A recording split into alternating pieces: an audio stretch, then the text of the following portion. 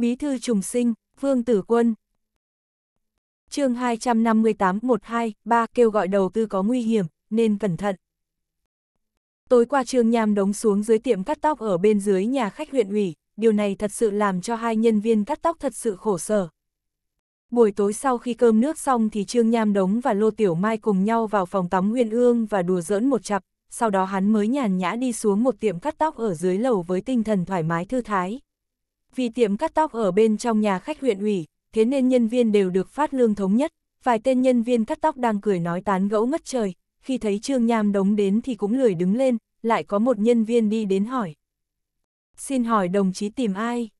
Trương Nham Đống nói. Không đến tìm ai cả, đến cắt tóc mát xa một chút. Thấy có khách thì vài nữ nhân viên đứng lên, bọn họ đưa đẩy một phen, cuối cùng một nhân viên có chút tư sắc đi đến dùng giọng mất hết sức lực nói. Mời anh ngồi. Trương Nham Đống vừa mới tắm xong, da mặt bóng loáng. Nữ nhân viên hỏi xem hắn muốn làm gì, thế là hắn nói cần ngoái tai, gội đầu, vì vài ngày chưa gội, thế cho nên da đầu hơi ngứa, ngủ không yên. Có lẽ vì khách đến đây ở không gội đầu nhiều lắm, thế cho nên nữ nhân viên thấy Trương Nham đống ngồi trên ghế, đầu thơm phức, không khỏi nhìn hắn bằng ánh mắt hiếu kỳ, sau đó mở miệng hỏi. Tiên sinh, anh không phải người địa phương sao? Trương Nham đống dùng giọng Quảng Đông nói. Thế nào, sao lại không phải, tất nhiên là người bản địa. Trương Nham đống nói xong thì móc điện thoại trong túi áo ra. Lô Bắc là một huyện vắng vẻ nghèo khó, nhà giàu có không nhiều, đến nhà khách huyện ủy chỉ có hai loại người, một là nhân viên chính quyền xuống kiểm tra giám sát, hoặc là những thương nhân ở khắp Nam Bắc. Nữ nhân viên cắt tóc thấy Trương Nham đống lấy điện thoại ra, thế là hiểu đối phương giàu có, cũng nhanh chóng trở nên cung kính. Trương Nham đống giả vờ như không thấy, hắn gọi điện thoại đến phòng khách, ồn ào nói với Tiểu Mai. Alo, ông chủ lô sao? Tôi là Trương Nham đống, tôi đang gội đầu. À, gửi tài khoản của tôi một triệu, đã đến rồi. Anh cứ yên tâm, bây giờ tôi đang nói chuyện làm ăn ở huyện Lô Bắc, tính toán tiếp nhận công trình cầu đường An Lô, đến khi quay về sẽ mời anh một bữa cơm, được, cứ quyết định như vậy. Audio điện tử võ tấn bền Trương Nham đống cúp điện thoại, hắn ngồi trên ghế xoay, lúc này hai mắt của nữ nhân viên phía sau đã tỏa sáng. Nàng lên tiếng, ôi, thì ra ngài là giám đốc Trương, anh là vị giám đốc muốn tiếp nhận công trình cầu đường An Lô của huyện chúng tôi sao? Trương Nham Đống tùy tiện nói. Cứ gọi tôi là Trương Nham Đống, tôi là người ở đây, cái giả mà giám đốc Trương với trả giám đốc Trương. 20 năm trước tôi từ chỗ này đi ra, người ta cũng không gọi tôi là Trương Nham Đống, chỉ gọi là Trương Nhị Nghiêu, vì vậy cô cũng đừng gọi tôi là giám đốc Trương, cứ xem như người thường là được. Nữ nhân viên cắt tóc chợt đỏ mặt, bộ dạng hờ hững biến mất sạch sẽ, nàng dùng giọng ngọt ngào nói. Ngài đúng là một người khiêm tốn, ngài thật sự làm cho huyện Lô Bắc nở mày nở mặt. Trương Nham đống nghiêng đầu sang một bên nhìn cô nhân viên, sau đó thầm nghĩ cô này tuy nhìn qua có vẻ chất phác nhưng tư sắc thì không tệ. Sau khi hưng phấn, hai mắt hắn khẽ lay động, hắn thuận miệng nói. Tôi thấy cô sao lại quen mắt như vậy nhỉ, giống như đã từng gặp qua trên tiết mục truyền hình nào đó. Nữ nhân viên cắt tóc có chút hưng phấn, nàng dùng giọng xấu hổ nói. Khi còn đi học thì ai cũng nói em giống ngôi sao ca nhạc, sau lưng cũng gọi tôi là em gái ca sĩ. Trương Nham Đống nói, ôi, cửa hàng cắt tóc này có vẻ làm ăn quạnh quẽ nhỉ. Đám nhân viên cắt tóc lên tiếng. Chúng tôi mỗi tháng đều có lương, những người tốt đã sớm tìm quan hệ thoát đi, chỉ còn lại đám chúng tôi ở lại đây nửa chết nửa sống. Giám đốc Trương, nếu không thì anh nói với lãnh đạo huyện một tiếng, để bọn họ phát tiền lương thiếu nợ cho chúng tôi nhé. Đám nhân viên cắt tóc thấy em gái ca sĩ nói chuyện với Trương Nham Đống thì đầu tỏ ra khinh thường, cô gái này có thanh danh không tốt trong tiệm, ai cũng thầm cảm thấy hèn mọn. Con kia lại là lơi với khách. Lúc đầu ai cũng tỏ ra lạnh nhạt, nhưng sau khi nghe được vài lời tự khoe khoang của Trương Nham Đống thì các cô gái đều không nhịn được phải đi qua, bọn họ cùng nói. Đúng vậy giám đốc Trương, anh nên nói cho chị em chúng tôi một lời, để huyện trả tiền lương. Trương Nham Đống được đám nữ nhân viên líu díu vây quanh, hương khí thơm ngát, thật sự sinh ra cảm giác sắc màu sặc sỡ, lời nói cũng có thêm chút thận trọng. Hắn khúm núm đồng ý, nói rằng đến lúc đó sẽ xem xét tình huống, nếu như tôi khảo sát thấy thị trường tốt, nếu quyết định đầu tư ở huyện Lô Bắc, như vậy sẽ tìm cơ hội nói với bí thư Hầu Thiên Đông. Lúc này cô gái em gái ca sĩ đã cúi đầu thấp xuống, bộ ngực vô tình cố ý chạm vào đầu Trương Nham Đống. Cuối cùng Trương Nham Đống cũng được cô gái cắt tóc làm cho thư thái thoải mái, hắn cười hì hì đi về phòng. Buổi tối Trương Nham Đống không chỉ một lần cùng Lô Tiểu Mai khảo sát độ mềm dẻo của chiếc giường, mãi đến lúc mệt mỏi kiệt sức thì hắn mới mỹ mãn ngủ thiếp đi, một giấc ngủ đến hừng đông. Tút, tút, tút. Chuông điện thoại vang lên, Lô Tiểu Mai thức dậy với ánh mắt nhập nhèm, nàng vừa định đưa tay cầm lấy điện thoại thì đã bị Trương Nham Đống gạt đi. Mãi đến lúc điện thoại đổ chuông lần thứ ba thì hắn mới cho phép Lô Tiểu Mai tiếp nhận. Alo, chào anh, tôi là Lô Tiểu Mai. Vẻ mặt vốn ngưng trọng của Lô Tiểu Mai đã nhanh chóng có thêm nụ cười sáng lạn như hoa nở, âm thanh càng thêm mềm mại ngọt ngào. Đầu dây bên kia không biết nói điều gì đó mà nụ cười trên mặt Lô Tiểu Mai càng thêm sáng lạn, nàng thuận miệng đồng ý rồi cúp điện thoại. Trương Nham Đống và Lô Tiểu Mai hợp tác nhiều năm, lúc này hắn nhìn nụ cười trên mặt nàng, hắn hiểu sự việc đã thành. Nhưng hắn vẫn có chút lo lắng, đợi đến khi Lô Tiểu Mai cúp điện thoại thì hắn mới dùng giọng không chờ đợi được nói. Đã thành công sao? Đã thành công, Chủ tịch Lưu sẽ tự mình đến ký hợp đồng. Lô Tiểu Mai vừa nói vừa ôm lấy mặt Trương Nham Đống hôn một cái rõ to. Trương Nham Đống vui sướng nhảy dựng lên trên giường, hắn cũng không còn bộ dạng lười biếng, hắn vỗ vỗ vào cơ thể trần như nhộng của Lô Tiểu Mai, sau đó dùng giọng hăng hái chỉ huy. Tốt, em đi thông báo cho những người khác, để bọn họ chuẩn bị xe đón chúng ta, chúng ta sẽ cho bọn họ kinh sợ một lần. Vâng, Lô Tiểu Mai cũng cực kỳ hưng phấn, nàng chui ra khỏi lòng Trương Nham Đống, sau đó bắt đầu đi gọi điện thoại. Khi Tôn Hạo đến nhà khách huyện ủy thì thấy Trương Nham Đống đang ngồi vững vàng trên ghế salon. Đối phương đang đọc sách, đó là một quyển sách khá dày và đầy chữ, có bìa màu đen, chữ vàng, làm cho người ta nhìn qua và sinh ra cảm giác trầm trọng. Trương Nham Đống đọc sách thì càng làm cho Tôn Hạo cảm nhận được khí chất của một nhà doanh nghiệp thành công. Hắn đi đến trước mặt Trương Nham Đống, lại nói. Cậu, lúc này cậu còn bình tĩnh đọc sách, xem như anh phục cậu. Trương Nham Đống chậm rãi gật đầu nói. Anh, không phải em có thể bình tĩnh ngồi đọc sách, mà em đang do dự, rốt cuộc có đầu tư hạng mục này không? Tôn Hạo vừa nghe thấy thái độ lập lờ nước đôi của Trương Nham Đống thì chợt kinh hoàng, nếu như hạng mục này thất bại, như vậy không phải là hắn sẽ rơi vào tình huống cực kỳ khó xử sao? Cậu em, cậu cũng đừng thay đổi trên đường đi như vậy, nếu cậu có điều kiện gì cứ nói với anh, chỉ cần không quá mức, anh có thể phản ánh với anh Hầu, sẽ cố gắng chứng thực. Trương Nham đống thở dài, lúc này mới chậm rãi nói. Anh họ, không phải em không giúp anh, em sợ đến lúc quăng ra số tiền lớn thì không có gì vào trong tay, chỉ sợ vị bí thư vương kia lại ngáng chân, em đã lĩnh giáo với người này, tác phong của hắn thật sự quá ghê gớm. Cậu, chút chuyện nhỏ đó cậu cứ yên tâm, lần này là chủ tịch lưu đến ký hiệp nghị với cậu, hì hì, hơn nữa không phải còn có anh sao. Họ vương kia nếu dám làm phiền em, anh sẽ không khoanh tay đứng nhìn, không cho hắn biết thế nào là lợi hại cũng không được. Tôn Hạo đứng ở bên cạnh với thái độ cực kỳ kiên quyết, dù hắn cho ra đánh giá như vậy với Vương Tử Quân, thế nhưng đến bây giờ hắn vẫn cho rằng mình không có lá gan như vậy. Vẻ mặt Trương Nham Đống trở nên tốt đẹp hơn sau khi Tôn Hạo nói rõ vấn đề, Lô Tiểu Mai ở bên cạnh lại khuyên vài câu, thế là giám đốc Trương vừa rồi do dự không thể quyết định đã ỡ mở xuống lầu. Trước nhà khách huyện ủy, ngoài chiếc xe Tôn Hạo chạy đến, còn có hai chiếc xe dừng sẵn, có một chiếc Audi mà ngay cả thành phố Hồng Ngọc cũng hiếm được gặp, một chiếc còn lại là xe thương vụ. Khi Trương Nham Đống và Tôn Hạo đi ra khỏi nhà khách huyện ủy, đã sớm có bốn tên đàn ông mặc tây phục màu đen giúp Trương Nham Đống mở cửa chiếc Audi màu đen. Đúng lúc này chợt có một âm thanh vang lên. Trương Tiên Sinh, xin chờ chút. Tôn Hạo và Trương Nham Đống đang định lên xe thì nghe thấy âm thanh kia. Bọn họ vội vàng quay đầu lại nhìn, đúng lúc thấy một chiếc xe cảnh sát chạy đến như bay.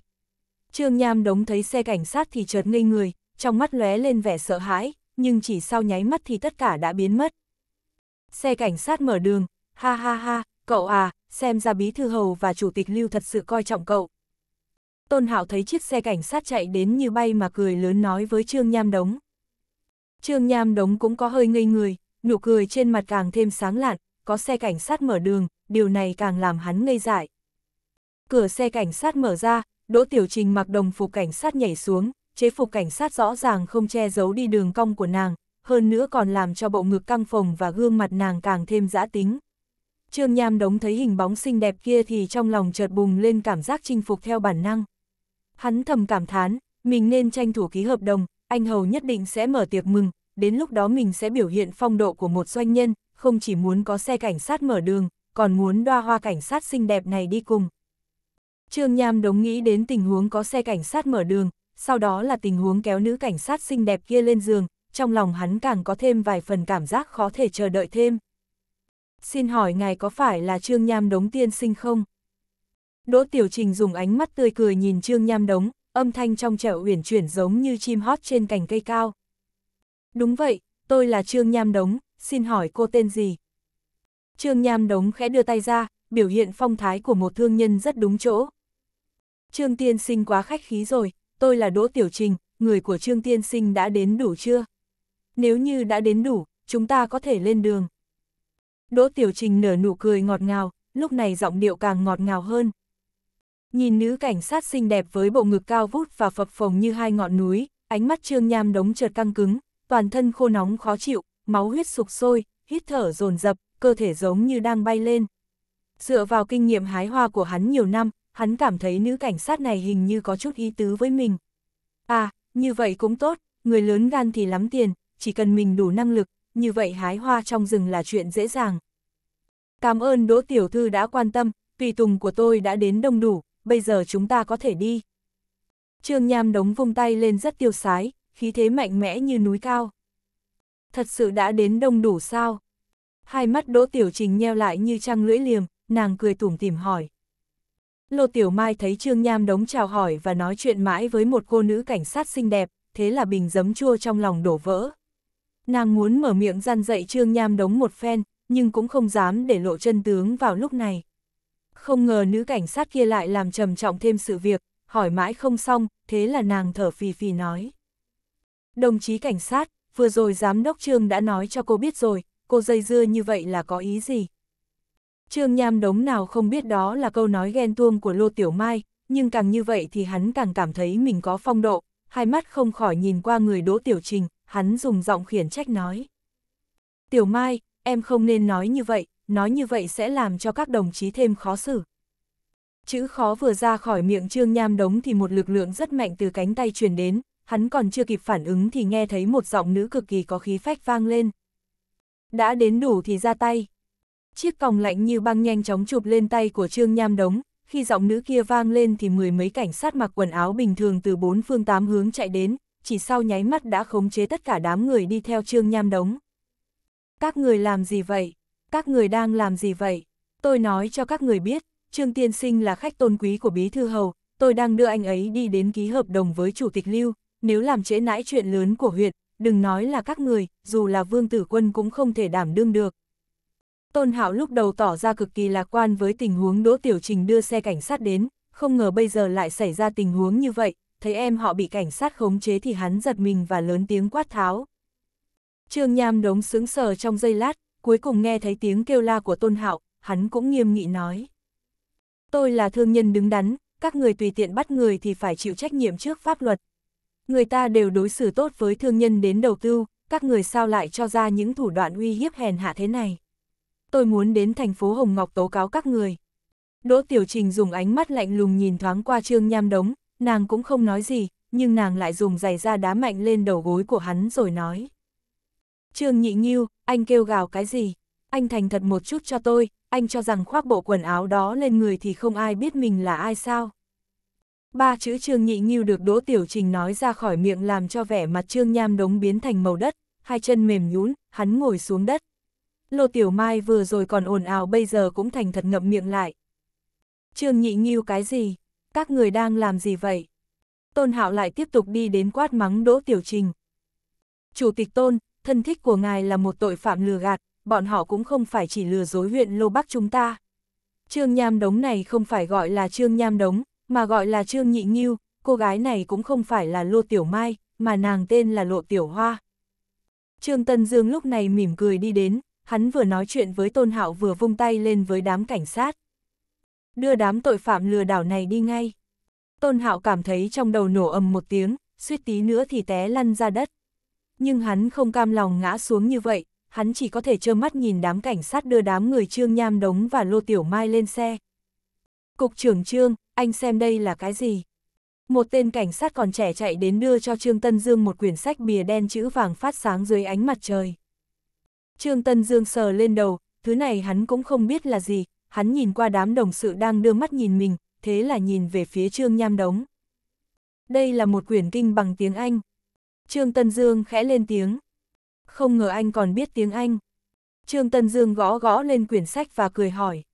Cảnh sát, chúng nó biết tôi nhưng tôi không biết chúng nó là gì, chẳng qua lấy ra để tìm chút mặt mũi mà thôi. Trương Nham Đống, không, phải là Trương Nhị Nghiêu mới đúng, hắn cũng là kẻ thành thật, bây giờ bị bắt thì cũng vội vàng khai báo. Anh nói gì, anh cũng không biết, vậy anh có phải là em họ của tôi không? Tôn Hạo đứng thẳng người lên, hai mắt đỏ như máu bầm. Thật xin lỗi, Chủ tịch Tôn, tôi cũng không phải là đứa em họ tốt đẹp của anh. Trương Nhị Nghiêu dùng ánh mắt khinh thường nhìn Tôn Hạo rồi cười phá lên ha hả. Tôn Hạo đứng đó mà gương mặt đỏ bừng bừng, nhưng hắn cũng chỉ có thể nhìn đám cảnh sát đưa nhóm Trương Nhị Nghiêu lên xe mà thôi. Trương Tân Dương nói một tiếng hôm nào đó sẽ đến báo cáo công tác với Tôn Hạo, sau đó tất cả xe cảnh sát rời khỏi nhà khách huyện ủy. Sao lại có thể như vậy, sao lại như vậy? Tôn Hạo đứng ngây người, hắn đưa mắt lên nhìn trời rồi lẩm bẩm. Tút, tút, tút. Máy nhắn tin của Tôn Hạo vang lên, hắn nghe thấy âm thanh quen thuộc, cuối cùng vẫn lấy ra xem. Anh Hạo, em mượn em trai của anh 10 ngàn, mượn Vinh Hoa 10 ngàn, còn mượn các bác và các cậu 10 ngàn, đã đưa đủ 100 ngàn cho thư ký của em họ anh. Tôn Hạo nhìn tin nhắn này mà ngồi phục xuống đất. Bí thư vương, tối nay ngài có rảnh không? Hàn Minh Khải tươi cười ngồi trong phòng làm việc của Vương Tử Quân, hắn dùng giọng cung kính hỏi. Hàn Minh Khải không thể không cười, vì vị trí trưởng phòng tuyên truyền mở ra cho mọi người, đối thủ của hắn ai cũng gióng chiêng gõ trống, kẻ nào cũng không tiếc ném vật chất và tinh thần vào cuộc chiến lần này, đặc biệt là Phó Chủ tịch Tôn Hạo càng kéo đến một nhà đầu tư, làm cho con đường An Lô sắp được khởi công, thật sự là chiến tích lớn chưa từng có. Đối phương là người cạnh tranh chính, uy tín tăng cao vời, vốn cho rằng sẽ nắm chắc vị trí trưởng phòng tuyên truyền, nhưng dưới tay của Bí Thư Vương thì lại xuất hiện bất ngờ. Vì sự việc kêu gọi đầu tư thất bại thảm hại mà Tôn Hạo đã phải nhập viện, điều này làm Hàn Minh Khải vui vẻ, nhưng đó không phải là niềm vui lớn nhất của hắn, điều làm hắn vui sướng chính là hội nghị thường ủy chiều hôm nay. Thân phận của Trương Nham Đống được xác nhận, tất nhiên sẽ chẳng còn chuyện ký kết hợp đồng gì cả. Nhưng kêu gọi đầu tư có vấn đề, Hầu Thiên Đông cũng mất mặt, cũng phải nói ra nguyên nhân hậu quả của sự việc. Cũng may trước khi tổ chức hội nghị thì Hàn Minh Khải đã đặc biệt chạy đến nói nhỏ với Bí Thư Hầu, nói là em họ của Tôn Hạo có biểu hiện không đáng tin, chuyện hợp đồng để tính sau. Hội nghị còn đề cử nhân tuyển cho vị trí trưởng phòng tuyên truyền, Hầu Thiên Đông nói vài lời ủng hộ Hàn Minh Khải, Vương Tử Quân cũng ủng hộ, thế cho nên kết hợp tất cả các nhân tố thì lần này Hàn Minh Khải trở thành nhân tuyển cho vị trí trưởng phòng tuyên truyền một cách có nguy hiểm nhưng thành công.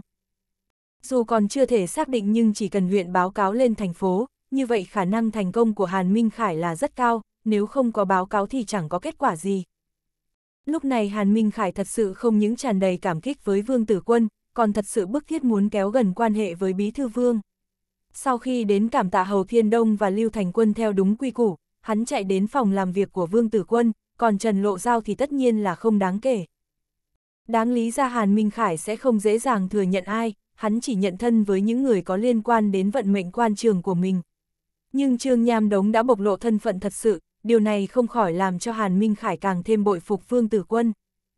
Trước khi chân tướng chưa rõ ràng thì đàm phán không thành công, Vương Tử Quân phải chịu áp lực lớn, nhưng hắn vẫn biểu hiện bình thản như không, chịu đựng gian khổ, bình tĩnh và bình tĩnh. Nếu như không phải cuối cùng tất cả được vạch trần, như vậy có bao nhiêu người đang chờ cười chê hắn ở hội nghị thường ủy. Xem ra một lãnh đạo vĩ đại phải không có cái dũng của kẻ thất phu, mà phải quả cảm, trầm ổn, mưu lược, quyết đoán, tất cả kết hợp với nhau và phải biểu hiện vào đúng thời điểm quan trọng, vào lúc tồn vong phải có tố chất tâm lý chấn định tự nhiên. Vì thế mà Hàn Minh Khải cho ra kết luận, tương lai của Bí Thư Vương phải là vô hạn. Vương Tử Quân chỉ dùng ánh mắt nhàn nhạt nhìn Hàn Minh Khải, hắn khẽ gật đầu nói. Hôm nay anh đi theo bọn họ đến nhà khách huyện ủy, như vậy là lập công lớn, các đồng chí cục công an đã bỏ công điều tra cũng khó chối bỏ công lao, nhưng trong quá trình bắt người anh tự mình đến hiện trường, nó làm cho một phó bí thư nắm khối tư pháp như tôi cảm thấy yên tâm hơn. Vì vậy bữa cơm hôm nay cũng không cần anh mời tôi, chờ một lát nữa tôi sẽ thông báo cho Cục trưởng Liên và Trương Tân Dương, để bọn họ cùng tới, cùng nâng ly chúc mừng anh. Hàn Minh Khải chợt cảm thấy trong lòng tuôn ra dòng suối cảm động chân tình, Bí Thư Vương có thể nói là rất tốt với mình. Hắn tất nhiên biết rõ mình đích thân đến hiện trường cũng chính là vì Trương Tân Dương đến báo cáo, thuận tiện gọi mình đi theo. Bí thư vương làm như vậy không phải đang trăm phương ngàn kế tô son thiếp vàng cho mình, gia tăng chút uy tín và độ nặng cho mình sao? Điều này không cần phải nói ra thì hắn vẫn có thể hiểu được. Thật ra vương tử quân cũng không thích loại người như Hàn Minh Khải, thế nhưng khi càng tiến chân sâu vào trong quan trường, hắn càng cảm thấy mình nên tụ tập lại một nhóm người chung quanh. Lực lượng của một người dù sao cũng chỉ là có hạn, hắn nghĩ mình vẫn nên đổi mới bản thân, giang rộng tay. Nhưng chính trị chỉ nói về mưu quyền mà không nói về tài năng, có tài cũng chỉ phục vụ cho quyền mưu mà thôi. Chính mình cần kẻ kéo xe, cần những kẻ kéo xe trung thành tận tụy, để mình bớt lo mà xe lại nhẹ nhàng linh hoạt, đây là hành động nhất cử lưỡng tiện, cớ sao không làm chương 259, 12, ngày xưa một đường đến Hoa Sơn, bây giờ một đường chính trị tô son thiếp vàng. Một người phấn đấu, nghe thì có vẻ rất hay nhưng lại không phù hợp với quan trường, dù là một người nào nếu không có ban ngành của mình, như vậy anh chỉ là một cây lục bình không dễ, cuối cùng cũng bị mưa gió đánh văng. Ngày xưa một đường đến Hoa Sơn, bây giờ chính trị mới là một ngọn tháp vàng, phải làm sao để mình đạt đến độ cao để cho mọi người phải ngưỡng mộ. Tất nhiên mình chỉ có thể là lãnh đạo của bọn họ, nhưng lãnh đạo cũng không phải việc gì cũng tự tay làm, dùng người của gia đình, mà phải tìm kiếm và gia tăng một đám người dễ bảo và có thể sửa trị, sau đó để đối phương cống hiến cho mình, đây mới là điểm cao minh. Bụng chứa cả thiên hạ nhưng lại khó chứa người, sử dụng người vì mình mới là đúng đắn, như vậy mới thật sự là chính trị gia. Biểu hiện thì có vẻ giống như nói không rõ, không phá, không thể nói trước, thật ra chỉ có vài chữ tạo nên vòng tròn quan hệ cho mình, lúc đầu phải bước vào một vòng tròn quan hệ, khi có chút thực lực thì phải xây dựng vòng quan hệ của riêng mình, lên đến địa vị cao thì phải cân đối vòng tròn quan hệ đó. Vương tử quân nghĩ và hiểu sâu lời dạy của ông nội với mình, mọi người cùng đốt thì lửa lên cao, cùng rong thuyền thì sẽ nhanh chóng ra khơi. Chỉ có ý nghĩ dung nạp tất cả mới tụ tập được lực lượng cùng chung chí hướng, như vậy mới có thể đạt được khát vọng của mình, mới biểu hiện lực lượng trong vòng nước xoáy. Hàn Minh Khải rời khỏi phòng làm việc của Vương Tử Quân với gương mặt tràn đầy nụ cười, hắn vốn có chút không yên, nghĩ rằng Vương Tử Quân trẻ tuổi kiêu ngạo, thế nhưng bây giờ xem ra bí thư Vương chẳng những khiêm tốn, thủ đoạn lại càng cao minh hơn mình tưởng rất nhiều. Xe chạy như bay trên đường, bụi đất mù mịt ở phía sau, Vương Tử Quân ngồi ở vị trí chính giữa, bên cạnh hắn là Tôn Hạ Châu và các đồng chí của Cục Thương mại. Nhưng những người này ngồi trong xe cũng không quá chú ý, bắt mắt nhất chính là hai cô gái mặc chế phục ngồi bên cạnh Vương Tử Quân. Một người mặc chế phục tòa án, một người mặc đồng phục cảnh sát, hai bên giống như tôn lên uy thế của nhau. Cả hai đều có gương mặt nhỏ nhắn trắng nõn như ngọc, đều xinh đẹp lanh lợi, hai bên ở cùng một chỗ càng làm cho người ta phải sáng mắt lên nhìn. Dù có phó bí thư vương tử quân ngồi trên xe, thế nhưng đám công nhân viên của Cục Thương mại vẫn thỉnh thoảng ném ánh mắt về phía hai cô gái, có người can đảm thậm chí cứ đưa mắt nhìn mãi không thôi. Vương tử quân tuy ngồi yên một chỗ, chỉ thỉnh thoảng nói vài lời với vị cục trưởng Cục Thương mại, thế nhưng ánh mắt của hắn thi thoảng vẫn rơi lên người hai cô gái thanh xuân phơi phới kia. Nhưng khi nhìn thấy bộ dạng tươi cười không nói của hai cô gái thì bí thư vương lại cảm thấy có chú đau đầu. Lần này bọn họ đến tham gia hội trợ kêu gọi đầu tư ở thành phố An Dịch, vốn hắn không nên đưa Y Phong theo, nhưng đây là lần đầu tiên hắn lấy việc công thành chuyện tư, thế là sắp xếp cho tòa án một người, đường hoàng kéo Y Phong vào trong nhóm người đến kêu gọi đầu tư. Nhưng điều làm cho Vương Tử Quân cảm thấy đau đầu đã xảy ra, Liên Giang Hà không biết có phải bị lừa đá vào đầu hay không, hắn lên tiếng rằng lãnh đạo xuất hành thì Cục Công an cũng cần có người đi theo phụ trách an toàn, thế là cháu tiểu trình của Vương Tử Quân được phái đến hộ tống. Khi Vương Tử Quân nhìn thấy cái tên Đỗ Tiểu Trình trong danh sách nhân viên thì trong lòng có hơi nóng lên, những ngày nay Đỗ Tiểu Trình và Y Phong được xưng tụng là hai đóa hoa tươi của khối tư pháp huyện Lô Bắc, bọn họ đã cùng nhau nổi tiếng, lúc này hai bên gặp mặt thì càng giống như hận vì gặp nhau quá muộn, giống như khó thể nào nói hết lời. Y Phong không những có tướng mạo xinh đẹp, càng có phong thái, mỗi một cái nhân mày và nụ cười quyến rũ đều cực kỳ tươi tắn, ánh mắt lại dịu dàng, nụ cười thản nhiên, một đôi má lún đồng tiền sinh tình. Điều này làm cho đám đàn ông ở trên xe đều sinh ra những ý nghĩ không an phận, thế nhưng vì có trở ngại là có mặt lãnh đạo, thế cho nên cả đám chỉ biết đè nén mà thôi. Vương Tử Quân vốn có kế hoạch đi dạo chơi cùng Y Phong lúc rảnh rỗi, thế nhưng lại xuất hiện một cô cháu gái cản mũi, như vậy kế hoạch đã sắp đặt từ lâu chỉ sợ là bị hớ. Mọi người xuất phát đã ăn điểm tâm, đến thành phố An Dịch cũng đã đầu giờ chiều, mùa xuân đến thì thành phố An Dịch càng thêm xinh đẹp, phố hương phường gấm, người đi lại nườm nượp, điều này làm cho một thành phố bừng bừng sức sống. Tiểu Phong, cậu xem, cô gái kia mặc váy thật đẹp, chỗ này xem ra rất tiên tiến, mùa xuân cũng có thể mặc váy, đúng là làm cho người ta hâm mộ. Đỗ Tiểu Trình thật sự bị phong cảnh ở thành phố An Dịch thuyết phục sâu sắc, sau đó lại càng bị trang phục của những cô gái ở thành phố này làm cho động lòng. Nếu so sánh với Đỗ Tiểu Trình thì Y Phong cũng không khá hơn chút nào, hai người nhìn xuyên qua cửa sổ xe, thỉnh thoảng chỉ trỏ phong cảnh bên ngoài. Nhưng nếu so với một Đỗ Tiểu Trình không tim không phổi thì Y Phong thỉnh thoảng lại liếc mắt nhìn Vương Tử Quân. Từ sau khi hai người kết hợp lại với nhau, Vương Tử Quân kia giống như một con sói tham ăn, không có việc gì đều chạy đến chỗ của Y Phong. Nghĩ lại bộ dạng như trẻ con của hắn, nàng không khỏi cảm thấy buồn cười. Lần này Vương Tử Quân sắp xếp Y Phong vào trong đoàn người đi kêu gọi đầu tư, nàng cũng không thể suy đoán được mục đích của hắn là gì, đối phương sắp xếp rất bí mật. Hắn chỉ lên tiếng yêu cầu tòa án phái một người hiểu pháp luật đến tương trợ, thế là tránh án phó thuận tay đưa nàng đến. Y Phong nghe những lời líu díu của Y Phong, trong lòng không khỏi cười thầm, nàng nghĩ rằng lúc này Vương Tử Quân sẽ rất bức bối, có Đỗ Tiểu Trình ở đây, dù hắn có lớn gan thế nào cũng làm gì có thể động vào mình. Trên đường đi nàng thấy hắn giàu gì không vui, trong lòng đã thầm đoán ra được 89 phần 10. Y Phong thầm oán con sói tham ăn Vương Tử Quân, đột nhiên trong lòng nàng sinh ra cảm giác thất lạc nói không nên lời. Giống như sự việc xuất hiện ngoài ý muốn hôm nay thì chính mình cũng không quá cam tâm tình nguyện, sao nàng lại cảm thấy một đỗ tiểu trình xinh đẹp duyên dáng là một kỳ đà cản mũi nhỉ. Xe dừng lại trước cổng quán nghênh tân, lúc này quán nghênh tân ra đón nhóm người vương tử quân náo nhiệt hơn lần trước rất nhiều, có những băng rôn đỏ thấm treo ở bên ngoài cổng, bên trên là những lời hoan nghênh, bên dưới là vài nhân viên công tác của thành phố An Dịch, bọn họ đang tiến hành đăng ký công tác cho những người đi đến.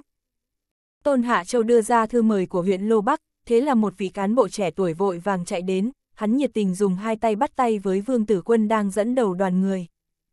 Bí thư Vương, hoan nghênh, hoan nghênh, vừa rồi văn phòng thị ủy còn gọi điện thoại đến, hỏi rằng ngài đến chưa? Vương Tử Quân cũng cười bắt tay với đối phương, hắn chợt nghe thấy đối phương dùng giọng nhiệt tình nói. Bí thư Vương, tôi là Viễn Tân Tinh, công tác ở văn phòng tiếp đãi thành phố, thị ủy sắp xếp tôi phục vụ cho Bí thư Vương và các vị lãnh đạo, nếu các vị có gì cần cứ đến tìm tôi, nếu tôi có gì phục vụ không chu toàn, kính mong các vị lãnh đạo bỏ quá cho. Viễn Tân Tinh này có thể nói là một người tám mặt lung linh, Vương Tử Quân nói vài câu khách khí với đối phương, thế là chủ khách đều vui vẻ. Nhưng vị cục trưởng cục thương mại đi sau lưng Vương Tử Quân lại cực kỳ cảm thán, hắn là cục trưởng cục thương mại, đã nhiều lần đi ra ngoài kêu gọi đầu tư, nhưng đây là lần đầu tiên thấy một đơn vị cấp thành phố lại tiếp đãi nhiệt tình chu đáo như vậy. Xem ra sự nhiệt tình của thành phố An Dịch không xa rời quan hệ với Vương Tử Quân, hơn nữa vừa rồi Viễn Tân Tinh còn nói văn phòng thị ủy gọi điện thoại đến, điều này càng làm cho vị cục trưởng cục thương mại phải suy nghĩ miên man. Chủ nhiệm viên, các đồng chí của huyện Lô Bắc đã đến chưa? Thư ký tôn của văn phòng thị ủy lại gọi điện thoại đến, nếu các đồng chí huyện Lô Bắc đến thì nhanh chóng gọi điện thoại trả lời. Một tên nhân viên công tác trẻ tuổi nhanh chóng chạy ra dùng giọng cung kính nói với Viễn Tân Tinh. Viễn Tân Tinh khẽ cười với nhóm Vương Tử Quân, sau đó lớn tiếng phân phó nhân viên công tác. Cậu chạy vào gọi điện thoại cho thư ký tôn, nói là đoàn cán bộ huyện Lô Bắc đã đến. Chỉ cần xem xét đoạn đối thoại vừa rồi, dù là vị cục trưởng cục thương mại hay đám nhân viên công tác đi theo đoàn đều nhanh chóng ý thức được một vấn đề, đó chính là phó bí thư trẻ tuổi của huyện Lô Bắc sắp biến thành một ngôi sao sáng trên bầu trời, dù đến thành phố an dịch của tỉnh hàng xóm cũng có địa vị cực kỳ quan trọng. Viễn Tân Tinh phân phó xong thì lại nhiệt tình đi đến bên cạnh Vương Tử Quân nói. Bí thư Đông Phương cực kỳ bức thiết ngóng đợi anh, ngày hôm qua đã cho thư ký tôn gọi điện thoại đến phân phó, vì thế mà lúc này mới hai lần gọi điện thoại đến thúc giục. Chủ nhiệm viên vất vả rồi. Vương Tử Quân bắt tay với Viễn Tân Tinh rồi mỉm cười nói. Có thể nói thành phố An Dịch cực kỳ có ý khi sắp xếp tiếp đãi nhóm người Vương Tử Quân, không những sắp xếp cho Vương Tử Quân một phòng xếp, hơn nữa nhân viên bình thường cũng được sắp xếp theo tiêu chuẩn hai người một gian phòng xa hoa, trong phòng không thiếu thứ gì. Viễn Tân Tinh sau khi tiếp đãi nhóm Vương Tử Quân một lát, cuối cùng cũng cáo từ rời đi. Vương Tử Quân phân phó cho các nhân viên đi nghỉ ngơi, sau đó lại ngồi trầm ngâm trên ghế.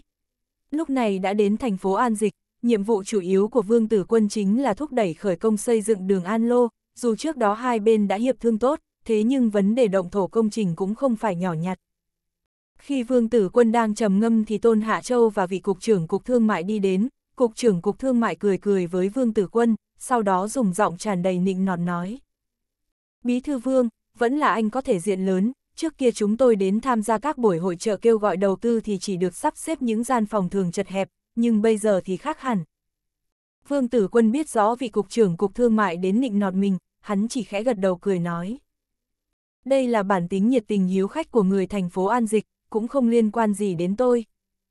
Sao lại không, vừa rồi tôi nhìn thấy các đoàn cán bộ của huyện khác đến, nhưng tiếp đái bọn họ chỉ là nhân viên công tác bình thường mà thôi. Vừa rồi tôi cũng đã hỏi thăm một chút, người tiếp đái chúng ta tên là Viễn Tân Tinh, chính là phó chủ nhiệm cục tiếp đái của thành phố, có cấp chính khoa, mà tiêu chuẩn của huyện Lô Bắc chúng ta lại bằng với các thành phố khác. Vương Tử Quân cũng không nói gì với những vấn đề này, hắn chỉ cười cười, sau đó cầm lấy tạp chí in màu bắt mắt ở trên bàn lên xem. Cục trưởng Cục Thương mại thấy Vương Tử Quân không có hứng thú với đề tài này thì vẻ mặt có chút biến đổi, sau đó hắn khẽ nói. Bí thư Vương, tôi vừa rồi có nghe nói thành phố An Dịch sắp xếp cho chúng ta một gian trong hội trợ, anh xem chúng ta nên chuẩn bị thế nào. Thành phố An Dịch sắp xếp cho huyện Lô Bắc một gian trong hội trợ. Điều này thật sự nằm ngoài dự đoán của Vương Tử Quân. Trong những hội trợ kêu gọi đầu tư khác thì đơn vị tổ chức sẽ sắp xếp các gian hàng cho các xí nghiệp nhà xưởng trong địa bàn của mình, nào sắp xếp cho người khác. Thành phố An Dịch làm vậy là có ý gì? Vương Tử Quân trầm ngâm một lát rồi nói. Các đơn vị khác có được sắp xếp gian hàng không? Nghe nói đại bộ phận đều có. Cục trưởng Cục Thương mại lên tiếng nói. Nghe nói lần này thành phố An Dịch đều có sắp xếp gian hàng cho các huyện thị xung quanh.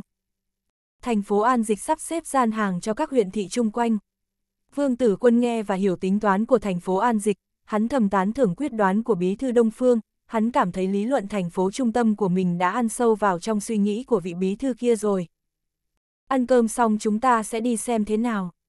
Vương Tử Quân trầm ngâm một lát rồi cho ra quyết định. Dùng cơm trong nhà hàng của quán Nghênh Tân, tuy đã qua giờ cơm nhưng quán Nghênh Tân vẫn đón khách, chuẩn bị thức ăn nóng. Nhóm Vương Tử Quân ăn uống no đủ, sau đó lên xe đi về phía tổ chức hội trợ đầu tư. Đây là một hội trợ đầu tư và cả thương mại, được thành phố An Dịch sắp xếp trên một quảng trường cực rộng, lúc này quảng trường đã được bao quanh, những gian hàng sắc màu đỏ rợp mắt. Tuy ngày mai mới bắt đầu hội trợ nhưng trên quảng trường đầy người qua lại, nhân viên tổ chức đang bận rộn sắp xếp, còn có những cán bộ huyện thị đang sắp xếp vật phẩm của mình. Đây là cái gì? Đỗ Tiểu Trình và Y Phong đã thay quần áo bình thường, bọn họ đang nhìn vào một gian hàng đặt nhiều khối đá lớn, bọn họ thật sự không hiểu nó là gì. Đây là Ngọc Thạch, chính là đặc sản của huyện chúng ta, nếu cô có hứng thú thì đến mà xem. Một tên cán bộ trẻ tuổi nhanh trí đã thuận tay đưa một tờ quảng cáo bắt mắt cho Y Phong. Tờ quảng cáo thật sự nói khá rõ tình huống, tán dương Ngọc Thạch, cuối cùng là hoan nghênh các vị khách đến huyện đầu tư nhà máy. Vương Tử Quân nhìn quy mô hội trợ mà thầm gật đầu, xem ra hội trợ lần này với quy mô không thua kém gì hội trợ ở tỉnh Chiết Giang. chương 260, một chờ mong thời khắc được thấy kỳ tích. Vương Tử Quân gật đầu, Cục trưởng Cục Thương mại Trương Thắng lợi lại không ngừng lau mồ hôi, bọn họ thật sự không có tư tưởng chuẩn bị đối với hội trợ đầu tư thương mại lần này, bọn họ chỉ nghĩ rằng thành phố An Dịch đang kêu gọi đầu tư, thế cho nên cùng Bí Thư Vương đi đến để học tập, biết đâu Bí Thư Vương sẽ xác định chuyện khởi công cầu đường An Lô. Không ngờ bây giờ đến thì thành phố An Dịch lại sắp xếp cho một gian hàng, mà các huyện thị khác cũng đã và đang bố trí. Có gian hàng thì nhất định phải bố trí, nhưng người ta đều có chuẩn bị, mình lại không hề có tư tưởng, như vậy lấy cái gì để bỏ vào trong gian hàng. Bí thư vương, tôi. Trương Thắng Lợi vừa định giải thích thì Vương Tử Quân đã khoát tay, hắn tiếp tục đi về phía trước. Sau khi nhìn qua một lượt, nhóm Vương Tử Quân đi đến gian hàng dành cho huyện Lô Bắc, đúng lúc gặp một nhóm trên trăm người đang đứng vây quanh dùng giọng bất mãn để phát tiết. Huyện Lô Bắc này là nơi nào, vì sao lại cho bọn họ một gian hàng tốt như vậy? Một âm thanh truyền vào trong tai Vương Tử Quân. Đúng vậy, huyện Cháo Bắc chúng tôi dù sao cũng là một huyện mạnh trong top 10 của tỉnh, thế mà thành phố An Dịch lại sắp xếp cho một huyện Lô Bắc vào vị trí trung tâm, khốn nổi huyện Lô Bắc không thuộc địa phận của tỉnh chúng ta, sao lại cho bọn họ vị trí tốt như vậy? Theo tôi thấy thì vị trí này nên dành cho các huyện phát triển trong thành phố An Dịch thì hay hơn. Cái gì là hay hơn, phải là tốt hơn rất nhiều. Một âm thanh từ trong đám người truyền ra, người nọ vừa nói vừa phát tiết. Huyện Lô Bắc là một huyện nghèo khó cấp quốc gia của tỉnh Chiết Giang, hi hi, nghe nói nơi đó rất nghèo nàn lạc hậu, lúc này thành phố An Dịch cho bọn họ vị trí tốt, tôi cũng muốn xem huyện Lô Bắc bọn họ có thể lấy ra được thứ gì hay. Nếu như vậy thì chúng ta không còn gì để nói, nếu như không có gì, hi hi, đây không phải là hầm cầu sao, đúng là lãng phí tài nguyên. Sự việc đã rõ ràng, đó là một huyện nghèo, làm gì có hạng mục nào tốt để kêu gọi đầu tư. Trừ khi bọn họ có thể tìm ra được mỏ vàng. Đủ tiếng cười nói vang lên, Trương Thắng Lợi nghe được những âm thanh kia mà vẻ mặt trở nên ngày càng khó coi. Hắn biết rất rõ, đừng nói mình không chuẩn bị, dù có chuẩn bị cũng không thể phô bày ra, chỉ sợ lần này huyện Lô Bắc sẽ rất mất mặt. Nếu làm mất mặt cả huyện, như vậy lãnh đạo trong huyện sao có thể tha thứ cho mình. Bí thư vương là phó bí thư huyện ủy, bây giờ lại là một mặt trời giữa ban trưa khi kéo về hội nghị tư pháp tỉnh và thành công trong hạng mục cầu đường An Lô, dù là bí thư hầu cũng không dám làm gì bí thư vương. Nhưng Trương Thắng Lợi thì khác, hắn là một vị cục trưởng cục thương mại mà không có sự chuẩn bị, khi cờ lê rơi xuống thì sẽ trúng ngay đầu.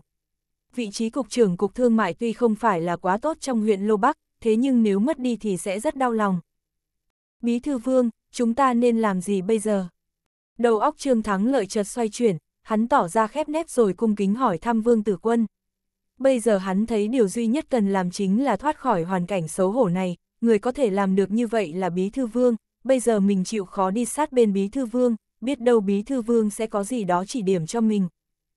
Trương Thắng Lợi lo lắng điều gì, vương tử quân hiểu rất rõ, hắn nghe những âm thanh nghị luận vang lên khắp chung quanh, thế là ánh mắt nhìn khắp bốn phía. Lúc đảo mắt nhìn quanh thì hắn chợt phát hiện ra một băng rôn chào mừng của thành phố An Dịch, một ý nghĩ chợt bùng lên trong đầu hắn. Thắng lợi, anh xem thế này có được không? Vương Tử Quân khẽ nói ý nghĩ của mình ra.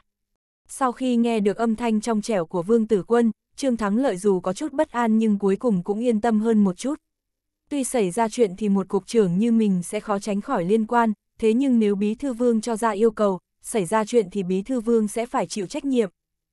Vâng, cứ xử lý theo ý anh, tôi sẽ cho người đi chuẩn bị. Trương Thắng Lợi vừa nói vừa khẽ lên tiếng phân phó với vị chủ nhiệm văn phòng cục thương mại ở bên cạnh.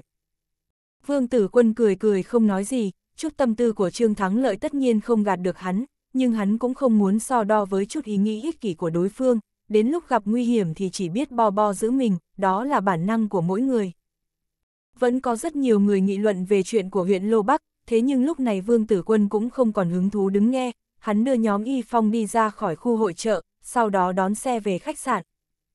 Trước kia Trương Thắng lợi công tác thế nào thì Vương Tử Quân không biết, thế nhưng lúc này hiệu suất của đối phương thật sự thần tốc, chỉ một giờ sau hắn đã cầm theo hai hộp giấy đi về phía phòng làm việc của Vương Tử Quân. Bí thư Vương, tôi đã làm xong. Trương Thắng Lợi vừa nói vừa đặt hai cái hộp lên mặt bàn. Vương Tử Quân khẽ gật đầu, hắn cũng không nói thêm điều gì, chỉ dùng ánh mắt nhàn nhạt nhìn Trương Thắng Lợi. Dưới ánh mắt của Vương Tử Quân, Trương Thắng Lợi dù là người lăn lộn nhiều năm trong quan trường thì trong lòng vẫn sinh ra cảm giác không yên. Bí thư Vương, dựa theo phân phó của anh, tất cả đều là tốt nhất, những bộ quần áo này cũng là loại tốt nhất. À, như vậy thì tốt, anh đi thông báo cho hai đồng chí tòa án và cục công an, để cho hai cô ấy đến đây một chuyến. Khi Vương Tử Quân nói đến tòa án và công an thì khóe miệng lộ ra nụ cười vui vẻ.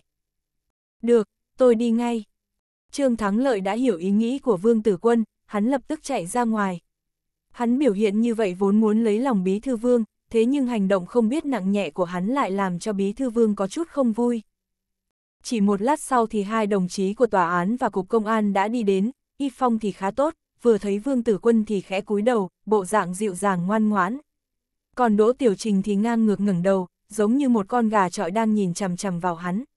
Nàng ghét nhất chính là những lúc hắn làm ra vẻ để nói chuyện với mình, trận thế mà hắn tạo ra còn quá phận hơn cả của bố nàng, hắn dựa vào cái gì để nhận là chú của mình. Chú Vương, xin hỏi ngài tìm chúng tôi có chuyện gì? Đỗ Tiểu Trình thấy Vương Tử Quân không nói gì, nàng hết ngược rồi dùng giọng trêu tức hỏi Vương Tử Quân. Vương Tử Quân chỉ cảm thấy buồn cười với bộ dạng và vẻ mặt của Đỗ Tiểu Trình, nào ngờ nàng có chiêu thức như vậy. Hắn vừa nghe thấy đối phương gọi mình là chú Vương thì có hơi đỏ mặt, trực giác cho thấy cô gái này là một viên đạn, hơn nữa viên đạn đó đang chĩa về phía mình, chính hắn cũng không chắc có thể tránh né hay không. chương 260, hai chờ mong thời khắc được thấy kỳ tích. Đỗ Tiểu Trình thấy Vương Tử Quân không lên tiếng thì ngược lại càng thêm trầm trọng, nàng lượn lờ đi đến gần làm hắn cảm thấy có chút sao động, nhưng vẻ mặt vẫn không biến đổi, vì còn có Y Phong ở chỗ này. Nàng tiến đến bên cạnh Vương Tử Quân rồi hỏi. Sao ngài còn chưa hạ thánh chỉ? Đỗ Tiểu Trình nói xong thì quay sang nhìn Y Phong rồi cười khanh khách, lại cố ý hết ngực lên, điều này làm cho da đầu Vương Tử Quân hơi run. Đỗ Tiểu Trình cười run cả người, bộ ngực phập phồng cao thấp, điều này không khỏi làm cho bí thư Vương Tử Quân cảm thấy động lòng. Hình như còn lớn hơn cả Tần Hồng Cẩm, so ra thì Y Phong vẫn kém hơn. Ý nghĩ này bùng lên trong lòng Vương Tử Quân, hắn không khỏi liên tục lắc đầu. Chuyện gì xảy ra, sao lúc này mình lại có những suy nghĩ như vậy? Vương Tử Quân lắc đầu thật mạnh rồi nghiêm mặt hỏi. Ngày mai có một công tác cực kỳ quan trọng sắp xếp cho hai cô, vì ban thưởng cho những cố gắng của các cô vào ngày mai, tôi đã cho cục trưởng trương chuẩn bị hai bộ trạng phục, các cô đi thử xem, không hợp thì đổi lại. Ban thưởng quần áo, bí thư vương quả nhiên cao minh, rõ ràng là việc nhà mà nói đó là ban thưởng. Trương Thắng Lợi tuy cũng rất động tâm khi Đỗ Tiểu Trình lên tiếng, nhưng hắn cũng biết lai lịch của nàng, biết cô nàng kia ngược lớn nhưng rất khó giải quyết. Dù sao thì cũng là hai cô gái, thế cho nên vừa nghe nói có quần áo mới thì cả hai đều vui vẻ, nhưng Y Phong lại không nói một lời, thầm nghĩ người này quá lớn gan, dù là dùng đỗ tiểu trình để ngụy trang thì cũng không nên quá rõ ràng như vậy chứ. Nhưng khi hai người cầm hai hộp quần áo đi ra và trở lại thì hai cặp mắt hạnh cứ nhìn chằm chằm vào Vương Tử Quân, cặp mắt của Y Phong còn có chút an oán, nhưng Đỗ Tiểu Trình thì lại sững sờ, nàng ngây người nhìn Vương Tử Quân. Đỗ Tiểu Trình nhìn chằm chằm thì Vương Tử Quân cũng nhìn chằm chằm, tuy hắn đã sống qua hai đời người, được cho là kẻ định lực ghê gớm, thế nhưng lúc này nhìn hai cô gái xinh đẹp mặc sườn xám giống như Xuân Hoa Thu Nguyệt, thế là không khỏi cảm thấy ngẩn ngơ. Y Phong vốn có dáng người yểu điệu, lúc này mặc sườn xám đỏ thì càng giống như liễu trong gió, vòng eo được sườn xám phụ trợ càng làm cho Vương Tử Quân hận không thể kéo nàng vào lòng, sau đó chính thức tuyên bố với mọi người về quyền sở hữu của mình. Đỗ Tiểu Trình đứng bên cạnh Y Phong, nàng cũng không kém so với Y Phong, nàng đã tiếp khoảng thời gian huấn luyện khi làm cảnh sát, dù không trong suốt như ngọc giống Y Phong, thế nhưng vẫn xinh đẹp kinh người, dáng người nóng nảy, được sườn xám phụ trợ càng làm cho người ta cảm thấy dục vọng dâng trào. Đặc biệt là bộ ngực lớn, giống như đang muốn phá nát sự gò ép của sườn xám, cặp chân thon dài tuy chỉ lộ ra một nửa nhưng cũng có được hiệu quả giấu đầu hở đuôi. Trương Thắng Lợi lúc này thiếu chút nữa thì chảy nước miếng, thầm nghĩ chính mình khi đi đến đã thấy hai cô nhân viên này rất xinh đẹp, bây giờ mới biết không phải là chỉ đẹp, phải là đẹp tuyệt đối. Vương Tử Quân có chút ngẩn ngơ, tất nhiên nó không thể nào qua được ánh mắt sắc bén và có chút gian xảo của Đỗ Tiểu Trình, nàng đắc ý cười nói. Chú Vương, ngài cảm thấy cháu gái mặc bộ quần áo này có vừa người không? Vương Tử Quân nghe thấy cách xưng hô chú Vương của Đỗ Tiểu Trình thì không khỏi vô thức sờ mũi, trong lòng thầm nghĩ mỹ nhân và tiểu nhân thật sự là hai loại người khó nuôi, đúng là không sai. Đỗ Tiểu Trình này đang muốn báo thù một câu cháu Tiểu Trình của mình vào trước kia sao? Vương Tử Quân cũng không muốn dây dưa nhiều với Đỗ Tiểu Trình ở phương diện này, hắn ho khan một tiếng rồi nói. Đồng chí Đỗ Tiểu Trình, đồng chí Y Phong, hôm nay huyện ủy có một nhiệm vụ quan trọng giao cho hai cô, các cô đều là nhân viên công tác xuất sắc của khối tư pháp, tôi tin tưởng hai cô sẽ không phụ lòng kỳ vọng của huyện ủy chính quyền, xuất sắc hoàn thành nhiệm vụ lần này. Vương Tử Quân lên tiếng, tuy Đỗ Tiểu Trình bĩu môi nhưng cũng không dám nói thêm điều gì nữa, chỉ là cái miệng có hơi vểnh lên. Vương Tử Quân nhìn thấy Đỗ Tiểu Trình đang quệt miệng đứng bên cạnh Y Phong, trong lòng không khỏi sinh ra cảm giác muốn há miệng cắn miếng thịt heo thơm ngon kia. Vương Tử Quân vội vàng thu hồi tâm tư, hắn thấy hai người kia không nói lời nào, thế là đổi chủ đề, nói ra kế hoạch của mình. Còn tưởng rằng chú Vương có ý tốt mua đồ cho chúng tôi, thì ra là như vậy. Như thế chú cứ yên tâm, chúng tôi sẽ đảm bảo hoàn thành nhiệm vụ, nhưng này chú Vương, đến lúc đó phải có thưởng mới được. Đỗ Tiểu Trình nói rồi kéo Y Phong xoay người đi ra khỏi cửa. Hình bóng yểu điệu quyến rũ và đong đưa của hai mỹ nhân vừa vặn rơi vào trong mắt làm cho tâm thần vương tử quân càng thêm rung động, hắn đột nhiên ý thức được linh hồn và xác thịt không đối lập với nhau, ít nhất cả hai cũng hài hòa. Tạm thời hắn là linh hồn còn hai cô gái kia là da thịt, lúc này linh hồn của bí thư vương đang mãi suy tư về những khối da thịt mê người, hắn không tự chủ được phải ảo tưởng về sự kết hợp giữa linh hồn và xác thịt, nhưng linh hồn có lý trí, bí thư vương chợt phát hiện có đôi khi lý trí hoàn toàn dối trá chính mình. Thành phố An Dịch rõ ràng là đầu tư rất nhiều tiền của công sức vào hội trợ đầu tư thương mai lần này, vào ban đêm thì tất cả lãnh đạo của bốn ban ngành trong thành phố đều đi đến hội trợ, bí thư thành phố Trịnh Đông Phương càng đứng lên phát biểu những lời hoan nghênh. Vương Tử Quân nhìn vẻ tiêu sái tự nhiên và chỉ điểm Giang Sơn của Trịnh Đông Phương, đã cảm thấy vị bí thư trịnh kia càng thêm mạnh mẽ so với thời điểm hai bên gặp mặt nhau trước Tết. Tuy đến Tết thì Vương Tử Quân rất bừa bộn, thế nhưng hắn cũng không quên gọi điện thoại hàn huyên với vị bí thư này vài câu. Bình thường thì những hội trợ đầu tư thương mại thế này sẽ không có sắp xếp gì đặc biệt, thế là sau khi bí thư trịnh Đông Phương đọc diễn văn, tất cả khách quý bắt đầu cùng nhau ngồi xuống ăn uống giải trí. Bàn của nhóm Vương Tử Quân khá vắng vẻ, nhưng thành phố An Dịch lần này sắp xếp toàn những món ăn ngon, thế cho nên cũng đủ làm cho đám nhân viên cục thương mại giải tỏa cơn đói. Các vị tiên sinh có chút lạ mắt, tôi là chủ tịch huyện lưu hội nhượng của huyện Cháo Bắc, không biết các vị xưng hô thế nào. Tiệc rượu được tiến hành được một nửa thời gian, những người có chút quen biết bắt đầu đi lại chào hỏi lẫn nhau, đồng thời cũng là cơ hội cho mọi người kéo quan hệ, cũng muốn làm quen thêm nhiều người bạn mới. Trên quan trường trước nay đều chú trọng đến quan hệ và bạn bè, nhiều bạn thì đường sẽ dễ đi hơn, thế cho nên lúc này các vị cán bộ huyện thị sẽ không bỏ qua cơ hội. Vương Tử Quân nghe thấy cái tên huyện Cháo Bắc có chút quen tai, nhưng lúc này hắn lại không nghĩ ra. Hắn thấy chủ tịch huyện Cháo Bắc khách khí như vậy thì cũng vội vàng đứng lên nói. Tôi là Vương Tử Quân của huyện Lô Bắc tỉnh Chiết Giang, rất vui được gặp mặt chủ tịch Lưu. chương 260, ba chờ mong thời khắc được thấy kỳ tích. Huyện Lô Bắc, Lưu Hội Nhượng chợt nhớ đến tình huống mọi người tập trung ồn ào, hắn không ngờ lại gặp được người của huyện Lô Bắc ở chỗ này. Tuy trong lòng có chút không phục vì vị trí quá đẹp của huyện Lô Bắc, thế nhưng là người trong quan trường, hắn cũng không muốn vì nó mà đắc tội với người. Ha ha, chào anh, đồng chí Tiểu Vương, chào mừng anh đến tỉnh Sơn Nam chúng tôi, nếu có gì cần thì huyện Cháo Bắc chúng tôi sẽ tận tình địa chủ. Lưu hội nhượng nghĩ rằng với độ tuổi cưa Vương Tử Quân thì chỉ là một cán bộ cấp chính khoa mà thôi, như vậy đã là quá mạnh rồi. Vương Tử Quân khẽ gật đầu cười cười, sau đó nâng ly lên cùng với Lưu Hội Nhượng. Lưu Hội Nhượng cũng nâng ly rượu lên, chuẩn bị uống cạn. Đối với hắn thì vị cán bộ Vương Tử Quân của huyện Lô Bắc này chỉ là một khách qua đường tham gia hội trợ, không đủ tư cách để kết giao sâu. Bí thư Vương, thì ra anh ở chỗ này, Bí thư Trịnh xin mời anh đi qua. Viễn Tân Tinh đưa theo một tên cán bộ trẻ tuổi đi đến, khi thấy Vương Tử Quân thì tươi cười nói. Vương Tử Quân từng gặp qua người trẻ tuổi kia, trước kia hắn thấy đối phương đi bên cạnh Trịnh Đông Phương, cũng không biết đối phương tên gì. Vương Tử Quân khẽ hạ ly xuống mỉm cười với tên cán bộ trẻ tuổi, sau đó hắn đi theo hai người kia vào một khu vực khác. Tuy huyện Cháo Bắc không nằm trong thành phố An Dịch, thế nhưng nếu nói ra lại chịu sự ảnh hưởng rất sâu của quá trình phát triển kinh tế trong thành phố An Dịch, có thể nói nếu không có sức huyết từ thành phố An Dịch thì huyện Cháo Bắc sẽ khó có được thành tích hôm nay. Hơn nữa bây giờ càng ngày càng có nhiều âm thanh muốn đẩy thành phố An Dịch lên cấp phó bộ, khi đó lãnh đạo thành phố sẽ là cấp phó bộ lưu hội nhượng tất nhiên càng muốn làm tốt quan hệ với bí thư trịnh Đông Phương. Không, phải là kéo quan hệ mới đúng, vì rõ ràng lưu hội nhượng với chút bản lĩnh của mình thật sự khó thể tiến vào mắt xanh của bí thư trịnh Đông Phương.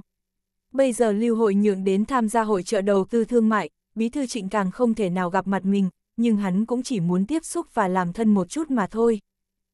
Khốn nổi điều làm cho Lưu Hội Nhượng cảm thấy bất ngờ chính là một tên cán bộ trẻ tuổi Vương Tử Quân ở huyện Lô Bắc sao lại được bí thư trịnh yêu ái như thế. Còn đáng giá để thư ký của bí thư trịnh tự mình đến mời. Hắn nhìn hình bóng của Vương Tử Quân đang chậm rãi biến mất trong đám người, hắn không khỏi nhấp một ngụm rượu, hàng loạt ý nghĩ lóe lên trong đầu. Bí thư Vương, ngài đại giá Quang Lâm, tôi không tiếp đón được từ xa, ta thật sự xấu hổ. Hôm nay gương mặt trịnh Đông Phương đỏ bừng bừng, rõ ràng vị bí thư thị ủy này đã uống không ít rượu. Dù trong lúc uống rượu thì quán nghênh tân đã chuẩn bị hai loại cho lãnh đạo, nhưng sau này Trịnh Đông Phương vẫn phải uống rượu thật. Lúc này tâm tình của Trịnh Đông Phương thật sự không tệ, khi Vương Tử Quân tiến đến thì nhanh chóng đưa mắt nhìn sang và dùng giọng đùa giỡn nói. Vương Tử Quân nở nụ cười khiêm tốn. Bí thư Trịnh, ngài quá khách khí rồi, nếu ngài nghênh đón từ xa, như vậy không phải tôi sẽ bị người ta dùng nước bọt dìm chết sao? Trịnh Đông Phương cười ha hả, cũng không tiếp tục dây dưa ở vấn đề này, lão uống một ngụm trà rồi nói. Tiểu Vương, năm trước cậu công tác rất tốt, nghe nói bây giờ đã là phó bí thư huyện Lô Bắc, nếu có hứng thú đến giúp tôi, tôi sẽ cho cậu một vị trí phó chủ nhiệm thị ủy. Phó chủ nhiệm thị ủy của thành phố An Dịch cũng là cấp phó huyện nhưng nếu so sánh thì hàm lượng cao hơn rất nhiều vị trí phó bí thư huyện ủy của Vương Tử Quân, chưa nói đến chuyện hắn được bí thư trịnh Đông Phương tín nhiệm, như vậy hắn có thể biến thành một nhân vật hô phong hoán vũ ở thành phố An Dịch. Đừng nói đến lúc thành phố An Dịch lên cấp, như vậy hắn sẽ tiến lên cấp chính xứ. Vương Tử Quân trầm ngâm trong nháy mắt rồi dùng giọng cười ha hả nói. Cảm ơn Bí Thư Trịnh đã tin yêu, tôi cảm thấy công việc bây giờ cũng không tệ. Trịnh Đông Phương khẽ gật đầu, cũng không tiếp tục dây dưa ở trên vấn đề này, lão nói thêm vài chuyện vặt với Vương Tử Quân, sau đó rời chủ đề sang con đường An Lô. Tử Quân, tôi thấy huyện Lô Bắc cũng không có dấu hiệu khởi công con đường, có phải là không đủ tiền không? Nếu không thì thế này, thành phố An Dịch chúng tôi sẽ làm cả con đường, nhưng các người cũng không thể để cho chúng tôi làm không công, chúng tôi phải được quản lý con đường qua quý huyện trong thời gian 30 năm. Làm đường chỉ cần 30 năm quyền quản lý, lời này nói ra thì có vẻ rất hay, nếu như là Hầu Thiên Đông ở đây thì nhất định sẽ động lòng. Nhưng Vương Tử Quân là người biết rõ sức ảnh hưởng của con đường vào đời sau, thế nên hắn cười hì hì và dùng giọng uyển chuyển từ chối. Bí thư trịnh, ngài cứ yên tâm, huyện Lô Bắc chúng tôi nhất định sẽ không làm cho công trình lỡ hẹn, tôi cũng xin đại biểu nhân dân huyện Lô Bắc ghi tạc ý tốt của ngài vào trong lòng. Tiểu tử gian xảo, trịnh Đông Phương nào không nghe và hiểu ý của Vương Tử Quân. Lão khẽ mắng một câu, sau đó nói tiếp. Chẳng lẽ cậu đã tìm ra tài chính để xây dựng con đường? À, tôi đã suy nghĩ kỹ, có lẽ không là vấn đề gì. Vương Tử Quân nâng ly trà mà thư ký vừa mới đặt xuống trước mặt mình, hắn khẽ nhấp một ngụm rồi thản nhiên nói. Trịnh Đông Phương dù có chút không tin Vương Tử Quân sẽ tìm ra được tài chính làm đường, thế nhưng lúc này lão cũng không hỏi lại. Thời gian của lão là rất quý giá, rất xa hoa, dù là tìm gặp Vương Tử Quân thì chỉ sau 10 phút đã có một sắp xếp khác.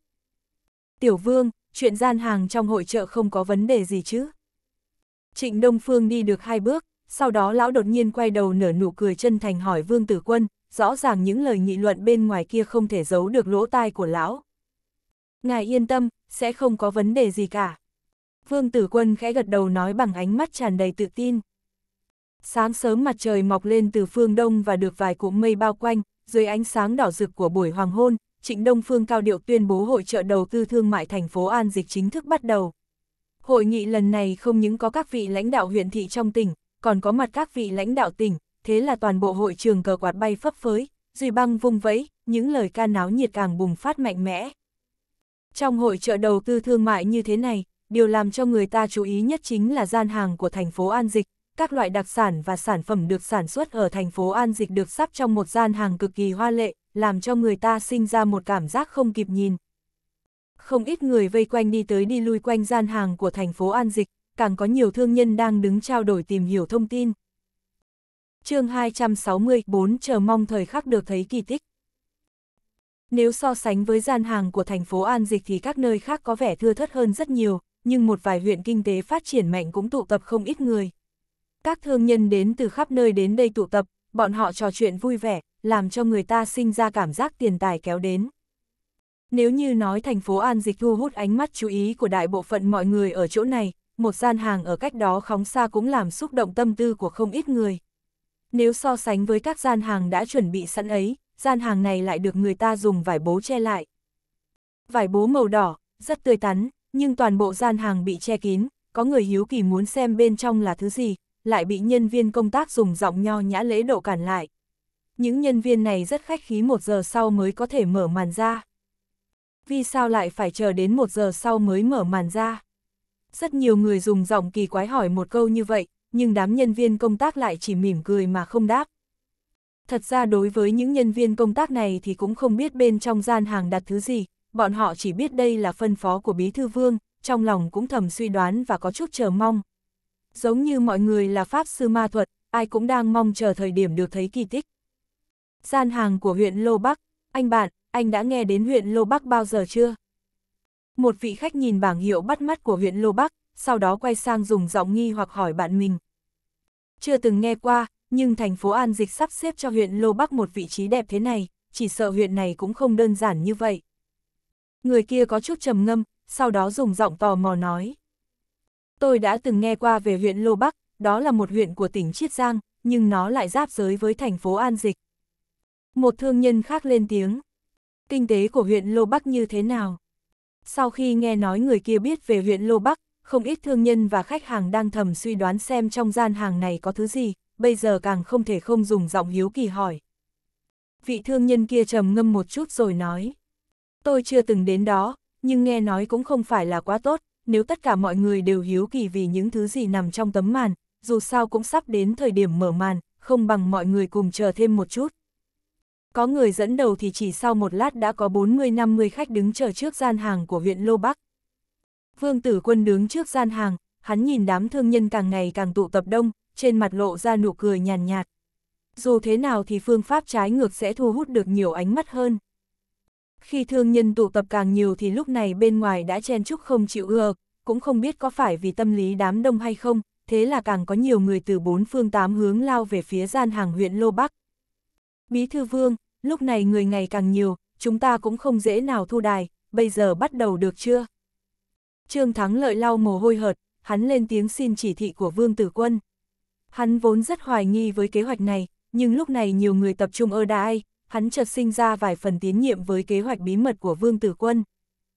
Vương Tử Quân nhìn đồng hồ, chỉ còn kém 10 phút, hắn trầm ngâm một lát rồi khẽ cười. Chúng ta nhất định phải đúng giờ. Khi Vương Tử Quân phân phó với Trương Thắng Lợi, một gian hàng ở cách đó một đoạn bằng 10 người giang tay nhau, Lưu Hội Nhượng đang đưa mắt đánh giá Vương Tử Quân. Tuy lúc này gian hàng của huyện Cháo Bắc cũng không thiếu khách hàng và thương nhân, thế nhưng nếu so với gian hàng của huyện Lô Bắc thì kém rất nhiều.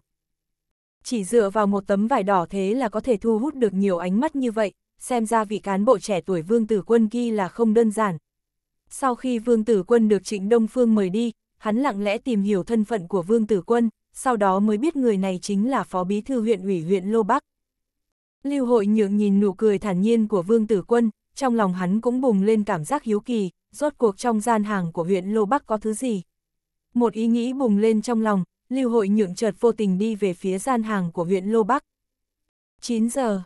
Không biết là ai chợt hô lên, không gian chợt bình tĩnh lại trong nháy mắt, mọi người càng nhìn về phía tấm màn màu đỏ. Tấm màn dần được kéo ra dưới ánh mắt của mọi người, hai nhân viên công tác xinh đẹp mặc sườn xám, lại khoác một chiếc áo ngoài bằng gấm chợt xuất hiện trước mặt mọi người. Trong hai nữ nhân viên công tác có một cô cực kỳ nóng bỏng, gương mặt thanh khiết, một cô gái khác có cơ thể như liễu, đường cong tuyệt mỹ. Hai người xuất hiện cùng một lúc hầu như sinh ra hiệu quả tác động cực mạnh, lập tức thu hút ánh mắt của mọi người, có không ít người nhìn hai cô gái này, không khỏi hít thở dồn dập. Hoan nghênh các vị đến với gian hàng của huyện Lô Bắc. Âm thanh trong trẻo dễ nghe, bốn bàn tay trắng nõn đưa lên kéo tấm màn ra, những phần được che giấu đã hoàn toàn lộ ra. Đám khách hàng và thương nhân vốn đã chờ đợi khá lâu, lúc này bọn họ thật sự trừng mắt lên nhìn, tuy hai cô gái kia rất xinh đẹp, thế nhưng lúc này đối với đám thương nhân chỉ chú ý đến lợi ích thì vấn đề kiếm tiền mới là quan trọng nhất. Đây là có chuyện gì? Không gian chợt trở nên trầm mặc, cuối cùng cũng có người không nhịn được phải mở miệng, mà đám thương nhân cảm thấy khó hiểu, bây giờ cũng nhao nhao hẳn lên. Sao lại là một bức tranh, đây là hội trợ đầu tư thương mại hay là một cuộc triển lãm nghệ thuật? Cái quái gì là triển lãm nghệ thuật, triển lãm phải là tranh của họa sĩ, đây chỉ là một bức tranh bình thường, lại vẽ một con đường làm gì? Hừ, còn tưởng rằng đó là thứ gì, sao lại là một bức tranh? Mọi người đều nhún nháo, ai cũng nói về phía hai cô gái xinh đẹp, lúc đám người lên tiếng thì lưu hội nhượng lại đưa mắt nhìn về phía bức tranh vẽ con đường kia. Đó là một bức tranh rất lớn, bầu trời xanh ngắt, thật sự làm cho người ta cảm nhận được một không gian yên bình tươi đẹp, dưới bầu trời là một con đường lộ, đủ mọi loại xe đang chạy như bay, hai bên đường nhựa có núi cao, có cây xanh, còn có một cái biển báo giao thông cực kỳ bắt mắt. Lưu hội nhượng cũng không nhìn kỹ biển báo giao thông chiếm diện tích không lớn kia, nhưng khi hắn lơ đãng nhìn thấy một cột mốc chỉ khoảng cách đến thành phố An Dịch, ánh mắt hắn khẽ động, thế là ánh mắt rơi về phía đầu tây của con đường chương 261, sáng ý chính là tài phú. Quốc lộ Lưu hội nhượng nhìn thấy hai chữ kia và cảm thấy mình đã hiểu ra, đồng thời cũng cực kỳ kinh ngạc, hắn chợt bừng tỉnh giống như nghe được tiếng sấm truyền, giống như nhận ra được trọng đẻm, nhưng lại giống như khó thể nắm bắt được. Trong lúc lưu hội nhượng đang trầm ngâm thì một âm thanh trong trẻo dễ nghe đã vang lên. Kính thưa các vị khách quý, mọi người rõ ràng đang cảm thấy nghi hoặc vì sao trong gian hàng của chúng tôi lại trưng bày một bức tranh như vậy, lại có người hỏi xem có phải chúng tôi đang triển lãm tranh hay không. Bây giờ tôi nói cho mọi người biết, đây không phải là tranh nghệ thuật, chính là một hạng mục cực kỳ quan trọng của huyện Lô Bắc chúng tôi đưa đến hội trợ lần này.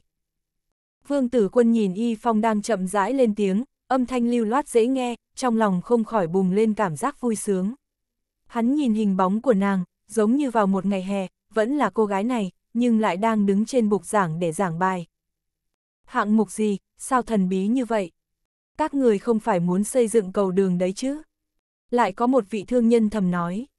Đối mặt với quá nhiều khách hàng và thương nhân, lúc bắt đầu Y Phong cũng có chút không yên, nhưng nàng nghĩ đến tình huống buổi tối mình lén đến làm nũng với Vương Tử Quân, tên bại hoại kia nói nàng nên xem mọi người như là học sinh của mình, thế là tâm tình của nàng chợt biến đổi khá nhiều. Vị tiên sinh này nói rất đúng, chúng tôi đang kêu gọi đầu tư con đường này. Mọi người đều biết khi kênh đào Panama được khai thông thì làm cho khoảng cách giữa Thái Bình Dương và Đại Tây Dương trực tiếp thu hẹp, mà kênh đào Suez lại càng làm cho châu Âu và châu Á có mối liên lạc thêm chặt chẽ. Quốc lộ chỉ cách thành phố An Dịch khoảng 100 km, nhưng nếu muốn đi từ thành phố An Dịch đến quốc lộ thì phải trải qua một con đường dài hơn 500 km. Con đường này chính là một hạng mục mà thành phố An Dịch và huyện Lô Bắc đã cùng nhau thương lượng đầu tư thành công vào năm ngoái. Sau khi hạng mục này được khởi động, như vậy hành trình từ tỉnh Sơn Nam đến tỉnh Chiết Giang chỉ còn lại một khoảng ngắn.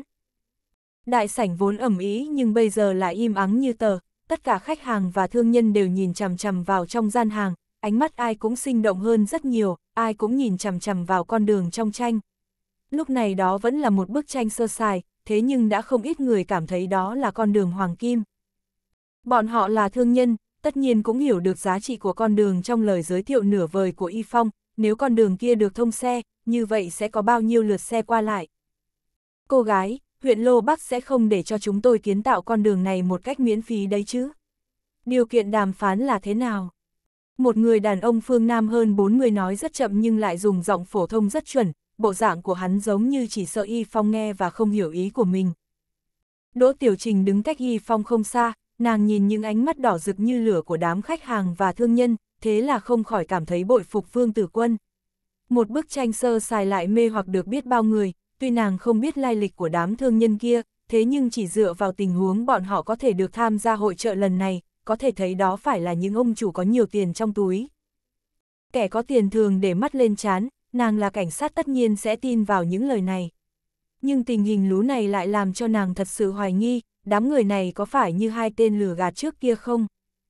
Tất nhiên không phải là đầu tư không công, chúng tôi hoan nghênh mọi người mở đường, đó là một khoản tiền lớn. Tuy huyện Lô Bắc chúng tôi phát triển kinh tế khá tốt nhưng muốn mở một con đường cũng không đủ lực. Lãnh đạo huyện ủy chúng tôi đã nghiên cứu xem xét, quyết định chuyển hạng mục ra theo kiểu xã hội hóa, mọi người cùng hưởng lợi. Y Phong ăn nói rất hay, cũng rất nhanh nhẹn, khi những lời liên quan đến thu phí từ miệng nàng nói ra, không ít thương nhân cảm thấy hai mắt sáng ngời. Đúng vậy, đây là một con gà đẻ trứng vàng, sao mình không nghĩ đến. Con đường kia nếu được khai thông và thu phí, như vậy vài chục năm sẽ được bao nhiêu tiền. Tuyệt đối là một món đầu tư lớn, cực kỳ sinh lợi. Cô gái, lãnh đạo của huyện Lô Bắc các cô ở đâu? Lãnh đạo tập đoàn Đạt Thành chúng tôi muốn nói chuyện với lãnh đạo của quý huyện. Một vị thương nhân không đợi Y Phong nói xong, hắn dùng giọng không chờ đợi được nói. Y Phong chưa từng nghe nói về tập đoàn Đạt Thành, dù sao trước nay nàng cũng chưa từng được liên hệ với bao nhiêu xí nghiệp, nhưng đám thương nhân vây quanh gian hàng lại biết rõ nhiều điều về một tập đoàn quật khởi ở phương Nam như Đạt Thành. Giám đốc Triệu, anh cũng đừng gấp gáp như vậy, xưa nay có câu có phúc cùng hưởng có nạn cùng chịu, tập đoàn Chính Hồng chúng tôi cũng muốn đàm luận với lãnh đạo huyện Lô Bắc. Tập đoàn Chính Hồng cũng là một xí nghiệp nổi tiếng ở phương Nam, thực lực kinh tế cũng không thua kém gì tập đoàn Đạt Thành. Hai tập đoàn này lên tiếng bày tỏ thái độ, những thương nhân khác cũng không muốn thụt lùi về phía sau, bọn họ tiến lên cướp lời, thế là chỉ sau một lát đã có hơn chục công ty và tập đoàn tỏ thái độ với con đường An Lô.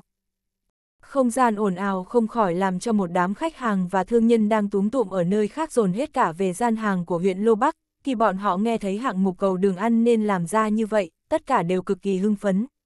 Tuy rất nhiều người biết mình không thể nào tranh giành được quyền đầu tư con đường kia, thế nhưng cũng biết nếu con đường kia được thông xe thì sẽ là một cơ hội kiếm tiền như thế nào. Chủ tịch Lưu, ngài cũng ở đây sao? Khi Lưu Hội Nhượng đang suy tư xem nên làm sao để bàn luận kết giao với vị phó bí thư trẻ tuổi của huyện Lô Bắc, chợt có người lên tiếng chào hỏi hắn, thì ra là một vị bí thư huyện ủy của một huyện lân cận.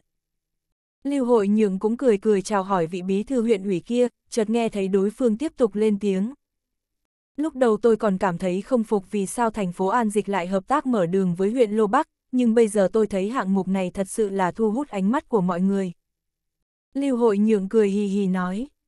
Còn không phải sao, huyện Lô Bắc cũng đúng là, may mà hôm qua chúng ta chỉ nói những lời đùa vui sau lưng người ta, nếu như bị người của huyện Lô Bắc nghe được, không phải làm chúng ta mắc cỡ chết người sao. Hai người vừa nói chuyện vừa nhìn nhau cười khổ, vị bí thư huyện ủy kia đi đến bên cạnh Lưu Hội Nhượng rồi khẽ nói. Chủ tịch Lưu, anh có nghe nói qua chưa, người dẫn đội ngũ của huyện Lô Bắc lần này chính là một phó bí thư huyện ủy, tôi nghe nói cậu ấy còn chưa đến 30 tuổi. Chưa đến 30 tuổi. Lưu Hội Nhượng thầm nghĩ đây chỉ là lời anh nói ra mà thôi, nếu anh nhìn thấy mặt của vị phó bí thư kia, sợ rằng càng thêm giật mình. Khi hai người trò chuyện với nhau, có vài người mặc tây trang từ bốn phía đi đến, những người này tuy còn trẻ nhưng toàn thân bùng ra khí tức mạnh mẽ. Những người này đi đến và đứng xen vào bốn phía, bọn họ cũng không mở miệng, mặt không biểu cảm, giống như bọn họ căn bản không đến đứng ở chỗ này. Nhưng người thanh niên kia quần áo sạch sẽ, nhưng bọn họ thật sự không phù hợp với bầu không khí kêu gọi đầu tư ở chỗ này, dù bọn họ đến một cách không tiếng động, thế nhưng vẫn làm cho không ít người chú ý. Nghe nói Thủ tướng Phong đến. Một âm thanh vang lên cách đó không xa, khi âm thanh này truyền ra thì đám thương nhân đang ồn ào chợt yên tĩnh trở lại. Thủ tướng Phong đến, đám thương nhân kia đã gặp qua không ít đại nhân vật, thế nhưng nếu so với một vị thủ tướng quốc gia thì căn bản vẫn là quá nhỏ, điều này làm cho bọn họ cực kỳ kinh ngạc. Lúc này bầu không khí đại sảnh trở nên lạnh ngắt như tờ, càng nhiều ánh mắt nhìn về phía đám người mặc tây trang đen. Nhưng lúc này không ai lên tiếng, tuy gian hàng của huyện Lô Bắc vẫn tập trung rất nhiều người, thế nhưng đám thương nhân vẫn không hy vọng mình bỏ đi, vì chỉ cần dịch người sẽ bị kẻ khác chiếm chỗ ngay. Vương Tử Quân cũng không ngờ một hội trợ kêu gọi đầu tư của thành phố An Dịch lại sinh ra động tĩnh lớn như thế, Thủ tướng Phong lại đến với hội trợ lần này. Vương Tử Quân nghĩ đến Thủ tướng Phong, hắn chợt cảm thấy đây là một cơ hội cực kỳ tốt với Trịnh Đông Phương, nếu nắm chắc cơ hội này, Trịnh Đông Phương sẽ giống như đại bàng tung cánh bay lên 9 tầng trời. Thời gian chờ đợi giống như đông cứng lại, tuy không ai biết Thủ tướng Phong có đến hay không, thế nhưng không ai dám lên tiếng ồn ào. Mọi người tụ tập ở đây khá đông. Một âm thanh hùng hậu và thân thiết nhưng mơ hồ ẩn dấu uy nghiêm vô hạn chợt vang lên, sau đó là một người đàn ông cao lớn dẫn đầu đoàn người đi đến. Bên cạnh hắn có vài người đàn ông tóc hoa dâm làm bạn, mà bí thư trịnh Đông Phương càng rơi rớt ra phía sau. chương 262, một phải thử, phải đổi mới. Cuối cùng thì người chờ đợi cũng đến, mọi người túm tụm chung quanh như sao quanh trăng, đó là một người đàn ông cao lớn, quần áo phẳng phiu, bộ dạng nhàn nhã như đi dạo chơi. Bốn năm vị lãnh đạo tỉnh Sơn Nam túm tụm ở bốn phía, bọn họ liên tục khẽ lên tiếng với người đàn ông kia, mà bí thư thành phố An Dịch là Trịnh Đông Phương chỉ có thể đi theo sát ở phía sau mà thôi. Vương Tử Quân nhìn con đường của đám người bên kia, biết đó không phải là gian hàng của mình, có lẽ đây sẽ không phải là khu vực mà Thủ tướng Phong đi qua, thế cho nên trở nên buông lỏng một chút. Hắn lại tiếp tục đặt tâm tư của mình lên vấn đề kêu gọi đầu tư cho huyện Lô Bắc. So sánh với sự thả lỏng của Vương Tử Quân thì Trịnh Đông Phương rõ ràng bị dày vò nhiều hơn, dù lão rất tin tưởng vào kết quả tốt đẹp của hội trợ kêu gọi đầu tư lần này, nhưng lão vẫn rất căng thẳng, sợ sẽ sinh ra cạm bẫy, xuất hiện thiêu thân. Trịnh Đông Phương nhìn nụ cười nhạt trên miệng Thủ tướng Phong, lão biết rõ lần này có lẽ mình đã vượt qua kiểm tra, rõ ràng Thủ tướng Phong rất hài lòng với hội trợ đầu tư thương mại lần này. Ừ, đồng chí Quốc Văn, hội trợ thương mại đầu tư lần này làm khá tốt, có chút đặc sắc, chúng ta bây giờ chú trọng phát triển kinh tế, không thể bảo thủ, không nên ngồi nhà chờ đợi, cần phải chủ động tiến ra.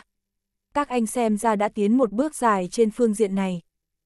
Thủ tướng Phong mỉm cười nhìn bí thư tỉnh ủy Sơn Nam là Trần Quốc Văn rồi nói. Trần Quốc Văn cười nói hai câu khiêm tốn, sau đó di chuyển chủ đề.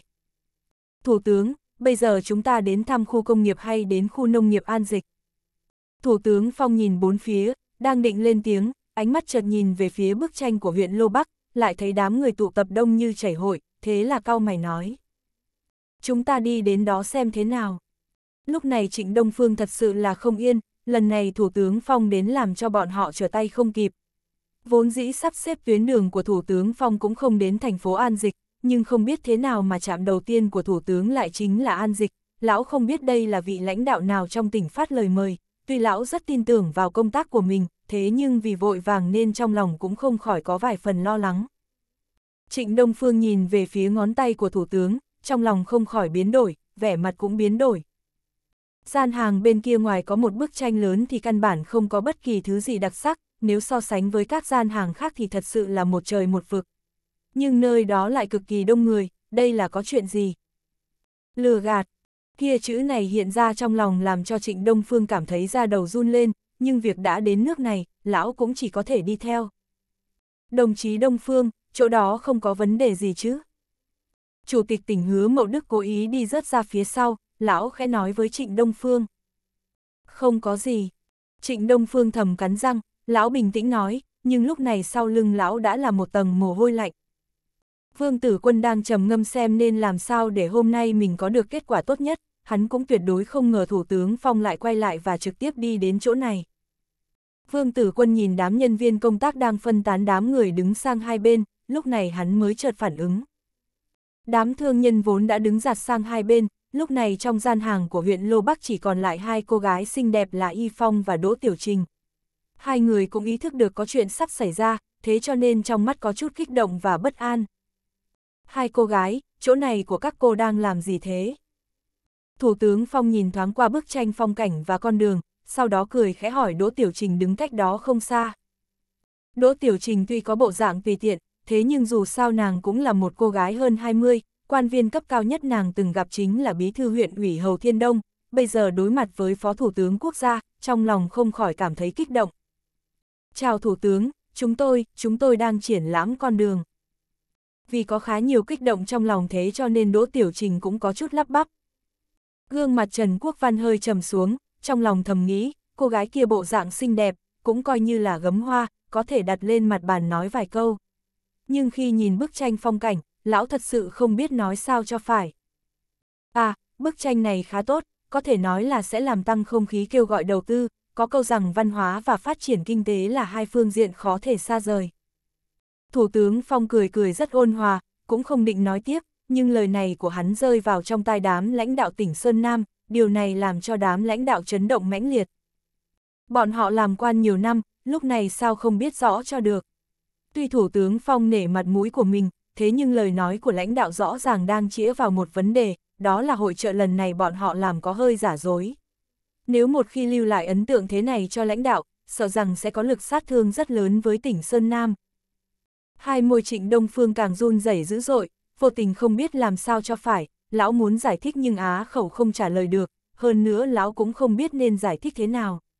Nếu mình để lại ấn tượng giống tuếch thế này cho lãnh đạo trung ương, sợ rằng hy vọng trở thành thành phố cấp phó bộ của An Dịch sẽ càng thêm xa vời. Khi đám lãnh đạo tỉnh Sơn Nam đang cảm thấy cực kỳ ảm đạm, đúng lúc một âm thanh bình tĩnh vang lên cách đó không xa. Thủ tướng, anh nói văn hóa và kinh tế đi đôi với nhau, tuy đó là một vấn đề để chúng tôi học hỏi, thế nhưng bức tranh con đường này không phải là triển lãm, nó là một hạng mục đầu tư rõ ràng. Hội trường vốn yên tĩnh lại ồn ào hẳn lên, giống như bom nổ trên đất bằng, tất cả ánh mắt mọi người đều nhìn về phía phát ra âm thanh. Người lên tiếng giống như có chút ý nghĩ nịnh nọt thủ tướng, thế nhưng thực chất lại uốn nắn lời nói của thủ tướng, tình huống này xảy ra càng làm cho đám lãnh đạo tỉnh Sơn Nam cảm thấy ra đầu căng thẳng. Nếu so sánh với đám lãnh đạo tỉnh Sơn Nam thì vẻ mặt thủ tướng vẫn tươi cười như trước, hắn khẽ xoay đầu lại, thấy một người thanh niên hơn 20 tuổi Giang bình tĩnh ung dung đứng đó, gương mặt điển trai làm cho người ta sinh ra cảm giác thân cận theo bản năng. Cậu thanh niên, cậu vừa nói đây là một hạng mục đầu tư sao? Thủ tướng Phong vẫy tay với Vương Tử Quân, muốn Vương Tử Quân đi lại bên cạnh. Vương Tử Quân tiến lên hai bước đến bên cạnh Thủ tướng Phong, hắn tiện tay chỉ vào bức tranh rồi chăm chú nói. Đúng vậy, Thủ tướng, đây là một con đường, một con đường nối từ thành phố An Dịch đến huyện Lô Bắc, trước mắt con đường này chưa được xây dựng, bây giờ chúng tôi cầm nó ra để kêu gọi đầu tư. Cầm nó ra để kêu gọi đầu tư. Vẻ mặt Thủ tướng Phong Trật xuất hiện hứng thú rào rạt. chương 262, 2, phải thử, phải đổi mới. Đúng vậy, con đường này nối thành phố An Dịch và huyện Lô Bắc, tuy chỉ có 50 km, nhưng vì nó xuyên qua núi cao, đầu tư tương đối lớn. Số tiền đầu tư này không đáng là bao so với thành phố An Dịch, thế nhưng đối với một huyện tài chính ít ỏi như Lô Bắc chúng tôi, căn bản là khó thể nào trèo chống được. Có câu thế này, nghèo thì phải thay đổi, đã thay đổi thì đường lối sẽ thông, huyện Lô Bắc chúng tôi dự kiến sẽ xã hội hóa con đường, dùng phương thức hai bên cùng hợp tác để quyết định, căn cứ vào nguyên tắc đầu tư sẽ được lợi, thu nạp tài chính của xã hội, cùng nhau hợp mưu hợp sức, mọi người đồng tâm hiệp lực sức mạnh thành đồng, cùng xây dựng con đường. Thủ tướng Phong càng nghe càng chăm chú, lúc này gương mặt có nụ cười nhạt cũng hơi căng thẳng, hai mắt nhìn chằm chằm vào Vương Tử Quân. Hắn trầm ngâm một lát, cuối cùng gật đầu nói. Đó là một biện pháp rất tốt, bây giờ kết quả thế nào? Hôm nay là ngày đầu tiên chúng tôi đưa hạng mục ra phổ biến, nhưng nếu nhìn vào phản ứng của các vị lãnh đạo xí nghiệp, tôi thấy cũng không tệ. Trong đầu vương tử quân nhanh chóng suy nghĩ đủ mọi phương diện, ngoài miệng lại mỉm cười nói. Phải không, để tôi hỏi một chút. Thủ tướng Phong vừa nói vừa vung tay với một vị thương nhân đứng cách đó không xa, hắn nói. Công ty của anh cảm thấy con đường này thế nào? Anh cứ nói, không cần cố khị. Vị thương nhân kia không ngờ mình lại có cơ hội nói chuyện trực tiếp với thủ tướng, thế là trên mặt có chút kích động, hắn di chuyển cơ thể mập mạp đến trước mặt thủ tướng Phong, sau đó cung kính nói. Thủ tướng, tùy tôi mới nghe nói về con đường này, thế nhưng chúng tôi thật sự rất động tâm. Anh xem, con đường này nối thông phía Tây với thành phố An Dịch, phía Đông là quốc lộ, nếu một khi xây dựng xong, đây tuyệt đối là động mạnh chủ nối liền Sơn Nam và Chiết Giang, lưu lượng người và xe sẽ là không nhỏ. Trần Quốc Văn và Trịnh Đông Phương nhìn tình huống vị thương nhân trao đổi với Thủ tướng Phong, cả hai cùng nhìn nhau cười, đồng thời cũng thở dài một hơi. Bọn họ nhìn Vương Tử Quân đang đứng bên cạnh Thủ tướng Phong, không ngờ một nguy cơ lớn lại được người thanh niên kia hóa giải thoải mái như vậy. Thủ tướng Phong dùng giọng hào hứng trò chuyện thêm với vài vị thương nhân, sau đó nụ cười trên mặt càng thêm sáng lạn, hắn khẽ gật đầu nó với Vương Tử Quân. Đồng chí, các cậu có ý tưởng tốt, bây giờ chú trọng dám nghĩ dám làm, dám mạo hiểm, phải thử, phải tạo ra con đường mới, chỉ cần không mất tư tưởng thì sẽ có nhiều biện pháp giải quyết khó khăn. Cậu là cán bộ huyện Lô Bắc sao? Đúng vậy, Thủ tướng, tôi đến từ huyện Lô Bắc. Vương Tử Quân dùng giọng khiêm tốn nói với Thủ tướng Phong. Thủ tướng Phong, vị này chính là đồng chí phó chủ tịch của huyện Lô Bắc, con đường này tôi đã cùng bàn bạc thương lượng và nhất trí với cậu ấy. Trịnh Đông Phương thấy Thủ tướng Phong rất hứng thú với Vương Tử Quân, thế nên vội vàng lên tiếng giới thiệu cho Thủ tướng. Nhưng lúc này lão còn không biết Vương Tử Quân không còn là phó chủ tịch huyện Lô Bắc, hắn đã là phó bí thư huyện ủy rồi. Huyện Lô Bắc, Thủ tướng Phong chợt lặp lại ba chữ kia, sau đó hắn khẽ cười nói. Huyện Lô Bắc tỉnh Chiết Giang chính là một trong 16 huyện nghèo của quốc gia, chính là vùng giải phóng cũ, Trung ương và Quốc hội rất xem trọng sự nghiệp phát triển kinh tế của những huyện như thế này. Chúng ta cần đẩy mạnh phát triển các vùng giải phóng, trọng điểm quan tâm đến các vị cán bộ cơ sở ở các địa phương như vậy. Hôm nay tôi thấy các đồng chí không có tâm tư dựa dẫm vào người khác, tìm cách đổi mới để phát triển, điều này rất tốt, tôi rất vui. Nguy cơ được hóa giải, nhưng bí thư tỉnh ủy Trần Quốc Văn vẫn có chút tiếc nuối. Đám lãnh đạo tỉnh Sơn Nam lên tiếng mời Thủ tướng Phong, nhưng bọn họ không đề phòng lại đẩy đám người của tỉnh Chiết Giang lên đài làm nhân vật chính. Nơi đây có rất nhiều huyện thị của tỉnh Sơn Nam, Thủ tướng Phong không khen ngợi ai, lại khen ngợi một vị cán bộ huyện Lô Bắc. Nhưng Trần Quốc Văn cũng không phải hạng người hẹp hòi, hắn nhìn Vương Tử Quân đang đứng bên cạnh Thủ tướng Phong, trong lòng chợt lóe lên ý nghĩ rất hay. Sau đó Thủ tướng Phong tiếp tục đi thăm thú khắp nơi, nhưng lúc này đám khách hàng và thương nhân cứ mãi say sưa bàn luận về chuyến thị sát của Thủ tướng, còn Đỗ Tiểu Trình thì giống như còn chưa hoảng hồn lại sau tình huống khiếp sợ. Vương Tử Quân hít vào một hơi thật sâu, hắn cố gắng làm cho tâm tình bình tĩnh trở lại. Hắn vốn cho rằng dựa vào tu dưỡng và kinh nghiệm của mình, dù thế nào cũng không bao giờ sinh ra cảm giác sợ hãi, bình tâm tĩnh khí, nhưng bây giờ xem ra đã quá đề cao mình rồi. Dù Vương Tử Quân là kẻ đã sống hai đời, thế nhưng khi thấy mặt Thủ tướng Phong thì hắn vẫn thấy trong lòng khó thể nào ức chế được kích động, đây có lẽ là vì nguyên nhân kiếp trước mình rất sùng bái vị Thủ tướng này. Trong đầu chợt lóe lên ý nghĩ, Vương Tử Quân tiếp tục đặt tâm tư lên phương diện kêu gọi đầu tư, dù sao thì một cơ hội tốt như thế này nếu bỏ qua thì quá đáng tiếc. Đến trưa nhưng cuộc họp ở thành phố Hồng Ngọc vẫn không có dấu hiệu tản ra, Bí thư thị ủy Hùng Trạch Luân và vị thay mặt chủ tịch Thôi Tín Hiện vừa mới đến nhận chức vẫn ngồi trên đài rất nghiêm túc. Nếu so sánh với các cuộc họp trước kia thì vẫn như nhau, bên dưới vẫn là các vị lãnh đạo quận huyện trong thành phố, nhưng lúc này vị trí đầu tiên cũng không phải dễ ngồi, ít nhất lúc này Hầu Thiên Đông và Lưu Thành Quân cũng sinh ra cảm giác như ngồi đống lửa như đứng đống than. Năm ngoái kinh tế huyện Lô Bắc dù phát triển có chút đặc sắc nhưng phương diện kêu gọi đầu tư lại chênh lệch quá lớn so với các quận huyện khác, tranh lệch này đã ánh xạ lên mắt tất cả các vị lãnh đạo thị ủy, mà các vị lãnh đạo quận huyện khác cũng thấy được rõ ràng. Đối với vấn đề này, các anh cần phải cúi người tìm ra nguyên nhân, cần phải làm sao cho thật tốt và thật chú tâm vào công tác kêu gọi đầu tư, tạo ra hiệu quả, tìm ra lợi ích. Thôi tín hiện năm nay hơn 40, hắn đeo một cặp kính gọng vàng nhìn qua rất thanh nhã và yên tĩnh, thế nhưng lời phê bình với cán bộ cấp dưới lại không thua kém gì bí thư thị ủy Hùng Trạch Luân. Huyện Lô Bắc là đơn vị thứ ba bị hắn phê bình, hai đơn vị đầu đều bị thay mặt chủ tịch mắng cho phun máu chó lên đầu, không chút khách khí. Hầu Thiên Đông và Lưu Thành Quân tuy trong bụng ôm hàng ngàn lý do mà lúc này khó thể nói ra được, bây giờ không phải thời điểm anh tự đứng lên giải vây cho mình, dưới những lời phê bình nghiêm khắc của lãnh đạo, hai người chỉ có thể cúi đầu khiêm tốn tiếp nhận mà thôi. Năm nay thị ủy định mục tiêu kêu gọi đầu tư của huyện Lô Bắc là 10 triệu, phải làm cho kinh tế tiến lên một bậc thang mới, Bí Thư Hầu và Chủ tịch Lưu, hai anh có lòng tin không?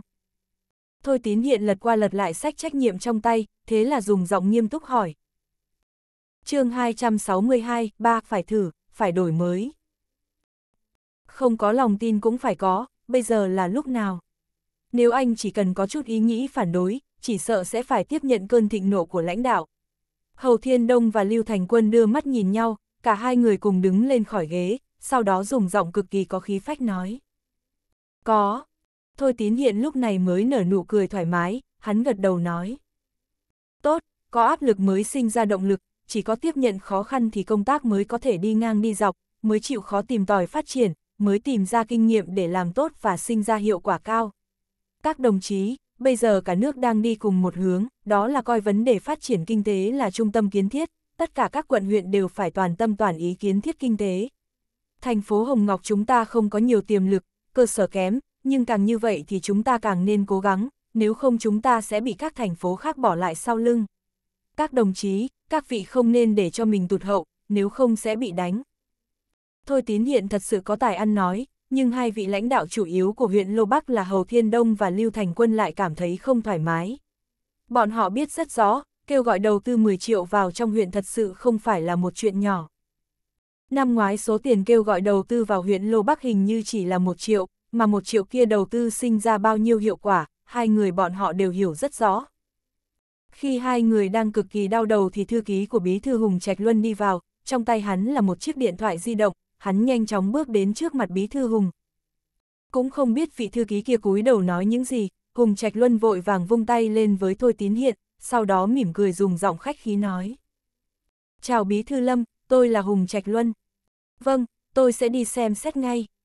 Hùng Trạch Luân nói một câu với đầu dây bên kia, sau đó phân phó thư ký ở bên cạnh. Mau mở TV.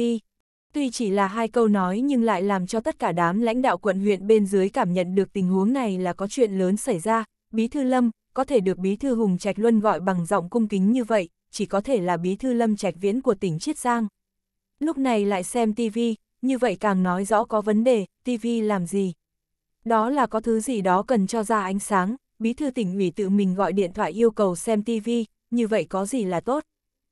Ngàn vạn lần không nên rơi xuống đầu mình, trong lòng Hầu Thiên Đông hay tất cả lãnh đạo quận huyện ngồi trong phòng đều khẽ lên tiếng cầu nguyện, mà vẻ mặt các vị lãnh đạo thị ủy lúc này cũng không chút đẹp mắt.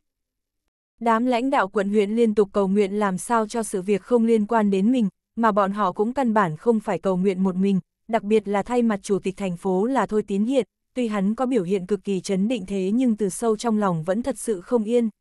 Hắn mới làm thay mặt chủ tịch thành phố Hồng Ngọc được hơn một tháng, cũng chưa thể thật sự được đưa lên làm chủ tịch thành phố, nếu bây giờ có vấn đề thì thật sự khổ sở.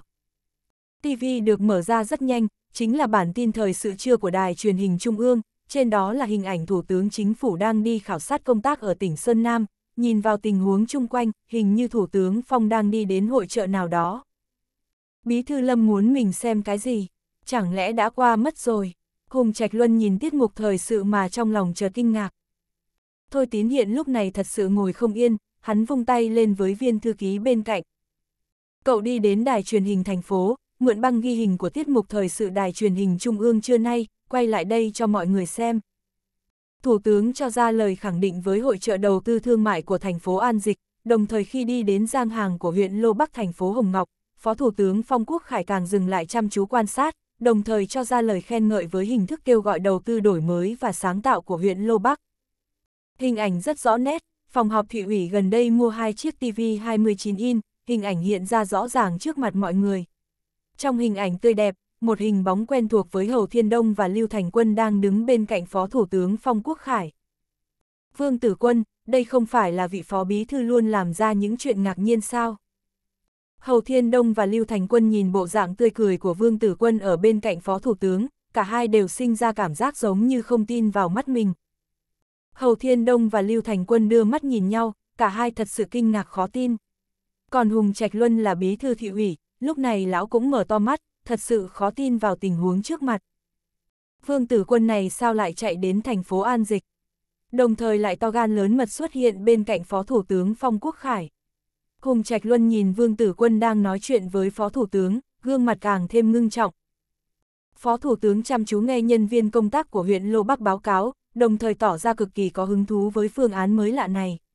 Phó Thủ tướng đã tỏ ra tán thành với phương án không dựa dẫm vào ai, dám nghĩ dám làm, dám tiến vào mạo hiểm, dũng cảm đẩy mạnh phát triển địa phương của cán bộ huyện Lô Bắc, đồng thời Phó Thủ tướng cũng yêu cầu các vị lãnh đạo huyện Lô Bắc tiếp tục bảo trì trạng thái công tác tốt đẹp này. Sau đó Phó Thủ tướng có nói chuyện với vài vị thương nhân đến tham gia đầu tư, bọn họ đều tỏ vẻ cực kỳ sẵn sàng tham gia đầu tư vào huyện Lô Bắc.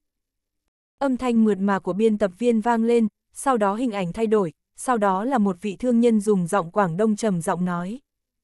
Nếu như huyện Lô Bắc đồng ý, tập đoàn chính hồng chúng tôi tình nguyện bỏ ra hai chục triệu để đầu tư hạng mục này, đối với hạng mục này. Tin tức kéo dài hơn nửa phút, sau khi xem xong bản tin thì cả phòng họp chợt trầm mặc, chỉ là các vị bí thư và chủ tịch của các quận huyện khác đang liên tục thở dài, ánh mắt ghen ghét cũng nhìn về phía Hầu Thiên Đông và Lưu Thành Quân. Nhưng không gian chỉ trầm lắng một chút, sau đó là những tiếng vỗ tay vang lên rộn rã. Hai tên khốn Hầu Thiên Đông và Lưu Thành Quân sao lại tốt như vậy? Chuyện nở mày nở mặt như vậy lại vào tay hai tên này, đúng là không ra gì. Hùng Trạch Luân và Thôi Tín Hiện cũng đưa mắt nhìn Hầu Thiên Đông và Lưu Thành Quân, lúc này thật sự giống như thấy đó là hai dĩa bánh trái ngon ngọt. Đồng chí Vương Tử Quân đến thành phố An Dịch sao? Hùng Trạch Luân mỉm cười hỏi Hầu Thiên Đông. Hầu Thiên Đông còn có thể làm gì hơn? Lão gật đầu nói. Bí thư Hùng, lần này đồng chí Vương Tử Quân đến thành phố An Dịch để kêu gọi và đàm phán về vấn đề đầu tư con đường An Lô. chương 262, 4 phải thử, phải đổi mới. Đồng chí Tử Quân thật sự là đồng chí tốt, đứng trên địa bàn tỉnh Sơn Nam mà có thể làm cho thành phố Hồng Ngọc và cả tỉnh Chiết Giang trở nên nổi tiếng, điều này rất tốt. Đúng rồi, chút nữa anh đưa cho tôi số điện thoại liên lạc với đồng chí Vương Tử Quân. Hùng Trạch Luân vung tay lên với Hầu Thiên Đông, cho Hầu Thiên Đông ngồi xuống. Thôi tín hiện dù chưa từng gặp mặt Vương Tử Quân, thế nhưng lúc này ý nghĩ muốn gặp mặt vị cán bộ trẻ tuổi kia cũng cực kỳ bức thiết. Hắn nhìn Hầu Thiên Đông đang ngồi xuống, sau đó hắn chợt nghĩ ra vấn đề gì đó, thế là dùng giọng điều tra hỏi. Bí thư Hùng, chúng ta có phải đã đặt cho huyện Lô Bắc nhiệm vụ quá thấp rồi không? Vừa rồi nghe vị thương nhân kia nói, như vậy đã quá rõ rồi, chúng tôi sẽ không đưa xuống nhiệm vụ 10 triệu nữa, vì huyện Lô Bắc đã căn bản hoàn thành vượt mức. Hùng Trạch Luân vỗ đầu nói. Đúng vậy, chủ tịch thôi nói ra thì tôi mới nhớ, nếu không đã quên mất. Hầu Thiên Đông, nhiệm vụ của anh đã xong, nếu không có bí thư lâm gọi điện thoại đến, suýt nữa tôi đã cho anh lừa dối vượt qua kiểm tra. Như vậy là không nên, chúng ta cần phải sửa lại nhiệm vụ, chúng ta cần căn cứ vào tình huống thực tế để cho ra nhiệm vụ, đặt mục tiêu quá thấp thì đó là năng lực của anh có vấn đề, chúng tôi bỏ qua cho anh, nhưng các anh nếu được gia tăng trọng trách, như vậy là các anh có năng lực cao, thị ủy chính quyền tín nhiệm các anh. Ha ha ha, Bí Thư Hầu, anh nói xem có đúng không? Hầu Thiên Đông và Lưu Thành Quân thấy hai vị lãnh đạo lên tiếng như vậy, dù có tâm phản đối nhưng cũng biết bây giờ dù anh có phản đối thế nào cũng không hiệu quả. Hơn nữa vừa rồi mình tìm được danh tiếng lớn ở ngoài tỉnh Chiết Giang, hai người cũng không biết nói gì hơn, miễn cho người ta nói mình quá khiêm tốn thành ra kiêu ngạo. Khi cuộc họp vẫn đang được tiến hành ở thành phố Hồng Ngọc, Lâm Trạch Viễn ở bên kia đang nối thông điện thoại với Trần Quốc Văn. Trần Quốc Văn nói hai câu lòng vòng, sau đó dùng giọng bình tĩnh nói. Anh Lâm, tôi có một việc cần hỏi ý anh, có một vị lãnh đạo chào hỏi tôi, nói rằng anh ấy có một người thân tên là Vương Tử Quân, muốn điều đến tỉnh Sơn Nam chúng tôi. Tôi không thể nào không nể mặt lãnh đạo cũ, anh xem, nếu không thì ngày mai chúng ta làm thủ tục nhé. Lúc này Lâm Trạch Viễn đang nâng ly trà lên, vừa uống nước vừa nghe điện thoại, lúc này nghe được lời của Trần Quốc Văn thì thiếu chút nữa đã làm rơi ly nước xuống. Lão nghĩ đến bản tin thời sự trưa nay, thế là nở nụ cười. Chuyện nhỏ này sao, anh Trần, vị lãnh đạo cũ mà anh nói có phải họ Vương không? Đúng, đúng, đúng, không phải là ông ấy thì là ai, anh Lâm, dù sao tôi cũng đi theo ông cụ nhiều năm, ông cụ chưa từng đề ra yêu cầu gì với tôi, anh nói xem, bây giờ vất vả lắm ông cụ mới mở miệng, tôi có thể từ chối sao? Thế này nhé, chờ anh đến tỉnh Sơn Nam, tôi sẽ mời anh một bữa thật vui vẻ linh đình, anh giúp tôi chuyện này nhé. Trần Quốc Văn khẽ gõ bàn rồi nói vào trong điện thoại. Khi Phó Thủ tướng Phong nghỉ trưa thì Trần Quốc Văn đã cho người tìm hiểu về đồng chí Vương Tử Quân, sau khi được chính miệng Trịnh Đông Phương nói Vương Tử Quân đơn thương độc mã đến thành phố An Dịch để thương lượng về vấn đề cầu đường An Lô, Trần Quốc Văn chợt cảm thấy yêu thích, thế là kết luận đây tuyệt đối là một vị cán bộ có thể mang đến tài lộc. Trần Quốc Văn là một người cầu hiền như khát nước, vô tình động tâm với Vương Tử Quân, lão cảm thấy một mầm mống tốt như vậy, không bằng lấy từ tỉnh Chiết Giang về để tạo điều kiện cho phát triển. Anh Trần, tôi cũng muốn đồng ý với anh, nhưng thật sự đáng tiếc. Đúng rồi, là ông nội của Vương Tử Quân sẽ không đồng ý. Dù sao người một nhà cũng ở tỉnh Chiết Giang, Vương Lão sao có thể cho cháu trai của mình đến tỉnh Sơn Nam. Lâm Trạch Viễn thầm mắng Trần Quốc Văn xảo quyệt, lão cũng không tiếp tục pha trò mà dùng giọng gọn gàng dứt khoát nói. Anh, anh không phải cũng biết Vương Tử Quân kia đấy chứ? Trần Quốc Văn sờ lên đầu rồi dùng giọng kinh ngạc nói. Đây chỉ là cũng biết, tiểu tử này mỗi tháng chạy đến nhà tôi không dưới hai lần, còn liên tục dùng cơm trong nhà tôi nữa là. Lâm Trạch Viễn cười lớn đánh tan nghi ngờ. Trần Quốc Văn thấy chút thủ đoạn của mình bị Lâm Trạch Viễn vạch trần, lão cười lên ha hả, sau đó dứt khoát gọn gàng nói. Anh đúng là, không ngờ lại giả vờ như vậy, tôi không nói chuyện với anh nữa. Trần Quốc Văn nói rồi cúp điện thoại, lão nghĩ đến tình huống mình vừa rồi bị Lâm Trạch Viễn trêu chọc, thế là không khỏi cười phá lên ha hả. Vương tử quân căn bản không thể biết được những gì liên quan đến mình đang xảy ra, lúc này hắn đang chuẩn bị mở thầu. Mở thầu lần này có thể nói là rất thành công, có hơn 20 xí nghiệp muốn đến bàn chuyện hợp tác với Vương Tử Quân, lại có hơn 10 lãnh đạo xí nghiệp gọi điện thoại đến, muốn mời hắn đi dùng cơm. Vương Tử Quân tiếp điện thoại liên tục mà cảm thấy có chút đau đầu, khi hắn đang nghĩ có nên tắt điện thoại hay không thì Trịnh Đông Phương gọi đến. Thì ra là phương thức của Vương Tử Quân được Trịnh Đông Phương đồng tình, vì vậy muốn liên hợp với huyện Lô Bắc, cho ra hạng mục là cả con đường, tiến hành kêu gọi đầu tư cả tuyến đường. Vương Tử Quân cũng rất đồng ý với lời đề nghị của Trịnh Đông Phương, dù sao cũng là một con đường, nếu như có thể gom lại thành chỉnh thể, như thế sẽ càng có lực hấp dẫn. Cốc, cốc, cốc. Tiếng gõ cửa vang lên, Trương Thắng Lợi khẽ đi đến, hắn nở nụ cười nói với Vương Tử Quân. Bí thư, bên ngoài có người đến tìm. Vương Tử Quân tươi cười nhìn Trương Thắng Lợi, sau đó hỏi. Người đến là ai? Bí thư Vương, là giám đốc cử của công ty xây dựng cầu đường Bắc Minh. Trương Thắng lợi dùng giọng chú ý nói với Vương Tử Quân, rõ ràng hắn đã có liên hệ với vị giám đốc cửu này. Vương Tử Quân thật sự là lần đầu tiên nghe nói đến công ty xây dựng cầu đường Bắc Minh, hắn có chút trầm ngâm, sau đó nghe thấy Trương Thắng lợi nói. Bí thư Vương, công ty Bắc Minh này chính là một công ty xây dựng lâu đời của tỉnh Chiết Giang, được hình thành khi tỉnh Chiết Giang thay đổi chế độ công ty xây dựng ngũ kiến, Tổng Giám đốc Cửu Thiên Khôi chính là một trong những nhân vật nổi tiếng ở tỉnh Chiết Giang. Anh có quen biết với anh ấy sao? Vương Tử Quân nhìn Trương Thắng Lợi, khóe miệng càng lộ ra nụ cười nhạt. Cũng chỉ dùng qua bữa cơm mà thôi, cũng là một cơ hội gặp mặt vài người bạn. Thấy nụ cười thản nhiên của bí thư Vương Tử Quân, Trương Thắng Lợi dùng giọng mang theo chút hư vinh nói, giống như chuyện dùng cơm với vị giám đốc cửu thiên khôi kia làm một việc gì đó cực kỳ đáng được khoe khoang. Vương tử quân thầm suy tư trong nháy mắt, sau đó phân phó. À, nếu giám đốc cửu đã đến đây, vậy anh mời vào cho tôi. chương 262, năm phải thử, phải đổi mới. Trương Thắng Lợi nghe thấy giọng điệu hời hợt của Bí Thư Vương thì không khỏi có chút sướng sờ, trong lòng sướng sốt.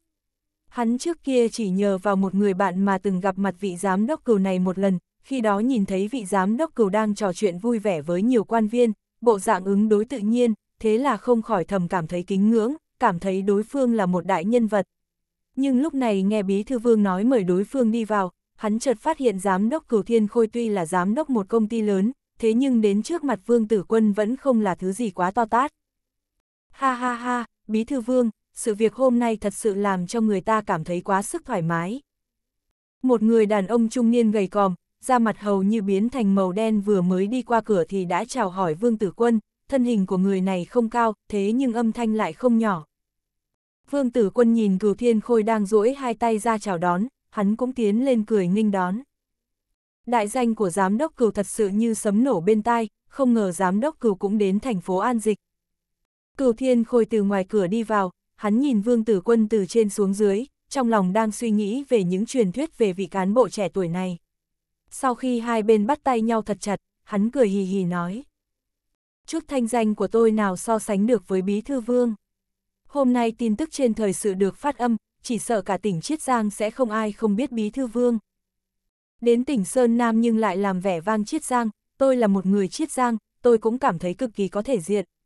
Bí Thư Vương, hôm nay anh chính là anh hùng của tỉnh Chiết Giang, tôi là một người con dân của Chiết Giang, tôi vô cùng kính ngưỡng với anh, thế cho nên có tổ chức một bữa tiệc rượu, mong Bí Thư Vương cũng đừng nên từ chối, tôi rất hân hạnh được đón tiếp anh. Cửu Thiên Khôi là người giỏi ăn nói, chỉ vài câu đã khéo léo kéo sát quan hệ với Vương Tử Quân. Có thể lăn lộn tạo nên danh tiếng mạnh mẽ ở tỉnh Chiết Giang, Cửu Thiên Khôi tất nhiên là một nhân vật mạnh vì gạo bạo vì tiền, thế cho nên chuyện kết giao với người ta cũng cực kỳ dễ dàng. Vương Tử Quân chợt có một ý nghĩ, hắn khẽ cười nói. Tôi thật sự cảm thấy cực kỳ vinh hạnh và không nên từ chối lời mời thịnh tình của Giám đốc Cửu, nhưng hôm nay tôi đã có hẹn với Bí thư Đông Phương, kính xin Giám đốc Cửu bao dung tha thứ cho. Ánh mắt Cửu Thiên Khôi chợt lóe lên, nụ cười trên mặt càng tăng thêm vài phần, hắn dùng giọng vô cùng tiếc nuối lắc đầu nói. Tôi cảm thấy mình chạy đến hẹn ước đã đủ sớm, thế nhưng không ngờ còn có người sớm hơn một bước.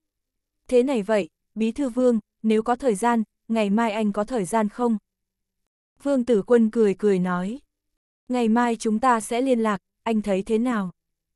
Ánh mắt cửu thiên khôi chợt chấp động, sau đó hắn đột nhiên đứng lên cười cười với Trương Thắng Lợi.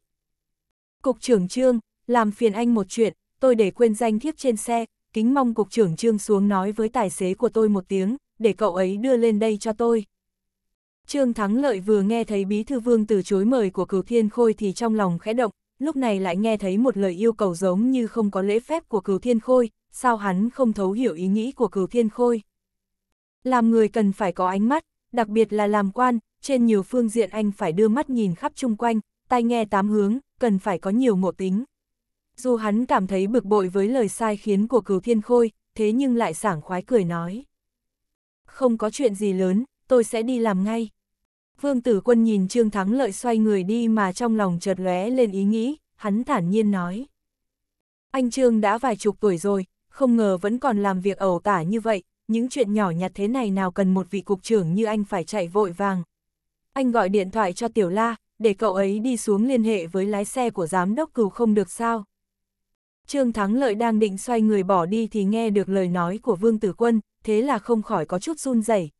Hắn biết mình vừa rồi không làm tốt phương diện phỏng đoán ý nghĩ của lãnh đạo, dù đa số lãnh đạo đều có ý liên hệ với các vị ông chủ xí nghiệp, thế nhưng bây giờ Vương Tử Quân lại không muốn cho Cửu Thiên Khôi một cơ hội sống chung.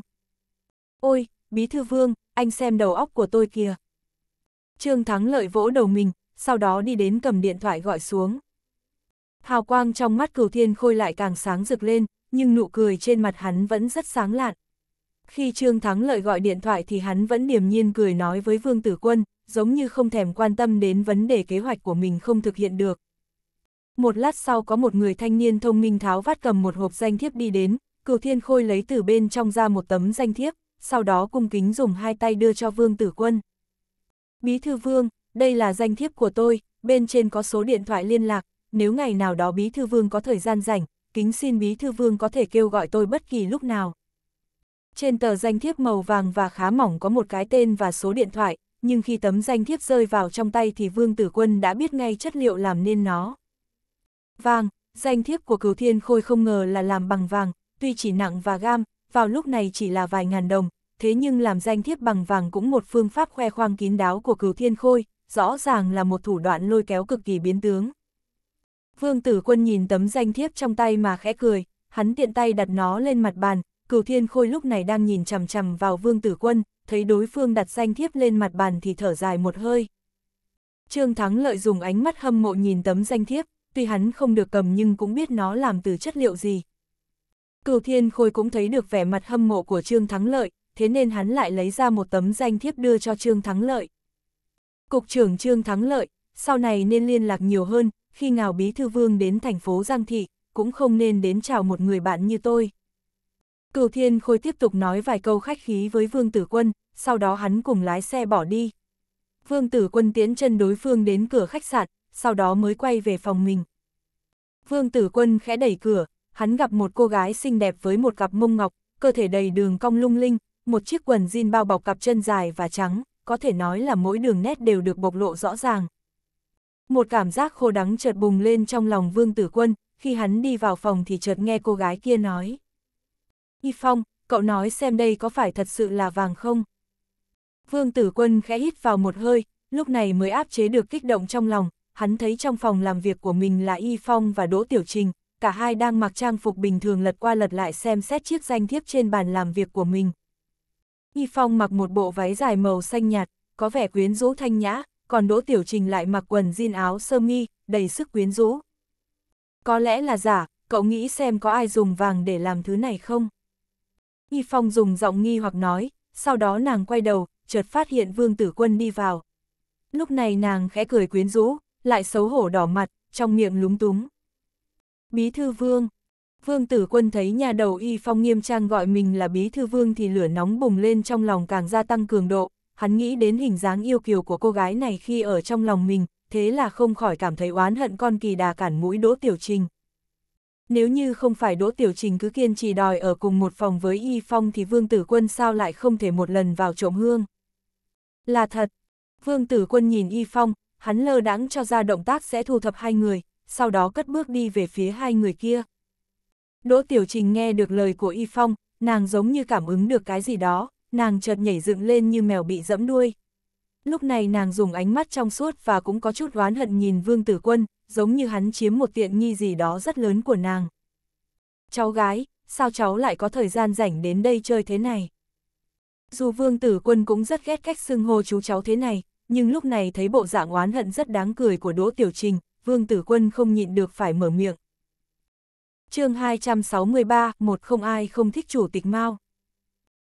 Đỗ Tiểu Trình ghét nhất chính là Vương Tử Quân luôn không tự giác được gọi mình là cháu, không ngờ tên kia lại càng làm trầm trọng thêm, thậm chí khi gọi mình là cháu còn ra vẻ giống hệt bố mình, đúng là quá mức, nàng có thể nhịn nhưng rõ ràng là không thể nhẫn. Đỗ Tiểu Trình vừa nghĩ đến tư thế bất nhã của mình đã rơi vào trong mắt Vương Tử Quân, thế là nàng vừa thẹn vừa vội, nàng chợt dương nhanh múa vuốt về phía hắn. Còn không phải vì sợ đại bí thư vương phạm vào sai lầm sao? Hai chúng tôi đến giám sát anh. Giám sát, ha ha, hoan nghênh giám sát. Vương Tử Quân đã có kinh nghiệm đối phó với một đỗ tiểu trình không biết lớn nhỏ, hắn ngồi xuống chỗ của mình với bộ dạng không cho là đúng, rõ ràng là trời sập cũng không sợ hãi, điều này làm cho ngôn ngữ mang tính công kích của đỗ tiểu trình mất đi hiệu lực. Tử Quân, đây thật sự là vàng sao? Y Phong trầm ngâm một chút rồi hỏi về phía Vương Tử Quân. Là vàng. Vương Tử Quân thuận tay tiếp nhận danh thiếp trong tay của Y Phong, hắn cười cười nói tiếp. Cửu thiên khôi này không đơn giản, là kẻ phong vân một cõi ở Chiết Giang, có chút danh tiếng. Ngày nay cái tên cửu thiên khôi đã là một thương nhân nổi tiếng, không ngờ lại còn cực kỳ khéo léo, nếu là hắn trực tiếp đưa tiền thì sẽ có người không muốn, nhưng những vật thế này, nếu cô nói nó là danh thiếp, rõ ràng nó không đơn giản là danh thiếp, nhưng nếu nói nó là tiền thì rõ ràng chỉ là một tấm danh thiếp, nhưng điều này lại giống như hạ bậc thang cho kẻ thu lễ, có thể dễ dàng cười tiếp nhận, chẳng lẽ trong quy định trong sạch hóa bộ máy chính trị có luật không cho lãnh đạo thu nhận danh thiếp sao? Không có việc gì mà ân cần thì không phải quân gian xảo cũng là phường đạo trích. Đỗ Tiểu Trình đặt mông người xuống đối diện với Vương Tử Quân, nàng dùng giọng không che đậy miệng nói. Anh ta không phải quân gian xảo cũng không phải phường đạo trích, anh ta chẳng qua chỉ muốn dự đoán một hạng mục mà thôi. Ánh mắt Vương Tử Quân chợt sáng lên, hắn trầm giọng nói. Đỗ Tiểu Trình và Y Phong cũng không ngốc, cả hai đều hiểu hạng mục trong miệng Vương Tử Quân là gì, nhưng lúc này hai người cũng không biết nên mở miệng thế nào. Vương Tử Quân khẽ đùa giỡn với tấm danh thiếp trong tay, trực giác cho hắn biết sự việc không đơn giản như vậy, chút vui vẻ trong ánh mắt của cửu thiên khôi rõ ràng làm hắn sinh ra một cảm nhận, đó là người này sẽ không dễ dàng bỏ qua. Đỗ Tiểu Trình thấy Vương Tử Quân rơi vào trạng thái trầm ngâm, nàng định lên tiếng, lại bị Y Phong kéo lại, thế là bầu không khí trong phòng lại rơi vào trạng thái trầm mặc. Lưu lượng người vào ngày thứ hai ở hội trợ đầu tư thương mại thật sự không kém ngày đầu tiên, càng có nhiều thương gia nhận được tin tức và hào hứng đi đến gian hàng của huyện Lô Bắc, đến hỏi thăm tình huống của con đường, càng nhiều người biểu hiện mục đích muốn hợp tác cực kỳ mãnh liệt. Ngày hôm nay đối với Đỗ Tiểu Trình và Y Phong thật sự là rất bận rộn, có kinh nghiệm của một ngày hôm trước, Y Phong hôm nay càng thêm hoàn thiện, càng thêm đúng đắn. Nàng có kinh nghiệm dạy học, thế cho nên rất sống động trong lúc cố vấn cho khách hàng về con đường An Lô, thỉnh thoảng khách nở nụ cười, nàng còn chen vào vài câu, làm cho bầu không khí rất hòa hợp. Phải nói là Y Phong có kinh nghiệm giáo viên nên ưu thế ăn nói khá tốt, nàng giải thích tỉ mỉ, hơn nữa còn có tướng mạo xinh đẹp. Vương Tử Quân cảm thấy nhà đầu kia cũng có thể đọc được suy nghĩ của đối phương, khi thấy người vây quanh gian hàng của huyện Lô Bắc ngày càng nhiều thì cũng không quên cơ hội tổng kết.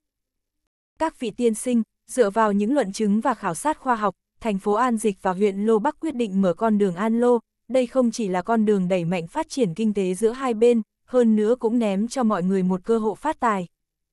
Cô gái, một thương nhân mỉm cười nói, ý nghĩ phát triển của huyện Lô Bắc rất có khí phách, tôi thật sự rất hứng thú với phương diện đầu tư vào cầu đường An Lô.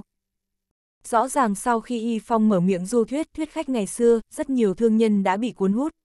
Tất nhiên nếu chỉ dựa vào chút ấn tượng nhỏ như vậy thì người ta sợ rằng cũng chỉ tỏ vẻ một chút rồi mặc kệ, cũng không có gì hơn, nhưng vấn đề ấn tượng lại có thêm chút sắc thái. Đến gần giờ cơm thì Y Phong cảm thấy miệng đắng lưỡi khô, Đỗ Tiểu Trình càng phàn nàn với Vương Tử Quân, nàng yêu cầu chút nữa hắn phải mời hai người một bữa cơm ngon mới được. Ngày hôm sau thì số người mời cơm Vương Tử Quân ngày càng nhiều, đồng thời cũng có nhiều cuộc điện thoại từ thành phố Giang Thị và Hồng Ngọc gọi đến, cũng bắt đầu nói về vấn đề đầu tư đường An Lô. Đặc biệt có một vị phó chủ tịch thành phố Hồng Ngọc gọi điện thoại đến, càng không e rẻ yêu cầu Vương Tử Quân quan tâm đến công ty xây dựng Bắc Minh trong phạm vị phù hợp. Bí thư Vương, tôi xin nâng ly, kính mong Bí thư Vương hạ cố đến chơi. Cửu Thiên Khôi lại xuất hiện trước mặt Vương Tử Quân, cặp mắt sáng ngời có thần, vẻ mặt vẫn là nụ cười nhiệt tình. Vương Tử Quân đang đưa một nhóm người vào trong khách sạn, lúc này hắn chợt nhíu mày và nói. Nếu giám đốc cừu đã nhiệt tình như vậy, tôi chối từ cũng bất kính, như vậy cũng chỉ có thể làm phiền giám đốc cừu. Địa điểm cừu thiên khôi mời khách chính là khách sạn Kim Bích Huy Hoàng, là một nơi tuyệt đối xa hoa ở thành phố An Dịch, tòa nhà cao hơn 10 tầng, khi nhóm vương tử quân chạy đến thì phát hiện nơi đây đầy đủ các loại xe cực sang. Khi đẩy cửa phòng, một luồng khí xa hoa phả vào mặt làm cho người ta không khỏi hưng phấn. Đám nhân viên trợ lý đi cùng với cửu thiên khôi đều là loại mạnh vì gạo bạo vì tiền, chỉ một lúc sau đã đưa trương thắng lợi, Tôn Hạ Châu và những nhân viên tương quan đi gọi món hoặc gọi rượu, trong phòng lúc này chỉ còn lại cửu thiên khôi và vương tử quân. Bí thư vương, con người của tôi thích kết giao bạn bè, cũng chính là tích cách của tôi, như vậy tôi mới có thành công hôm nay. Tôi với anh vừa quen đã thân, nếu như bí thư vương không chê tôi trèo cao, tôi sẽ coi anh như anh em, thế nào? Vương tử quân chỉ cười nhạt, hắn cũng không tiếp tục câu chuyện của cửu thiên khôi, mà cửu thiên khôi cũng không chút xấu hổ, hắn vẫn tươi cười như trước. Nhưng lúc này hắn cũng không tiếp tục ẩn giấu mà dùng giọng gọn gàng dứt khoát nói. Bí thư vương, con người của tôi gần đây tôn thờ câu nói có tiền mọi người cùng xài, có tài mọi người cùng phát, nếu như bí thư vương có thể cho tôi một cơ hội, tôi nhất định sẽ tỏ vẻ rõ ràng, sẽ không để cho bí thư vương có hại. chương 263, 2, không ai không thích chủ tịch Mao. Trong mắt cửu thiên khôi bắn ra ánh sáng cơ trí, hắn dùng giọng động tình nói. Tôi từ nhỏ đã nghèo hèn, nhiều năm phấn đấu gian khổ, trước nay luôn giữ vững một nguyên tắc, chính là đầu tư hạng mục ở trong nước mà không ở nước ngoài, nếu có thể đầu tư trong tỉnh sẽ không ra tỉnh ngoài, nó được gọi là phát đạt nhưng không quên quê hương. Tôi đến tham gia hội trợ đầu tư thương mại tỉnh Sơn Nam, nhưng tình thế ở Chiết Giang chúng ta cũng rất tốt, có một con đường như An Lô cần khai phá, công ty Bắc Minh chúng tôi tình nguyện hợp tác cùng huyện Lô Bắc, còn hy vọng Bí Thư Vương sẽ mở cho một cánh cửa thuận tiện. Giám đốc cừu, anh quá khách khí rồi. Vương Tử Quân khẽ gật đầu rồi cười nói. Tôi cũng hiểu được một chút về kinh nghiệm phát triển của anh, anh nắm rất chắc xu hướng và thời cơ của thị trường. Con đường An Lô lần này thật sự là một hạng mục đầu tư tốt, huyện Lô Bắc chúng tôi vốn đang hợp tác kêu gọi đầu tư, quý công ty nếu có mục đích đầu tư, như vậy người phải cảm tạ là chúng tôi mới đúng. Hai mắt cửu thiên khôi híp lại thành đường nhỏ, hắn nhìn bộ dạng nước chảy mây trôi của Vương Tử Quân, hắn quyết định đi thẳng vào vấn đề, thế là cũng không đi đường vòng mà nói. Bí thư Vương, hạng mục này công ty chúng tôi đã chuẩn bị toàn bộ hạn ngạch đầu tư, sẽ xây dựng thành một quốc lộ cấp 2. Quốc lộ cấp hoa, cửu thiên khôi ra tay rõ ràng không phải là nhỏ. Vương tử quân nhìn cửu thiên khôi, hắn trịnh trọng gật đầu nói. Vậy thì tốt quá, giám đốc cửu, là một người phụ trách khối kêu gọi đầu tư của huyện Lô Bắc, tôi cực kỳ khâm phục sự chân thành hợp tác của anh, hy vọng chúng ta có thể hợp tác chân thành, đồng mưu phát triển. Vương Tử Quân nói rất khách khí nhưng trong lòng lại không chút biểu cảm, hắn biết rõ ngay sau đó mới chính là cục thịt của cửu thiên khôi. Công ty cầu đường chúng tôi muốn 30 năm quản lý con đường, đồng thời hàng năm sẽ giao nộp cho huyện Lô Bắc 10% tiền thu phí, Bí Thư Vương thấy thế nào? Quyền quản lý 30 năm, 10% tiền thu phí. Vương Tử Quân nhìn cửu thiên khôi, thầm nghĩ khẩu vị của đối phương quá tốt, con đường bây giờ đã xác định là một con gà đẻ trứng vàng, anh không những lấy hết trứng vào trong tay, còn muốn nắm 30 năm. 10% tiền thu phí, đây thật sự là một mức quá thấp không thể thấp hơn, theo tính toán đo lường của Vương Tử Quân và các đồng chí cục thương mại, sợ rằng dù là 50% vẫn tính là thấp, thế cho nên một điều kiện như vậy căn bản là huyện Lô Bắc khó thể chấp nhận được. Tất nhiên, chúng ta cũng không làm cho Bí Thư Vương có hại, có tiền mọi người cùng xài, chỉ cần Bí Thư Vương tình nguyện, 10% tiền phí của con đường sẽ thuộc về anh. Cửu Thiên Khôi cũng không chút trần trừ khi thấy ánh mắt biến đổi bất định của Vương Tử Quân, hắn dùng giọng cực kỳ chân thành nói. Mới đó đã lấy ra 10% tiền thu phí ném cho Vương Tử Quân, Cửu Thiên Khôi cảm thấy như vậy cũng đã có thể đạp ngã vị phó bí thư trẻ tuổi kia. Biết đâu người khác không biết con đường sẽ sinh ra bao nhiêu lợi nhuận, thế nhưng vị phó bí thư trẻ tuổi này lại chính là người trong cuộc, cần hắn cho ra cái giá cao. 10% lợi nhuận, đây thật sự là con số mà chính Cửu Thiên Khôi cũng động tâm, hắn cho ra con số như vậy cũng không đau lòng, vì hắn thấy người thanh niên kia có giá trị như vậy. Cảm ơn giám đốc cửu đã tỏ ra coi trọng với tôi, nhưng tôi cảm thấy giám đốc cửu nên đặt tâm tư lên vấn đề đầu tư thì hay hơn. Vương tử quân tiện tay cầm lấy menu ngay trước mặt, sau đó dùng giọng hời hợt nói. Ánh mắt cửu thiên khôi lóe lên chút kinh ngạc, hắn suy nghĩ mãi, cuối cùng vẫn dùng giọng không cam lòng nói một câu. Bí thư vương, nếu như anh cam thấy nó chưa tiếp cận mức giới hạn của mình, chúng ta có thể thương lượng lại. Vương tử quân ngẩng đầu nhìn cửu thiên khôi, hắn cười nói. Tôi nếu làm ra hứa hẹn sẽ tuyệt đối không hàm hồ, nếu không thể có hứa hẹn thì cũng mong giám đốc cửu có thể tha thứ. Cửu thiên khôi thấy vương tử quân kiên quyết như vậy, thế là phải cắn răng tỏ vẻ chân thành, cũng không muốn rằng co ở phương diện này, đành phải di chuyển chủ đề. Một lát sau Trương Thắng Lợi và Tôn Hạ Châu cùng với đám nhân viên công ty xây dựng Bắc Minh đã quay lại phòng, đồng thời đủ loại món ăn ngon cũng được dâng lên. Cửu Thiên Khôi vẫn trò chuyện vui vẻ trên bàn cơm, giống như chưa từng có bất kỳ sự kiện gì phát sinh. Cửu Thiên Khôi tự mình đưa Vương Tử Quân ra đến bên xe, sau đó hắn quay về phòng, một vị trợ lý hơn 30 tuổi chợt tươi cười chào đón. Giám đốc Cửu, Bí Thư Vương đồng ý rồi sao? Không, 10% lợi nhuận căn bản không đã động được hắn, xem ra vị cán bộ thanh niên này chỉ có thể là hai loại người, một là nhân vật cực giỏi, hai là há miệng rất lớn. Cửu Thiên Khôi vừa uống trà vừa thương lượng đối sách. Không thành công, điều này làm cho vẻ mặt tên trợ lý chợt biến đổi, hắn và Cửu Thiên Khôi đã làm việc với nhau nhiều năm, đây là lần đầu tiên hắn thấy Cửu Thiên Khôi tỏ ra kinh ngạc. Giám đốc Cửu, chúng ta làm sao bây giờ? Chẳng lẽ cứ buông tha dễ dàng vậy sao? Tên trợ lý nói, cực kỳ không cam lòng. Tất nhiên là không thể buông tha, vương tử quân này không thể động vào, cũng không thể nói rằng toàn bộ ban ngành huyện Lô Bắc là một bức tường kín gió. Vương Tử Quân là người dẫn đội ngũ đi đến đây kêu gọi đầu tư, nhưng dù sao hắn cũng không phải là chủ tịch huyện, chúng ta sẽ đi đường tắt, sẽ nắm bắt đối phương. Trong mắt cửu thiên khôi lóe lên ánh lửa, thấy rất rõ ràng. Hầu thiên đông lười biếng dựa lưng ra ghế sau xe, tuy lúc này đã có 7-8 phần cảm giác say, thế nhưng trong lòng lão lại cực kỳ hưng phấn. Hôm nay nghênh đón cục giao thông của thành phố đến thị sát, có thể nói là hai bên đều vui vẻ, Cục Giao thông không những lên tiếng giúp đỡ huyện Lô Bắc phát triển hệ thống giao thông, hơn nữa Cục trưởng Nghiêm còn đứng ra giúp đỡ 5 triệu ngay tại chỗ. 5 triệu, năm ngoái Hầu Thiên Đông đến Cục Giao thông và Cục trưởng Nghiêm này nói không có tiền, bây giờ lại đưa cả khối khảo sát đến, còn bà nó điều này không làm cho Hầu Thiên Đông cảm thấy cứng cả họng sao. Tuy trên mặt Cục trưởng Nghiêm vẫn là nụ cười ngạo nghễ, thế nhưng sau này đối đãi với mình càng lúc càng khách khí. Cục trưởng Cục Giao thông làm sao phải đối xử khách khí với Hầu Thiên Đông như vậy, đó không phải là đối phương nhìn vào những biến hóa của huyện Lô Bắc nửa năm qua sao. Được mở hội nghị tư pháp của tỉnh, lại có một hạng mục cực kỳ thu hú sự chú ý như cầu đường An Lô, hai chiến tích kia hầu như đã làm cho trên đầu một vị bí thư huyện ủy như lão tràn đầy hào quang. Hầu Thiên Đông nghĩ đến những luồng hào quang kia thì tỏ ra hưng phấn, đồng thời một loại ghen ghét theo bản năng cũng lóe lên trong lòng. Đúng là hào quang ở trên đầu lão, thế nhưng những thứ kia đều là do lão hái đến, người chính thức làm ra những chiến tích kia chính là Vương Tử Quân. chương 263, 3, không ai không thích chủ tịch Mao. Hầu Thiên Đông nghĩ đến Vương Tử Quân thì chợt sinh ra cảm giác vừa yêu vừa hận, loại tâm tính này cực kỳ phức tạp. Lão công tác ở huyện Lô Bắc nhiều năm, lão rất thích phân cấp những người bên dưới theo trình tự sau, kẻ cần bảo vệ, kẻ trung thành, kẻ ủng hộ, kẻ mà mình hiểu, kẻ phản đối, kẻ phản bội. Trước nay lão chưa từng nương tay với kẻ phản bội, hơn nữa cũng rất giỏi trong phương diện lôi kéo người ta vào hàng ngũ của mình. Muốn phát triển thì cần người ủng hộ, muốn ổn định thì cần kẻ trung thành, lão xem mình là một thân cây lớn ở huyện Lô Bắc, dễ càng sâu thì cành lá càng sum xuê. Dù dưới tình huống này, phần lớn người ta chạy cho trồng cây, đến thời điểm thu hoạch thì lại chắp tay cho bí thư hầu thiên đông hái quả. Nhưng cũng có câu thành tích không chạy khỏi ai khác, mọi người nhắc đến vương tử quân thì sẽ luôn miệng một lời nói về những thành tích kia, nói rằng rất đáng khen, điều này rõ ràng là không hay, hầu thiên đông là một vị lãnh đạo cầm lái huyện Lô Bắc, trong lòng có thoải mái được sao?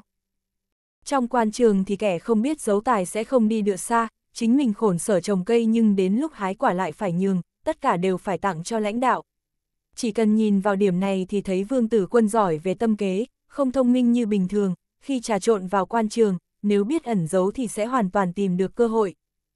Hầu Thiên đồng nghĩ đến điều này, lão cảm thấy trước mắt là lúc rất quan trọng, chỉ có ra sức giúp đỡ vương tử quân thì mình mới càng có thành tích chính trị cao cả. Bí thư hầu, chúng ta đi đâu đây? Lái xe cười tươi quay sang hỏi Hầu Thiên Đông. Về nhà. Hầu Thiên Đông khoát tay áo dùng giọng thản nhiên nói. Tài xế đã đi theo Hầu Thiên Đông nhiều năm, hắn vừa nghe bí thư phân phó thì đã không chần chừ mà dẫm lên chân ga, xe chạy nhanh về phía nhà Hầu Thiên Đông. Nhà của Hầu Thiên Đông cũng ở khu nhà huyện ủy, các nhà vương tử quân không quá xa, nhưng nếu so ra thì Hầu Thiên Đông ở một biệt thự hai tầng dành cho thường ủy huyện ủy, còn vương tử quân thì lại ở nhà khách. Vốn khi vương tử quân trở thành phó bí thư huyện ủy, khối sự vụ cơ quan có sắp xếp nhà cho vương tử quân, nói là để cho bí thư vương có nơi ở rộng rãi thoải mái, nhưng lại bị vương tử quân từ chối. Gió xuân thổi nhẹ nhẹ, những tán liễu khẽ run dưới ánh đèn đường vàng vọt, tối mùa xuân tuy vẫn lạnh, thế nhưng lúc này đám trẻ con vẫn đang nô đùa náo nhiệt trong khu nhà thường ủy huyện ủy. Hầu Thiên Đông đi đến cửa nhà mình, vừa nghe thấy tiếng xe hơi thì bảo mẫu đã chạy ra, sau đó tiếp nhận cặp từ trong tay lái xe và đón Hầu Thiên Đông đi vào trong biệt thự. Anh Hầu, anh xem, anh đã lớn tuổi rồi, sau này khi xã giao thì nên uống ít rượu đi một chút. Hầu Thiên Đông còn chưa vào nhà thì vợ Liễu Tiểu Xuân đang xem phim tình cảm chạy ra nghênh đón, sau đó nở nụ cười và dùng giọng oán hận nói với Hầu Thiên Đông. Liễu Tiểu Xuân dù đã gần 50 nhưng vì sống trong sung sướng an nhàn thế nên bảo dưỡng rất tốt, dù chưa đến mức như phụ nữ 30, thế nhưng nhìn qua cũng chỉ ngỡ mới hơn 40. Bà vốn là một vị phó phòng xếp cuối cùng trong phòng văn hóa, nhưng bây giờ căn bản là chỉ ở nhà hưởng thụ. Nhưng dù như vậy, vị trưởng phòng văn hóa gặp phải chuyện gì cũng vẫn phải chạy như điên đến nhà nàng xin chỉ thị công tác. Liễu Tiểu Xuân trước nay luôn có thái độ phản đối với chuyện uống rượu của chồng, phần lớn đều lên tiếng, vẻ mặt nghiêm nghị. Hôm nay thái độ có hơi chút khác thường, điều này làm cho Hầu Thiên Đông có chút là lạ. Phu nhân, cũng không có cách nào khác, Cục trưởng nghiêm cục giao thông thành phố tự mình đến đưa tiền, tôi là một bí thư nếu không làm tốt công tác xã giao, như vậy phải làm sao cho được. Hầu Thiên Đông sợ Liễu Tiểu Xuân tiếp tục làm ra chuyện gì đó gây rối với mình, thế là lão vội vàng giải thích.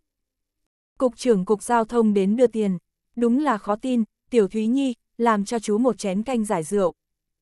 Liễu Tiểu Xuân vừa đỡ Hầu Thiên Đông ngồi xuống ghế salon vừa nói với người giúp việc. Cô giúp việc lên tiếng, ngay sau đó chạy về phía nhà bếp, rất gọn gàng. Người giúp việc của Hầu Thiên Đông bình thường cũng không lấy người ngoài, đều là chọn ra những cô cháu gái nhanh tay nhanh chân trong nhà, vì thế thứ nhất là dùng yên tâm, thứ hai cũng cho đám thân thích một chút an ủi. Đến khi thời cơ chín mùi, những cô cháu gái giúp việc vài năm bỏ ra nhiều công sức cũng được sắp xếp cho công tác ổn định. Chưa nói đến vấn đề gì khác, trò này của Hầu Thiên Đông thật sự là nhất cữ lưỡng tiện, trong nhà không những có người giúp việc làm tốt công tác, còn ném cho thân thích một chút danh tiếng. Vì thế mà đám thân thích trong nhà vì một vị trí làm người giúp việc cho nhà Hầu Thiên Đông mà bọn họ tìm đủ mọi cách đưa con cháu đi vào, giống như đang thi vào trường đảng Trung ương. Những cô cháu giúp việc trong nhà Hầu Thiên Đông phần lớn chỉ mới học xong phổ thông đã được bổ sung vào, hơn nữa lại có xu hướng tầng tầng lớp lớp, người trước ngã xuống thì có người sau đó tiến lên thay thế. Tiểu Thúy cũng không còn nhỏ nữa, hai ngày trước bố nó có sang nói, bắt đầu chuẩn bị cho con bé lấy chồng. Liễu Tiểu Xuân nhìn Tiểu Thúy đang bận rộn đi vào bếp mà mỉm cười nói với Hầu Thiên Đông. À, đứa bé này rất tốt, đến nhà chúng ta đã hơn 3 năm, làm việc năng động, làm chúng ta bớt lo nhiều việc, cũng nên sắp xếp cho nó một chút. Trong phòng văn hóa của em còn vị trí nào trống không? Nếu có thì sắp xếp cho nó. Hầu Thiên Đông tùy ý nói với Liễu Tiểu Xuân, thời đại này sắp xếp công tác cho một hai người chỉ là một bữa ăn sáng đối với bí thư huyện ủy. Liễu Tiểu Xuân cười hì hì nói. Không tính đến phòng văn hóa trời ơi của em, đừng ném con bé Tiểu Thúy vào đó. Em thấy không bằng thế này, nghe nói phòng dân chính của huyện giống như tổ kiến đang cần nhân thủ, em đi nói vài lời, anh thấy thế nào? Em cứ làm theo ý mình là được. Hầu Thiên Đông phất tay dùng giọng tùy ý nói, lão biết rõ việc này có lẽ là Liễu Tiểu Xuân đã làm tốt, bây giờ cũng chỉ báo cáo với mình một tiếng mà thôi. Hầu Thiên Đông không nằm xuống thì không sao, bây giờ vừa nằm xuống ghế salon thì một cảm giác buồn ngủ ập đến. Khi lão đang mơ màng nhắm mắt thì chợt nghe thấy Liễu Tiểu Xuân nằm ở bên cạnh khẽ nói. Thiên Đông, hôm nay có một vị phó giám đốc họ trương của công ty cầu đường Bắc Minh đến nhà ta, muốn nhờ anh một việc. Công ty xây dựng Bắc Minh, Hầu Thiên Đông giống như đã từng nghe qua cái tên này, dù không có quan hệ thế nhưng cũng biết ông chủ của công ty là kẻ mánh khóe thông thiên, bản lĩnh cực lớn, không những là lãnh đạo thị ủy, thậm chí cũng có lời nói trước mặt lãnh đạo tỉnh. Cơn buồn ngủ của Hầu Thiên Đông chợt biến mất vài phần, lão lập tức mở cặp mắt nhập nhèm rồi mơ màng hỏi. Có việc gì, nếu là việc nhỏ thì có thể giúp. chương 263, 4, không ai không thích chủ tịch Mao.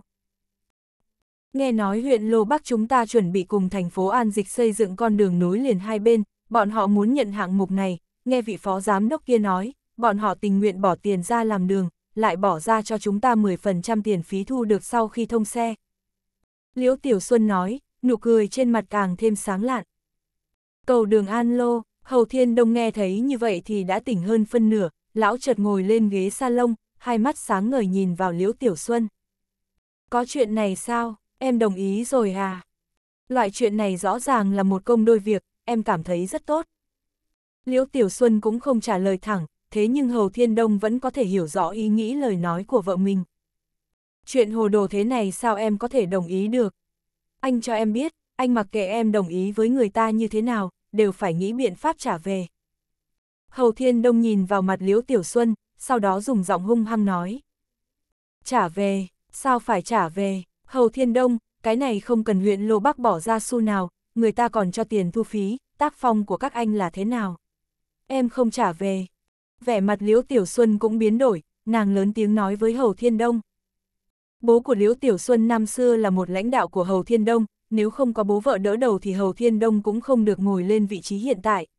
Cũng vì nguyên nhân này mà hai bên kết hôn nhiều năm, thế nhưng Hầu Thiên Đông đối mặt với Liễu Tiểu Xuân thì luôn sinh ra cảm giác anh hùng bạc mệnh, những gì có thể nhịn được đều phải nhịn. Hầu Thiên Đông nhìn bộ dạng hồn hển của Liễu Tiểu Xuân, lão trầm ngâm một lát rồi lạnh lùng nói. Có phải em đã thu tiền của người ta rồi không? Liễu Tiểu Xuân vốn đang lớn tiếng, bây giờ thấy Hầu Thiên Đông nói một câu vạch rõ vấn đề, thế là nàng cũng không thèm giấu giếm, nàng thừa nhận gọn gàng dứt khoát. Thiên Đông, em cảm thấy sự việc lần này huyện Lô Bắc chúng ta không cần bỏ tiền, lại được thu phí, nhất cử lưỡng tiện, anh sẽ đồng ý, thế cho nên đã thu rồi. Bao nhiêu? Hầu Thiên Đông nhìn bộ dạng rất chú tâm của Liễu Tiểu Xuân, trong lòng cũng không còn nhiều lo lắng. 500 ngàn. Liễu Tiểu Xuân khoa tay mua chân một chút, sau đó khẽ nói. 500 ngàn, Hầu Thiên Đông nghe được vài chữ thế này cũng cảm thấy trái tim đập mạnh lên.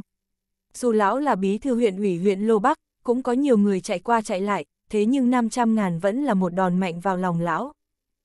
50 ngàn, đây là số tiền mà Hầu Thiên Đông làm quan nhiều năm cũng chưa có được, bây giờ lão đã là bí thư huyện ủy, tiền lương một tháng chưa đến một ngàn, như vậy số tiền 500 ngàn sẽ là bao nhiêu tháng lương? Hầu Thiên Đông cắn răng thật chặt, trong lòng xuất hiện nụ cười của Vương Tử Quân. Lão trầm ngâm một lát, cuối cùng cắn răng nói. Trả lại cho người ta. Trả lại, không được, đây là số tiền mà em dùng cho lỗi lỗi xuất ngoại, sự việc khác em có thể đồng ý với anh, nhưng việc này thì chỉ có hai chữ không được. Liễu Tiểu Xuân giống như mèo bị dẫm nuôi, nàng lên tiếng rồi nhảy dựng lên, sau đó chỉ vào Hầu Thiên Đông rồi nói. Hầu Thiên Đông, anh còn là đàn ông không? Em thấy anh là bí thư huyện ủy mà đúng là nhát gan như thỏ đế, em biết rõ tâm tư của anh, anh không phải thấy đó là hạng mục của Vương Tử Quân, thế nên không dám đắc tội với Vương Tử Quân, có phải không? Hầu Thiên Đông đỏ mặt lên, lão muốn phản bác, thế nhưng từ sâu trong lòng vẫn có chút lo lắng. Lão không phải không muốn cầm 500 ngàn của đối phương, vào thời buổi coi trọng vật chất thế này, tiền không là vấn đề, vấn đề là không có tiền. Thử hỏi xem, có ai không thích chủ tịch Mao? Nhưng nếu xét trên vấn đề danh tiếng, lão thật sự không muốn đắc tội với Vương Tử Quân, nhân tố này là có tồn tại, nhưng đứng trước mặt vợ thì lão lại cực lực từ chối điều này.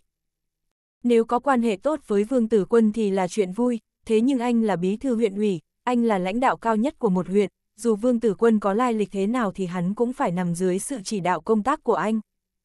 Anh biết mọi người nói anh là gì không?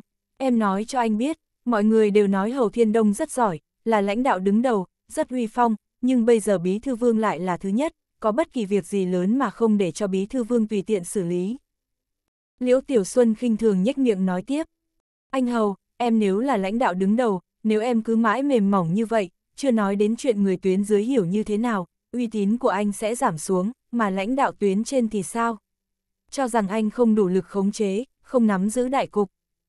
Hầu Thiên Đông khẽ cúi đầu, tuy Liễu Tiểu Xuân nói theo kiểu cả vú lấp miệng em, thế nhưng có một điều không sai, lão là bí thư huyện ủy, lão là người cầm lái của huyện Lô Bắc, tất cả mọi chuyện đều do lão quyết định. Đúng lúc này Tiểu Thúy bưng chén canh giải rượu đi lên, Liễu Tiểu Xuân tiếp nhận chén canh trong tay của Tiểu Thúy, sau đó nàng nở nụ cười tươi giói với Hầu Thiên Đông. Anh Hầu, anh nên uống khi còn nóng, rượu là xã giao, sức khỏe là của bản thân. Có ai có thể làm quan cả đời, em thấy anh nên lợi dụng lúc mình còn đang tại vị để tính kỹ đường lui, chuẩn bị cho tương lai. Hầu Thiên Đông căn bản không có tâm tư nhìn chén canh bốc hơi nghi ngút, ánh mắt lão đều tập trung lên gương mặt với nụ cười sáng rực của Liễu Tiểu Xuân, lão nhìn vợ cười mà chợt sinh ra cảm giác ngây người. Hội trợ đầu tư thương mại của thành phố An Dịch có thể nói là thành công rực rỡ, có rất nhiều hạng mục được ký kết, tài chính dồi dào. Nhưng đại đa số đám người tham gia hội trợ đều không nói về số tiền đầu tư gần đến cả tỷ kia, phần lớn chỉ nói về hạng mục con đường An Lô. Vương tử quân sách cặp đi ra khỏi phòng, lúc này hội trợ đầu tư thương mại đã kết thúc, tuy hắn rất muốn chờ thêm 2 ngày để đàm luận với Trịnh Đông Phương, thế nhưng dù là vấn đề đấu thầu xây dựng đường An Lô hay là công tác tổ chức hội nghị tư pháp thì đều cần hắn chuẩn bị. Vương Tử Quân vừa ra khỏi phòng thì đụng mặt hai cô gái Y Phong và Đỗ Tiểu Trình, lúc này hắn mặc một quần áo và sách cặp rất đơn giản, thật sự không thể so sánh với hai cô gái kia, vì trong tay mỗi người đều có sách theo một chiếc túi. Thắng lợi quay về sao? Vương Tử Quân mỉm cười nhìn hai người Y Phong rồi khẽ nói. Đỗ Tiểu Trình nhìn Vương Tử Quân tiêu sái đi xuống lầu mà khẽ cắn môi, tên khốn đáng giận kia thấy mình sách theo túi nặng mà không muốn trợ giúp, hơn nữa còn mở miệng trêu chọc mình. Cảm ơn lãnh đạo quan tâm. Đỗ Tiểu Trình nhìn gương mặt tươi cười của Vương Tử Quân, thế là nàng nói ra từng chữ một, dù là ai cũng nghe thấy lời cảm ơn của nàng không có chút thành ý. Vương Tử Quân thấy Đỗ Tiểu Trình cầm theo túi lớn thì sao lại không hiểu. Tuy lòng dạ của Bí Thư Vương rất rộng rãi, nhưng thật sự muốn làm khó đứa cháu gái này. chương 263, năm không ai không thích chủ tịch Mao. Vương Tử Quân đi đến bên cạnh Y Phong, hắn thuận miệng nói. Để tôi xem túi này có nặng không? Vương Tử Quân nói xong thì thuận tiện sách lên. Cặp mắt đẹp của Y Phong bùng ra ánh mắt yêu mến nhìn Vương Tử Quân, lúc này hắn đã tiếp nhận cái túi trong tay mình, thế là trong lòng nàng chợt xuất hiện một dòng nước ấm áp. Nàng nghĩ với cấp bậc lãnh đạo của hắn, thậm chí cặp giấy tờ còn không cần phải mang theo, tất nhiên là chưa từng làm việc nặng, bây giờ lại xách túi cho mình, thế là không khỏi đau lòng, muốn giành lại chiếc túi. Khi Y Phong đang định mở miệng thì Trương Thắng Lợi và Tôn Hạ Châu từ đầu bên kia của hành lang đi đến, thấy Vương Tử Quân đang xách một chiếc túi lớn thì Trương Thắng Lợi và Tôn Hạ Châu vội vàng chạy đến. Bí thư Vương, sao anh đi sớm như vậy? Để đó cho tôi, để cho tôi. Tôn Hạ Châu dù sao cũng là cán bộ trẻ, hắn nhanh chóng tiếp nhận túi trong tay Vương Tử Quân, còn Trương Thắng Lợi đến sau một bước thì ánh mắt rơi lên chiếc túi của Đỗ Tiểu Trình. Trương Thắng Lợi tuy đã bị Tôn Hạ Châu cướp mất việc, thế nhưng hắn đã có quyết tâm muốn dựa vào Vương Tử Quân, bây giờ thứ cần làm là biểu hiện, thế cho nên chủ tâm muốn biểu hiện trước mặt Bí Thư Vương một phen. Đỗ Tiểu Trình nhìn Trương Thắng Lợi duỗi tay đến, trong lòng có chút vui vẻ. Tuy nàng không có cảm giác gì với Trương Thắng Lợi, thế nhưng đối phương có thể sách giúp mình cũng là người tốt. Nàng vừa đưa chiếc túi cho Trương Thắng Lợi, vừa dùng ánh mắt khiêu khích nhìn thoáng qua Vương Tử Quân. Anh Trương, anh cũng đừng giành việc, cháu Tiểu Trình là nhân viên công an, đừng nói là một cái túi nhỏ như vậy, dù là vài cái cũng không là vấn đề. Vương Tử Quân khẽ phất tay sau lưng Trương Thắng Lợi, sau đó hắn ngẩng đầu ưỡn ngực đi xuống cầu thang. Đỗ Tiểu Trình thấy phần tử lao động miễn phí cho mình vì một câu nói của tên vô lại mà không tiến lên giành việc, nàng thật sự hận đến mức ngứa răng. Nhưng dù nàng có ngứa răng cũng như không, Vương Tử Quân có chức vụ cao hơn nàng, không, phải nói là cao hơn cả bố nàng, lại gọi nàng là cháu rất thuận miệng, điều này làm cho nàng rất tức giận. Khốn kiếp, đi xuống cầu thang thế nào cũng té bầm mặt. Đỗ Tiểu Trình nhìn Vương Tử Quân đi xuống cầu thang mà khẽ lẩm bẩm. Đỗ Tiểu Trình nói xong, Vương Tử Quân đi phía trước không có vấn đề, thế nhưng nàng lại trượt chân, nếu như không phải nàng đứng gần lan can, lại vung tay giữ lấy lan can theo bản năng, sợ rằng đã ngã sắp xuống. Đỗ Tiểu Trình cảm thấy bàn tay có hơi nóng và hơi đau, thế là trong lòng càng thêm căm tức. Xe đã khởi động, Trương Thắng Lợi đi theo bên cạnh Vương Tử Quân cũng không chờ Thái Thần Bân xuống xe, hắn nhanh chóng tiến lên giúp Vương Tử Quân mở cửa, gương mặt là nụ cười cực kỳ khiêm tốn. Vương Tử Quân khẽ gật đầu với Trương Thắng Lợi, hắn đang định cho Trương Thắng Lợi cùng ngồi xe với mình, đúng lúc thấy có một người đi xuống ở chiếc xe cách đó không xa. Bí thư Vương, anh thật sự là rất khó mời. Một tiếng phổ thông mang theo âm điệu Quảng Đông vang lên, dù có chút khó nghe, nhưng khi truyền vào trong tai Vương Tử Quân, hắn nhanh chóng xác định được thân phận của người đến. Là mục kinh ba của tập đoàn Chính Hồng, hai ngày trước người này đã từng gọi điện thoại cho Vương Tử Quân vài lần, đối phương xem như hạ quyết tâm không nhỏ với cầu đường An Lô. Chào giám đốc mục, Vương Tử Quân cũng nhiệt tình tiến lên bắt tay mục kinh ba. Mục kinh ba bắn tay Vương Tử Quân rất khoa trương, hắn nói. Bí thư Vương, chúng ta tiếp xúc không nhiều, nhưng tôi biết anh là người lanh lẹ, cũng có tính tình giống tôi. Hai người chúng ta gặp nhau ở thành phố An Dịch, như vậy càng là duyên phận, hôm nay dù sao anh cũng phải cho tôi một cơ hội, chúng ta trò chuyện một chút. Vương Tử Quân cảm nhận được chút hơi ấm từng bàn tay mềm mại của Mục Kinh Ba, hai hàng chân mày của hắn khẽ run lên, nhưng nụ cười trên mặt hắn vẫn không có chút biến đổi. Giám đốc ngục, tôi hiểu ý của anh, nói tiếp thì tôi cũng rất muốn nhờ anh một chút, nhưng lúc này thật sự là tôi quá bận, trong huyện còn có một đống lớn công tác cần tôi xử lý, thật sự rất xấu hổ. Thế này đi, đến khi nào anh đến huyện Lô Bắc, chúng tôi sẽ tiếp đái anh chu đáo. Vương Tử Quân nói rất chân thành, nhưng Mục Kinh Ba rõ ràng như không nhận ra, khi hắn chuẩn bị tiếp tục dây dưa thì Vương Tử Quân đã khua tay.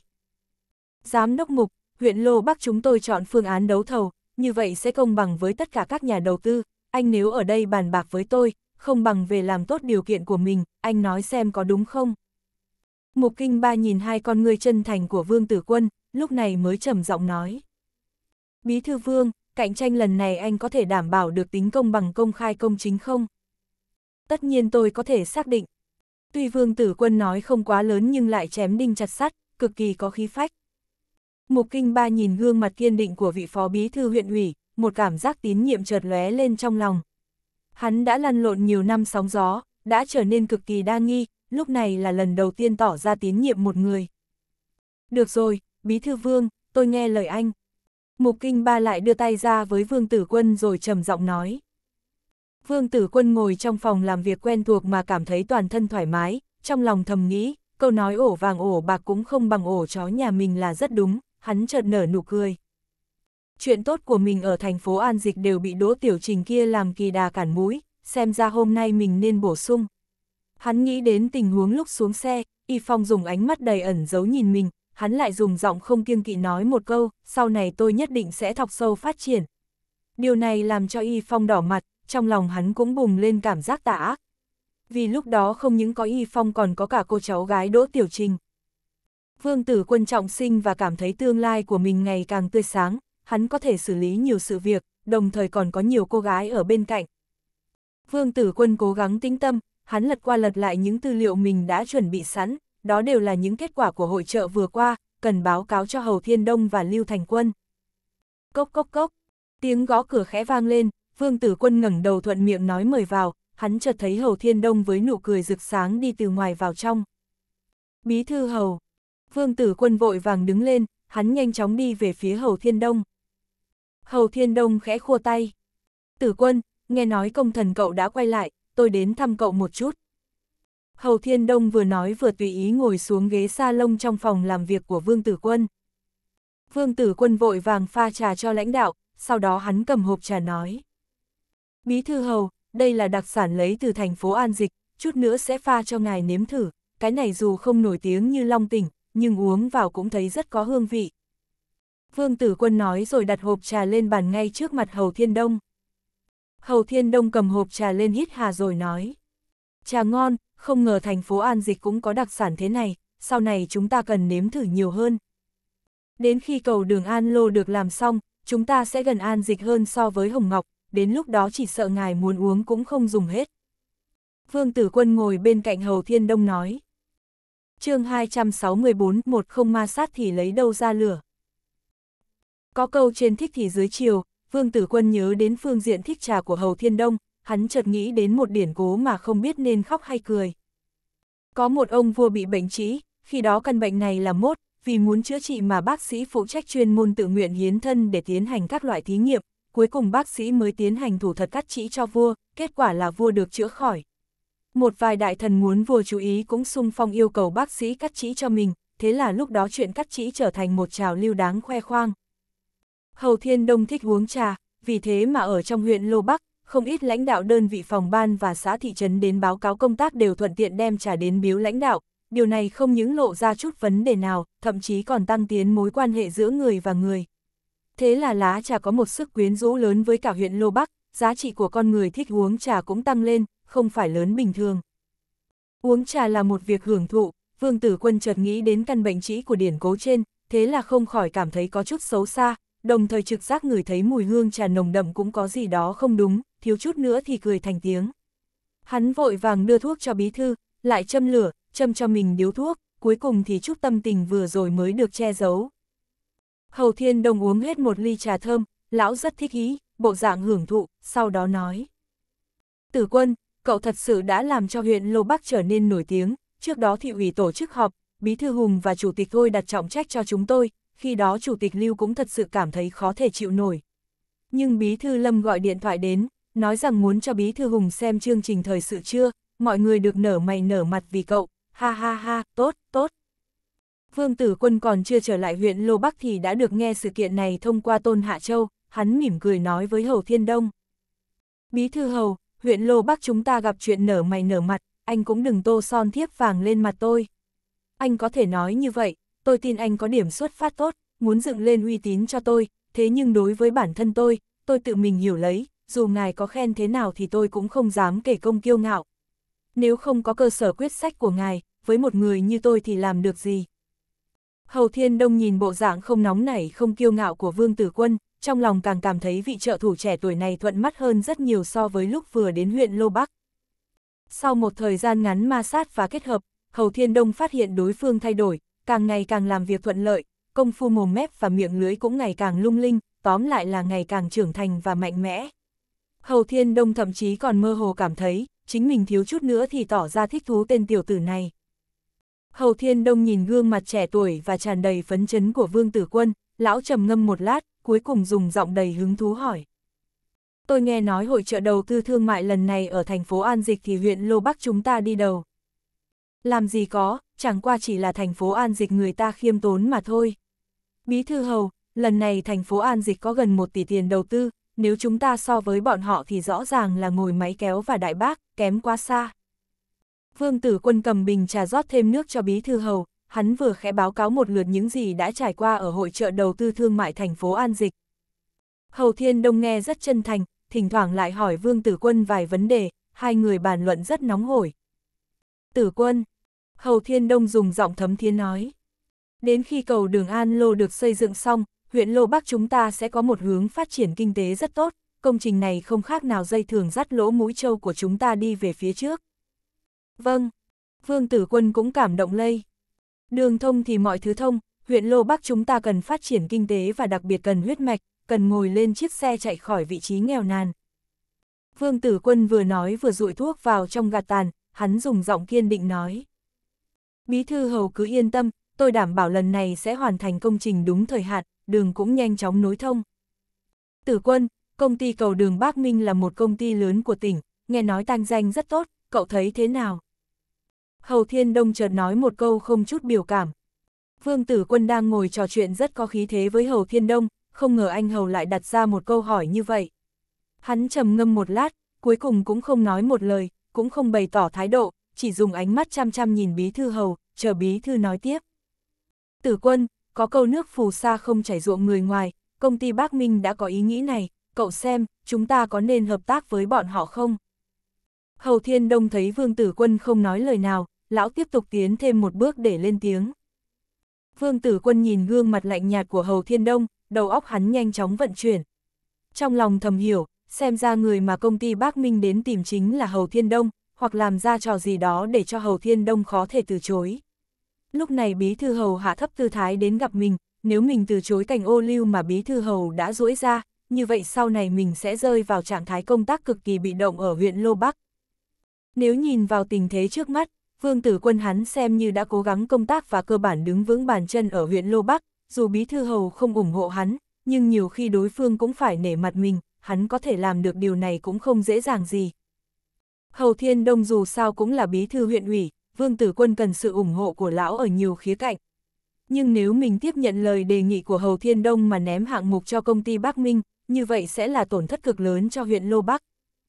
Vương Tử Quân trầm ngâm một chút, sau đó hắn nâng ly trà lên rồi dùng giọng từ chối cho ý kiến nói. Danh dự của công ty cầu đường Bắc Minh là rất tốt, thế lực cũng rất mạnh, bọn họ đến huyện Lô Bắc chúng ta đầu tư là điều tôi hoan nghênh, thế nhưng tôi cảm thấy cạnh tranh vẫn tốt hơn. Hầu Thiên Đông tuy ngồi đó với bộ dạng như nước chảy mây trôi, thế nhưng mắt hắn lại liên tục đảo qua mặt của Vương Tử Quân, lúc này nghe thấy Vương Tử Quân tỏ thái độ thì trong lòng có chút rét lạnh. À, Tử Quân, cậu nói không sai, có cạnh tranh mới có phát triển, tôi đúng là, xem ra cần phải giải phóng tư tưởng bảo vệ địa phương mới được. Trên mặt Hầu Thiên Đông có chút lo lắng, nhưng sau đó lão lại cười như hoa, lại thay đổi chủ đề. Lúc này vấn đề chuẩn bị cho hội nghị tư pháp thế nào rồi? Thị ủy đã đến kiểm tra ba lượt với công tác chủ bị của chúng ta, nghe nói ngày mốt bí thư tống còn đích thân đến kiểm tra. Mong bí thư hầu cứ yên tâm, năm nay chúng ta nắm chặt công tác bảo đảm trật tự trị an xã hội, tất cả các đồn công an các xã thị trấn đều nắm chắc công tác, đã tìm hiểu tất cả những vụ khiếu nại kêu oan, cố gắng làm cho việc nhỏ sẽ được xử lý dưới xã, chuyện lớn sẽ được xử lý ngay tại chỗ, triệt tiêu tất cả những nhân tốt mất ổn định. Theo lời của Cục trưởng Liên Giang Hà, những tháng trước các vụ liên quan đến mất ổn định trật tự xã hội đã giảm xuống mức rất thấp. Nụ cười trên mặt Vương Tử Quân vẫn giống hệt như trước, giống như những sự việc vừa rồi là chưa từng phát sinh chương 264 hai không ma sát thì lấy đâu ra lửa. Hầu Thiên Đông ngồi lại thêm nửa giờ trong phòng làm việc của Vương Tử Quân, hai người nói chuyện rất vui, nhưng dù là Hầu Thiên Đông hay là Vương Tử Quân cũng hiểu được, trong lòng hai người đã có một hố sâu ngăn cách. Hầu Thiên Đông rời khỏi phòng làm việc của Vương Tử Quân, lúc này Vương Tử Quân tiếp tục ngồi lên ghế, hắn nâng ly trà lên uống một ngụm, trà dù chưa nguội nhưng lại không còn hương vị như trước. Việc nên tới thì sẽ tới, có một số việc càng cần đối mặt, dù trường hợp như vậy cũng không phải ước nguyện ban đầu của mình. Vương Tử Quân chợt phát hiện làm người và làm quan là hai chuyện hoàn toàn khác nhau, làm người cần phải nói về vấn đề lương tâm, cầu an tâm, sống là vì tính mạng, nhưng làm quan thì lại không thể quá thành thật, không thể nói quá nhiều, không thể quá thẳng thắn, không quá cứng nhắc. Vì làm quan sẽ ngồi lên một vị trí, đùa với quyền lực, sống lại níu kéo thân phận. Chỉ cần nhìn vào điểm này thì thấy, hắn dùng giọng không rõ ràng để uyển chuyển từ chối lời đề nghị lôi kéo của Hầu Thiên Đông, có phải là có thừa nguyên tắc nhưng lại thiếu tính trưởng thành hay không? Trong khu văn phòng của khối chính quyền huyện Lô Bắc, nhân viên đang bận rộn làm việc, thỉnh thoảng còn nói vài lời đàm tiếu, những âm thanh cũng liên tục vang lên. Tôn Hạ Châu dù là thư ký của Vương Tử Quân, thế nhưng phòng làm việc của hắn vẫn là một phòng lớn trong khối văn phòng khối chính quyền huyện, khi chức vụ của Vương Tử Quân càng thêm quan trọng, uy tín của Tôn Hạ Châu càng thêm tăng, nước lên thuyền lên. Anh Tôn, anh về khi nào vậy? Ôi, những ngày nay không gặp, thật sự khó chịu. Khi Tôn Hạ Châu đang thu dọn đồ đạc thì một nhân viên công tác còn trẻ mỉm cười dùng giọng trêu ghẹo nói. Tôn Hạ Châu ngẩng đầu lên, hắn cũng đứng thẳng người lên. Thần Vũ, cậu cũng đừng làm trò, mau ngồi xuống. Tôn Hạ Châu vừa nói vừa đẩy người vừa đến ngồi xuống ghế. Thần Vũ này đã chuẩn bị những lời nói khi đối diện với Tôn Hạ Châu, bây giờ thấy Tôn Hạ Châu như vậy thì hắn càng tỏ ra biết thời biết thế. Hắn ngồi xuống, cố gắng dùng ánh mắt thần bí nhìn khắp chung quanh, sau đó cười hì hì với Tôn Hạ Châu. Anh Tôn, những ngày nay tôi thật sự trông mong như sao trông trăng, vất vả lắm mới chờ được anh quay lại, cố gắng đánh dấu cảm tình, hôm nay anh phải mời khách mới được. Tôn Hạ Châu thật sự không nhịn được có chút kích động, nam thần vũ này không cao, không mập không gầy, cặp mắt nhỏ xoay chuyển không ngừng, nhìn qua là biết đó là một kẻ thông minh. Hơn nữa người này cực kỳ linh thông với những sự việc có liên quan đến trưởng phòng tổ chức Tôn Quốc Lương. Huyện thành của Lô Bắc quá nhỏ, những mạng lưới quan hệ lại đan xen lẫn nhau, nam thần vũ sen kẽ trong mạng lưới quan hệ này, hắn phát triển việc gì cũng thuận lợi, thành thạo, cũng coi như là bản lĩnh không nhỏ. Dù là ai ẩn hay hiện, ai cầm hay không, đến tay nam thần vũ, dù là tuổi nhỏ nhưng làm việc lại cực kỳ cẩn thận, hết sức linh hoạt, đưa đến đâu cũng hòa lẫn vào trong mà không chút động tính. Trong huyện Lô Bắc, người này quen biết nhiều, bạn bè nhiều, nhân duyên tốt, thấu hiểu cao thấp, làm cho nhiều vị cán bộ lớn tuổi cảm thấy thẹn vì không thể bằng. Dưới tình huống bình thường thì Nam Thần Vũ là kẻ khá kín đáo, nhưng mỗi khi hắn muốn ai đó mời khách, rõ ràng sẽ có một miếng thịt lớn sắp rơi xuống. Tuy có nhiều chuyện hắn đã sớm biết, cũng nói ra mà không che đậy miệng, thế nhưng những người được hắn nói ra, có ai không phải là những nhân vật cần làm tốt quan hệ. Cậu hôm nay muốn hút máu tôi sao? Tốt, nói đi, cậu muốn ăn gì? Tôn Hạ Châu áp chế cảm giác hưng phấn trong lòng, hắn cố gắng tỏ ra bình tĩnh. Lúc này dù hắn nói chuyện với Nam Thần Vũ, thế nhưng trong đầu lại có một hình ảnh lớn, chính là người ủng hộ hắn phát triển, là Bí Thư Vương. Hạ Châu, cậu cần phải chuẩn bị tư tưởng, cậu sắp có điều động. Tôn Hạ Châu nghĩ đến lời nói của Bí Thư Vương, hắn biết ngay Nam Thần Vũ đến tìm mình vì vấn đề này. Nam Thần Vũ cười hì hì, hắn tiến lên một bước nói. Anh Tôn, lời này là do anh nói đấy nhé. Anh đi theo nhóm kêu gọi đầu tư một chuyến mà xem ra tư tưởng cũng được giải phóng, anh phải mời khách. Mọi người nghe thấy không, hôm nay nhất định phải hút máu anh Tôn. Chúng tôi đều đã nghe, thần Vũ mau chọn địa điểm, trưởng khoa Tôn cũng không phải là người thích quyệt nợ. Lúc này đám nhân viên trong văn phòng khối chính quyền huyện thật sự ghen ghét Tôn Hạ Châu phát chết, nhưng vẻ mặt bọn họ không dám có bất kỳ biểu hiện nào. Hơn nữa cấp bậc của Tôn Hạ Châu vẫn chỉ là một khoa viên, nhưng hắn đi theo Vương Tử Quân, thế cho nên dù là lãnh đạo ban ngành đơn vị hay tuyến xã thị trấn hoặc nhân viên công tác bình thường gặp mặt đều phải xưng hô một tiếng trưởng khoa Tôn. Nam thần Vũ thấy có nhiều người ủng hộ mình thì cười hì hì nói. Ôi, dứt khoát là quán giáp ngư thôn, trưởng khoa tôn sẽ không đơn giản mời khách, thế cho nên lần này phải biết nắm bắt cơ hội, tận dụng thời cơ, không thì mất hết. Các đồng chí, hôm nay nhất định phải vung đao lên với trưởng khoa tôn. Nam thần vũ lên tiếng như vậy làm cho bầu không khí hưng phấn cũng yên tĩnh trở lại, hầu như tất cả mọi người đều biết rõ, lần này tôn hạ châu sắp được đề bạt, nhưng tối đa cũng chỉ là một trưởng khoa mà thôi, sau đó mới tiếp tục tiến lên. Nhưng lúc này thấy nam thần vũ lên tiếng quá lớn, bắt tôn hạ châu mời khách, thế là sự việc trở nên không tầm thường. Có chức vụ gì cao hơn cả trưởng khoa? Chẳng lẽ là phó chủ nhiệm văn phòng khối chính quyền? Phó chủ nhiệm văn phòng khối chính quyền tuy cấp bậc cũng không quá cao nhưng nói về quyền hạn thực tế lại mạnh hơn một chức vụ trưởng khoa rất nhiều. Hơn nữa phó chủ nhiệm văn phòng khối chính quyền huyện đều kiêm cả ban hồ sơ, ban cơ yếu, cơ quan sự vụ, nổi tiếng là cấp chính khoa. Nếu như Tôn Hạ Châu là phó chủ nhiệm văn phòng khối chính quyền, như vậy thật sự là một bước lên trời, đến khi đủ niên hạn cấp phó khoa, sẽ tiến lên cấp chính khoa, hầu như đó là một việc cực kỳ thuận lợi. Thần Vũ, chẳng lẽ lần này chúng ta sẽ phát triển theo lãnh đạo của chủ nhiệm tôn sao? Một tên cán bộ hơn 20 tuổi dùng giọng thẳng thắn hỏi một câu, đây là một cán bộ từ ban nhân sự điều sang học hỏi kinh nghiệm, ban nhân sự cũng không thuộc văn phòng khối chính quyền huyện, thế nên nói lời cũng không quá kiêng kỵ. Tên cán bộ thanh niên này không hỏi thì không sao, lên tiếng làm cho đám người đang suy đoán phải run lên. Nhưng chính Tôn Hạ Châu cũng sướng sờ, tuy hắn biết mình sẽ được đề bạt, thế nhưng hắn cũng chưa từng nghĩ về chức vụ phó chủ nhiệm văn phòng khối chính quyền huyện. Lãnh đạo cậu, cậu sợ rằng không có phúc khí như vậy đâu, sau này muốn tìm chủ nhiệm tôn thì phải đến chỗ khác, cũng không gặp được chủ nhiệm tôn ở văn phòng khối chính quyền này đâu. Nam thần vũ cười ha hả, hắn đứng lên nói. Anh tôn, bên kia còn có việc, tôi đi trước khi nào anh nhận chức thì tôi sẽ đến chúc mừng. Là phó chủ nhiệm văn phòng huyện ủy sao? Chắc chắn là như vậy rồi. Lúc này đám người đều cảm thấy run rẩy không thôi, phó chủ nhiệm văn phòng huyện ủy và phó chủ nhiệm văn phòng khối chính quyền tuy nghe qua thì khác biệt không lớn, nhưng thực tế lại là không nhỏ. Chưa nói đến những vấn đề gì khác, nếu đến đợt xuống tuyến dưới rèn luyện, như vậy phó chủ nhiệm văn phòng khối chính quyền xuống tuyến dưới đều chỉ là lãnh đạo thứ hai trong đơn vị ban ngành hay xã thị trấn mà thôi, nhưng nếu là phó chủ nhiệm văn phòng huyện ủy, như vậy không xuống thì thôi, đã xuống sẽ là lãnh đạo đứng đầu. Đó không phải là tranh lệch bình thường, là cực kỳ tranh lệch. Lúc này Tôn Hạ Châu đang ở giữa kích động và vui sướng, hắn không thể nào biểu hiện sự bình tĩnh của mình, hắn thật sự không tin vào tai mình.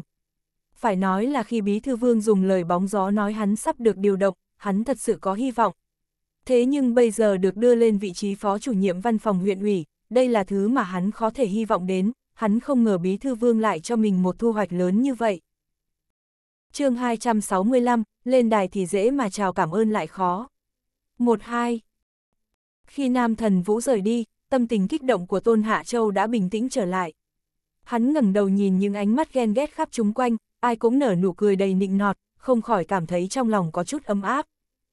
Tôn Hạ Châu căn bản không nghĩ đến vị trí phó chủ nhiệm văn phòng huyện ủy, dù chức vụ này cũng là phó khoa, nhưng nếu so với các vị cùng cấp ở khối chính quyền, như vậy không biết nặng hơn bao nhiêu lần. Dĩ vãng Tôn Hạ Châu chưa từng nghĩ đến chức vị cao vời kia, bây giờ chức vụ đó lại thành sự thật, tất cả đều xảy ra vì có Vương Tử Quân. Tin tức truyền đi rất nhanh, hầu như chỉ một giờ thì toàn bộ văn phòng khối chính quyền, văn phòng huyện ủy và các đơn vị ban ngành quan trọng đều đã được nghe tin. Điện thoại của Tôn Hạ Châu vang lên liên tiếp, tất cả đều không gì khác hơn việc chúc mừng. Tôn Hạ Châu có chút mơ màng, hắn chuẩn bị tốt tất cả những gì cần báo cáo hôm nay, sau đó đi đến phòng làm việc của Vương Tử Quân. Hắn gõ cửa hai cái, đợi Vương Tử Quân lên tiếng rồi đi vào. Bí thư Vương Tôn Hạ Châu cung kính chào Bí thư Vương Tử Quân, lúc này mới phát hiện trong phòng còn có một người, chính là chủ nhiệm văn phòng huyện ủy Tiếu Tử Đông. Chào chủ nhiệm Tiếu. Tôn Hạ Châu vội vàng chào hỏi Tiếu Tử Đông, cũng nhanh chóng cầm bình trà châm nước cho Vương Tử Quân và Tiếu Tử Đông. Tiếu Tử Đông mỉm cười nhìn Tôn Hạ Châu nói. Bí thư Vương, Hạ Châu trước kia rót nước cho tôi, khi đó tôi không nói gì, nhưng bây giờ tôi lại cảm thấy có gì đó không giống, ngày mai thì người này đã là chủ nhiệm Tôn rồi. Vương Tử Quân cười cười, hắn chỉ vào Tôn Hạ Châu rồi nói. Vị trí thay đổi thì bản sắc cũng thay đổi, sau này cậu ấy là thuộc hạ trực tiếp của anh, cũng là lính của anh, rót trà rót nước là quá đơn giản. Mỗi ngày anh cứ đặt ly trà xuống, tôi không tin cậu ấy không rót nước cho anh. Tiếu tử đông cười ha hả, hắn nâng ly lên uống một ngụm. Bí thư vương, chiều này tôi có thể sử dụng, anh cũng không thể sử dụng, khi nào anh muốn uống trà thì cứ nói với tôi, cũng không thể không đưa ly trà đến đặt ở phòng của tôi.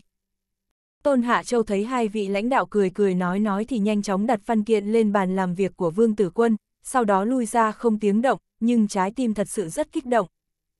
Sau khi Tôn Hạ Châu đi ra ngoài, trong phòng làm việc chỉ còn lại Tiếu Tử Đông và Vương Tử Quân, Tiếu Tử Đông cười hì hì nói.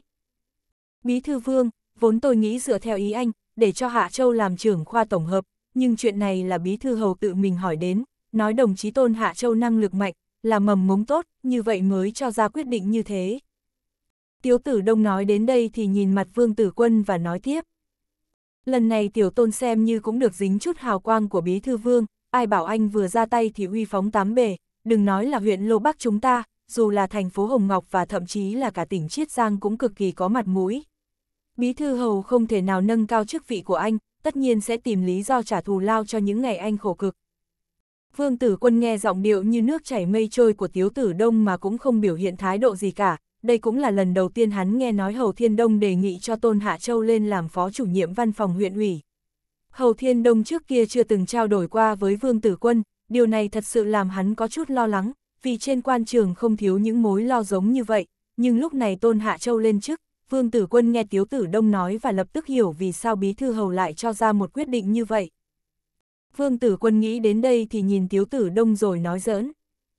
Chủ nhiệm Tiếu, hèn gì mà anh là một chủ nhiệm văn phòng huyện ủy cực kỳ phát triển, xem ra làm rất tốt công tác thượng truyền hạ đạt, mắt tinh tai thính. Tiếu Tử Đông thở ra một luồng khói rồi thuận miệng nói. Bí thư Vương, anh là mặt trời mọc lên phương Đông, càng ngày càng mãnh liệt. Vương Tử Quân cười cười từ chối cho ý kiến, Hầu Thiên Đông là kẻ thông minh hơn người, tâm kế quá nhiều, quyền mưu quá sâu, đối phương rõ ràng đang dùng biện pháp khác để ném chỗ tốt cho mình. Trong quá trình đấu thầu cung đường An Lô, Vương Tử Quân là một cái đinh không mềm không cứng với anh Hầu, thế là Bí Thư Hầu không tiếp tục đề cập đến vấn đề này, lại đưa Tôn Hạ Châu lên làm phó chủ nhiệm văn phòng huyện ủy. Cử động lần này thật sự có biểu hiện là anh Hầu rất sảng khoái, thực chất đối phương đang chơi trò trả giá với mình. Sắp xếp một vị phó chủ nhiệm văn phòng huyện ủy, trò này thật sự rất tốt với Vương Tử Quân, hắn sẽ tăng cường lực lượng khống chế với văn phòng huyện ủy. Sau lưng sự việc này, chỉ sợ Hầu Thiên Đông sẽ cho hắn thêm chút niềm vui khác, Bí Thư Hầu làm như vậy rõ ràng có ý nghĩ lợi dụng lẫn nhau. Trước tiên là Bí Thư Hầu muốn trấn an Vương Tử Quân, miễn cho sự việc phức tạp, trong quan trường gọi là thuật thỏa hiệp, hai bên nhường nhau một bước, gió êm sóng lặng, nếu tranh chấp làm cho nổi sóng, như vậy sẽ là chết đi sống lại. Bí thư vương, vấn đề bổ nhiệm Hạ Châu sẽ được thông qua ở hội nghị thường ủy tối nay, ngày mai sẽ xem như có văn kiện bổ nhiệm. Đúng rồi, tôi thấy Tiểu Trung đưa đến một đề tài thảo luận, hầu như đều là chuyện của anh, bây giờ cả huyện Lô Bắc đều xoay quanh anh. Tiếu tử đông biết rõ lời này là cấm kỵ, thế nhưng hắn vẫn nói ra. Vương tử quân cười cười, hắn nâng ly trà lên khẽ uống một ngụm rồi nói. Tử đông, trước lúc trời tối chúng ta cùng dùng cơm, nghe nói trong huyện có một quán cá rất ngon, chúng ta đến đó nếm thử.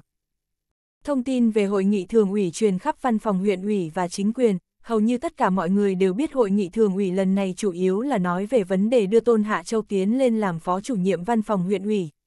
Khi mọi người nhắc về Tôn Hạ Châu, cũng không ai quên đưa mắt nhìn về góc phía tây của văn phòng khối chính quyền huyện, giống như xuyên thấu qua tường, xuyên thấu qua không gian để thấy được nhân vật quyền lực quật khởi ở huyện Lô Bắc vào lúc này. Tôn Hạ Châu thật sự là đi theo đúng người, nếu năm xưa tôi đi theo bí thư vương, biết đâu lúc này vị trí phó chủ nhiệm văn phòng huyện ủy là của tôi rồi. Có vài nhân viên công tác của khối chính quyền dùng giọng tràn đầy hối tiếc nói. Phòng họp huyện ủy sáng trưng, ngoài trưởng phòng vũ trang tân quân tắc thì vẻ mặt người nào cũng có biểu hiện rất thần thánh, bọn họ lục tục đi vào phòng họp, ngay sau đó đã đến đông đủ. Mỗi người đều cười vừa đúng, giống như đêm qua không hẹn mà cùng có một giấc mộng, mà giấc mộng này chính là đáp án. Bọn họ đến hội nghị thường ủy này giống như không phải là công bố đáp án, mà đến vì ăn mừng. Hàn Minh Khải vừa nhận được văn kiện bổ nhiệm làm trưởng phòng tuyên truyền, lúc này hắn cực kỳ phấn chấn giống như ăn được thuốc kích thích, càng tỏ ra cực kỳ sinh động. Trước khi Hầu Thiên Đông tuyên bố họp thì hắn liên tục nói đùa với các vị thường ủy khác, tinh thần sảng khoái làm cho người ta cảm thấy hai mắt tỏa sáng. Nhưng đối tượng nói đùa của hắn ngoài Hầu Thiên Đông và Lưu Thành Quân thì chính là Vương Tử Quân, còn vị phó bí thư thứ ba là Trần Lộ Giao thì thậm chí còn không nhận được nhiều nụ cười bằng phó chủ tịch thường vụ Đỗ Tự Cường. Trần Lộ Giao nhìn vẻ mặt đắc ý vừa lòng của Hàn Minh Khải, trong lòng không khỏi có chút hèn mọn, thầm nghĩ, lúc này nếu đi xét nghiệm nước tiểu của tên kia, chắc chắn sẽ là dương tính. Tốt lắm, tất cả mọi người trật tự lại, có gì vui chút nữa họp xong sẽ nói sau. Hầu Thiên Đông khẽ đặt ly nước xuống rồi nói tiếp. Cũng không phải là vài năm mới gặp một lần, đáng giá để chúng ta tỏ ra một ngày không gặp như cách ba thu như vậy sao? Hầu Thiên Đông lên tiếng như vậy lập tức làm cho mọi người cười vang, sau tiếng cười thì tất cả mọi người bình tĩnh trở lại. Hầu Thiên Đông là một bí thư huyện ủy, lão rõ ràng là một người cực kỳ hợp cách trong công tác khống chế bầu không khí hội nghị, đồng thời lại càng thuận buồm xuôi gió hơn. Bây giờ chúng ta họp. Hầu Thiên Đông nói bằng giọng cực kỳ cương khí, âm thanh trầm bổng du dương, rất có sức cuốn hút, nhìn vẻ mặt cực kỳ hớn hở, từ trên gương mặt của lão không nhìn ra bất kỳ biểu cảm nào khúc mắc với Vương Tử Quân. Hội nghị thường ủy lần này chính là hoan nghênh bí thư vương trở về, công tác kêu gọi đầu xây dựng con đường An Lô của huyện Lô Bắc chúng ta không những dương danh trong tỉnh, thậm chí là phó thủ tướng cũng tán thưởng không thôi. Tôi dám nói trong lịch sử huyện Lô Bắc chưa từng có ai làm được điều này. Bí thư vương đưa đến hào quang cho huyện Lô Bắc chúng ta, bây giờ lại càng tô thắm màu sắc rực rỡ, vinh dự này là bao nhiêu năm rồi chưa từng có được. Vương Tử Quân thật sự không khỏi sinh ra chút cảm khái với những lời quá khéo đưa đẩy của Hầu Thiên Đông, chính mình dù là người trọng sinh, nhưng có rất nhiều phương diện cần học tập bí thư Hầu. Người ta nói chính trị là một sân khấu lớn, so sánh như thế này thật sự là rất hình tượng, sân khấu chỉ dùng để diễn trò, chỉ có diễn viên mới được tiến lên đùa giỡn, mới có thể làm loạn, Hầu Thiên Đông rõ ràng là một diễn viên hạng nhất, cũng là người có hành động hạng nhất. Bí thư Hầu, anh cũng đừng nên nói như vậy, đây không phải là công lao của riêng tôi, nếu không có anh nắm đại cục ở huyện Lô Bắc, không có sự giúp đỡ của các vị, nếu mọi người không hát đều, tất cả không chung tay góp sức, không hỗ trợ lẫn nhau, chúng ta sẽ không có vinh dự hôm nay. Bây giờ anh lại đặt hết tất cả vinh dự lên người tôi, có phải là năm nay kinh phí của văn phòng huyện ủy không đủ, thế cho nên anh mới nghĩ biện pháp rút máu tôi, để cho văn phòng ủy ban tư pháp mời khách vào tối nay. Vương Tử Quân lên tiếng, giọng điều đầy vui vẻ và trêu chọc, tất nhiên sẽ làm cho mọi người cười vang. Hầu Thiên Đông dùng tay chỉ vào Vương Tử Quân, lão cười đến mức không thở nổi. Hay cho bí thư Vương, đây không phải là ép tôi sao? Chủ nhiệm Tử Đông, tối nay anh sắp xếp một chút, đến khi kết thúc hội nghị, tôi sẽ mời mọi người một bữa cơm, để xem văn phòng huyện ủy có thể tiếp đái được các vị lãnh đạo trong huyện hay không. Tiếu tử đông vội vàng gật đầu nói. Vâng, bí thư hầu, tôi sẽ đi sắp xếp. Tiếu tử đông vừa nói vừa đặt bút xuống nói. Bí thư hầu, chúng ta cũng nên chuẩn bị rượu ít một chút, kẻo bí thư vương lại quá chén. Tiếu tử đông nói làm cho mọi người cười lớn, trong đó còn có cả tiếng cười của Trần Lộ Giao. Nhưng lúc này trong lòng Trần Lộ Giao không có chút vui vẻ, hắn nhìn bộ dạng tiêu sái tự nhiên của Vương Tử Quân ở hội nghị thương ủy, trong lòng thật sự cảm thấy bị đè nén. Người này không những có lực ảnh hưởng vượt qua cả mình, hơn nữa còn ra tay lấy được nhiều chiến tích, càng ngày càng cho thấy đây là đối thủ mạnh nhất của mình xưa nay. Trần Lộ Giao nhìn gương mặt tươi cười của Vương Tử Quân, ánh mắt của hắn rơi lên mặt của Vương Tử Quân, hắn nghĩ đến cuộc điện thoại của Bí Thư Hầu trước lúc diễn ra hội nghị thường ủy, trên mặt chợt xuất hiện nụ cười lạnh. Nếu tất cả mọi người đang chờ uống rượu, vậy chúng ta nhanh chóng xử lý cái đã. Hầu Thiên Đông chợt dừng cười, sau đó lão mở quyển sổ trước mặt ra, lại cười nói với Tôn Quốc Lương. Trưởng phòng Quốc Lương, anh nói trước đi. Tôn Quốc Lương ngồi bên cạnh Hàn Minh Khải, hắn khẽ ho một tiếng, sau đó trịnh trọng nói.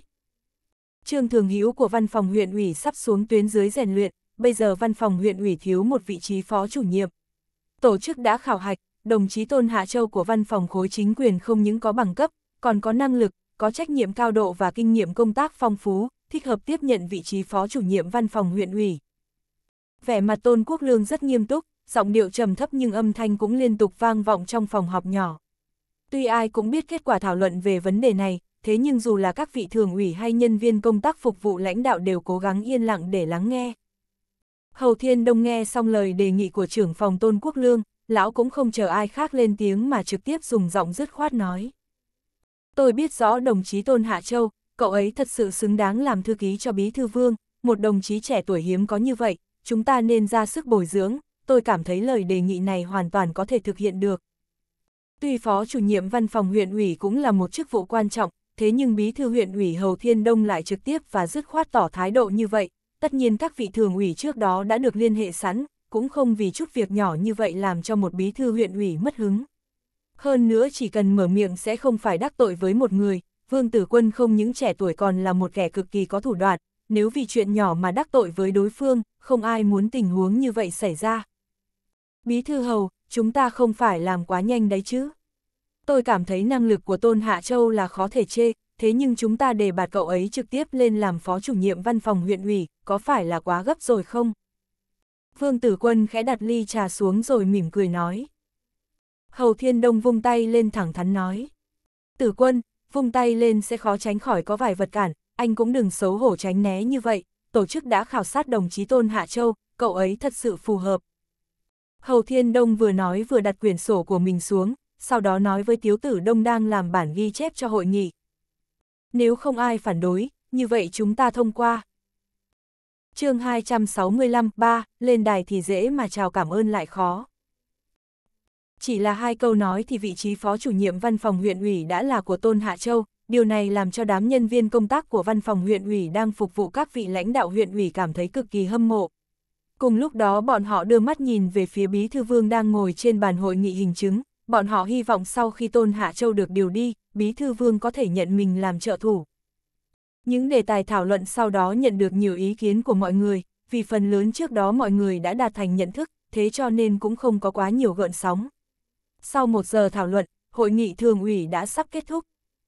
Khi đám nhân viên văn phòng đang chuẩn bị thu dọn cho các lãnh đạo rời khỏi phòng họp, Hầu Thiên Đông ngồi ở vị trí chính giữa chợt khẽ xoay người, trong tay chợt có một phần tài liệu, lão nói.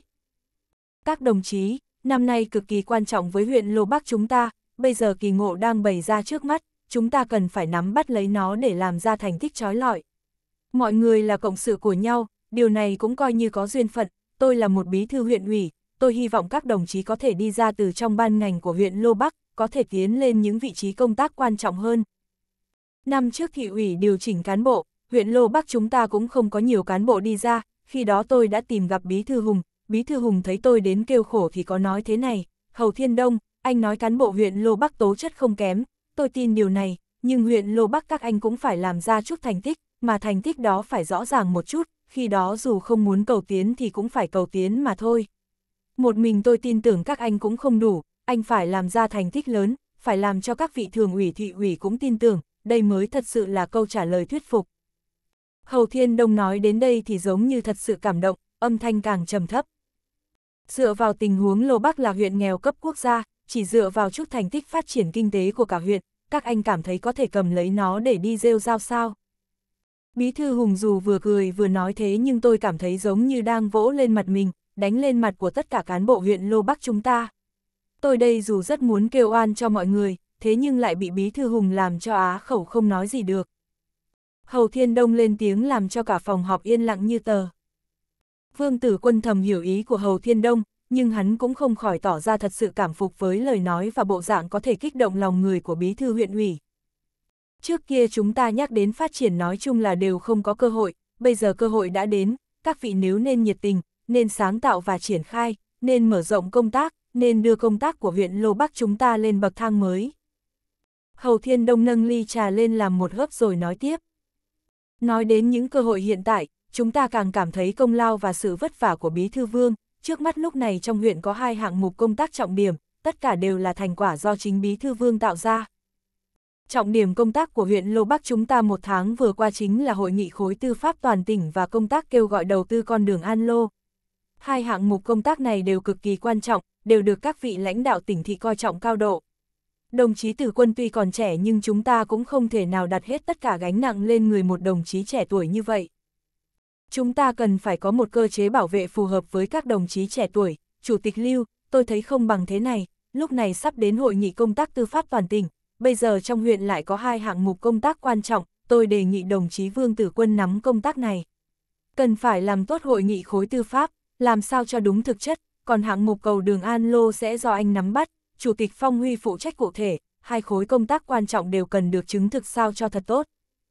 Hầu Thiên Đông nói những lời này thật sự giống như bom tấn ném vào trong hội nghị thường ủy vốn đang yên tĩnh, tất cả ánh mắt mọi người đều chuyển từ gương mặt Hầu Thiên Đông sang mặt Vương Tử Quân. Dù là hội nghị khối tư pháp hay hạng mục cầu đường An Lô, tất cả đều là những khối công tác cực kỳ có hào quang, nhưng bây giờ Hầu Thiên Đông lại muốn lấy hạng mục cầu đường An Lô ra khỏi tay Vương Tử Quân.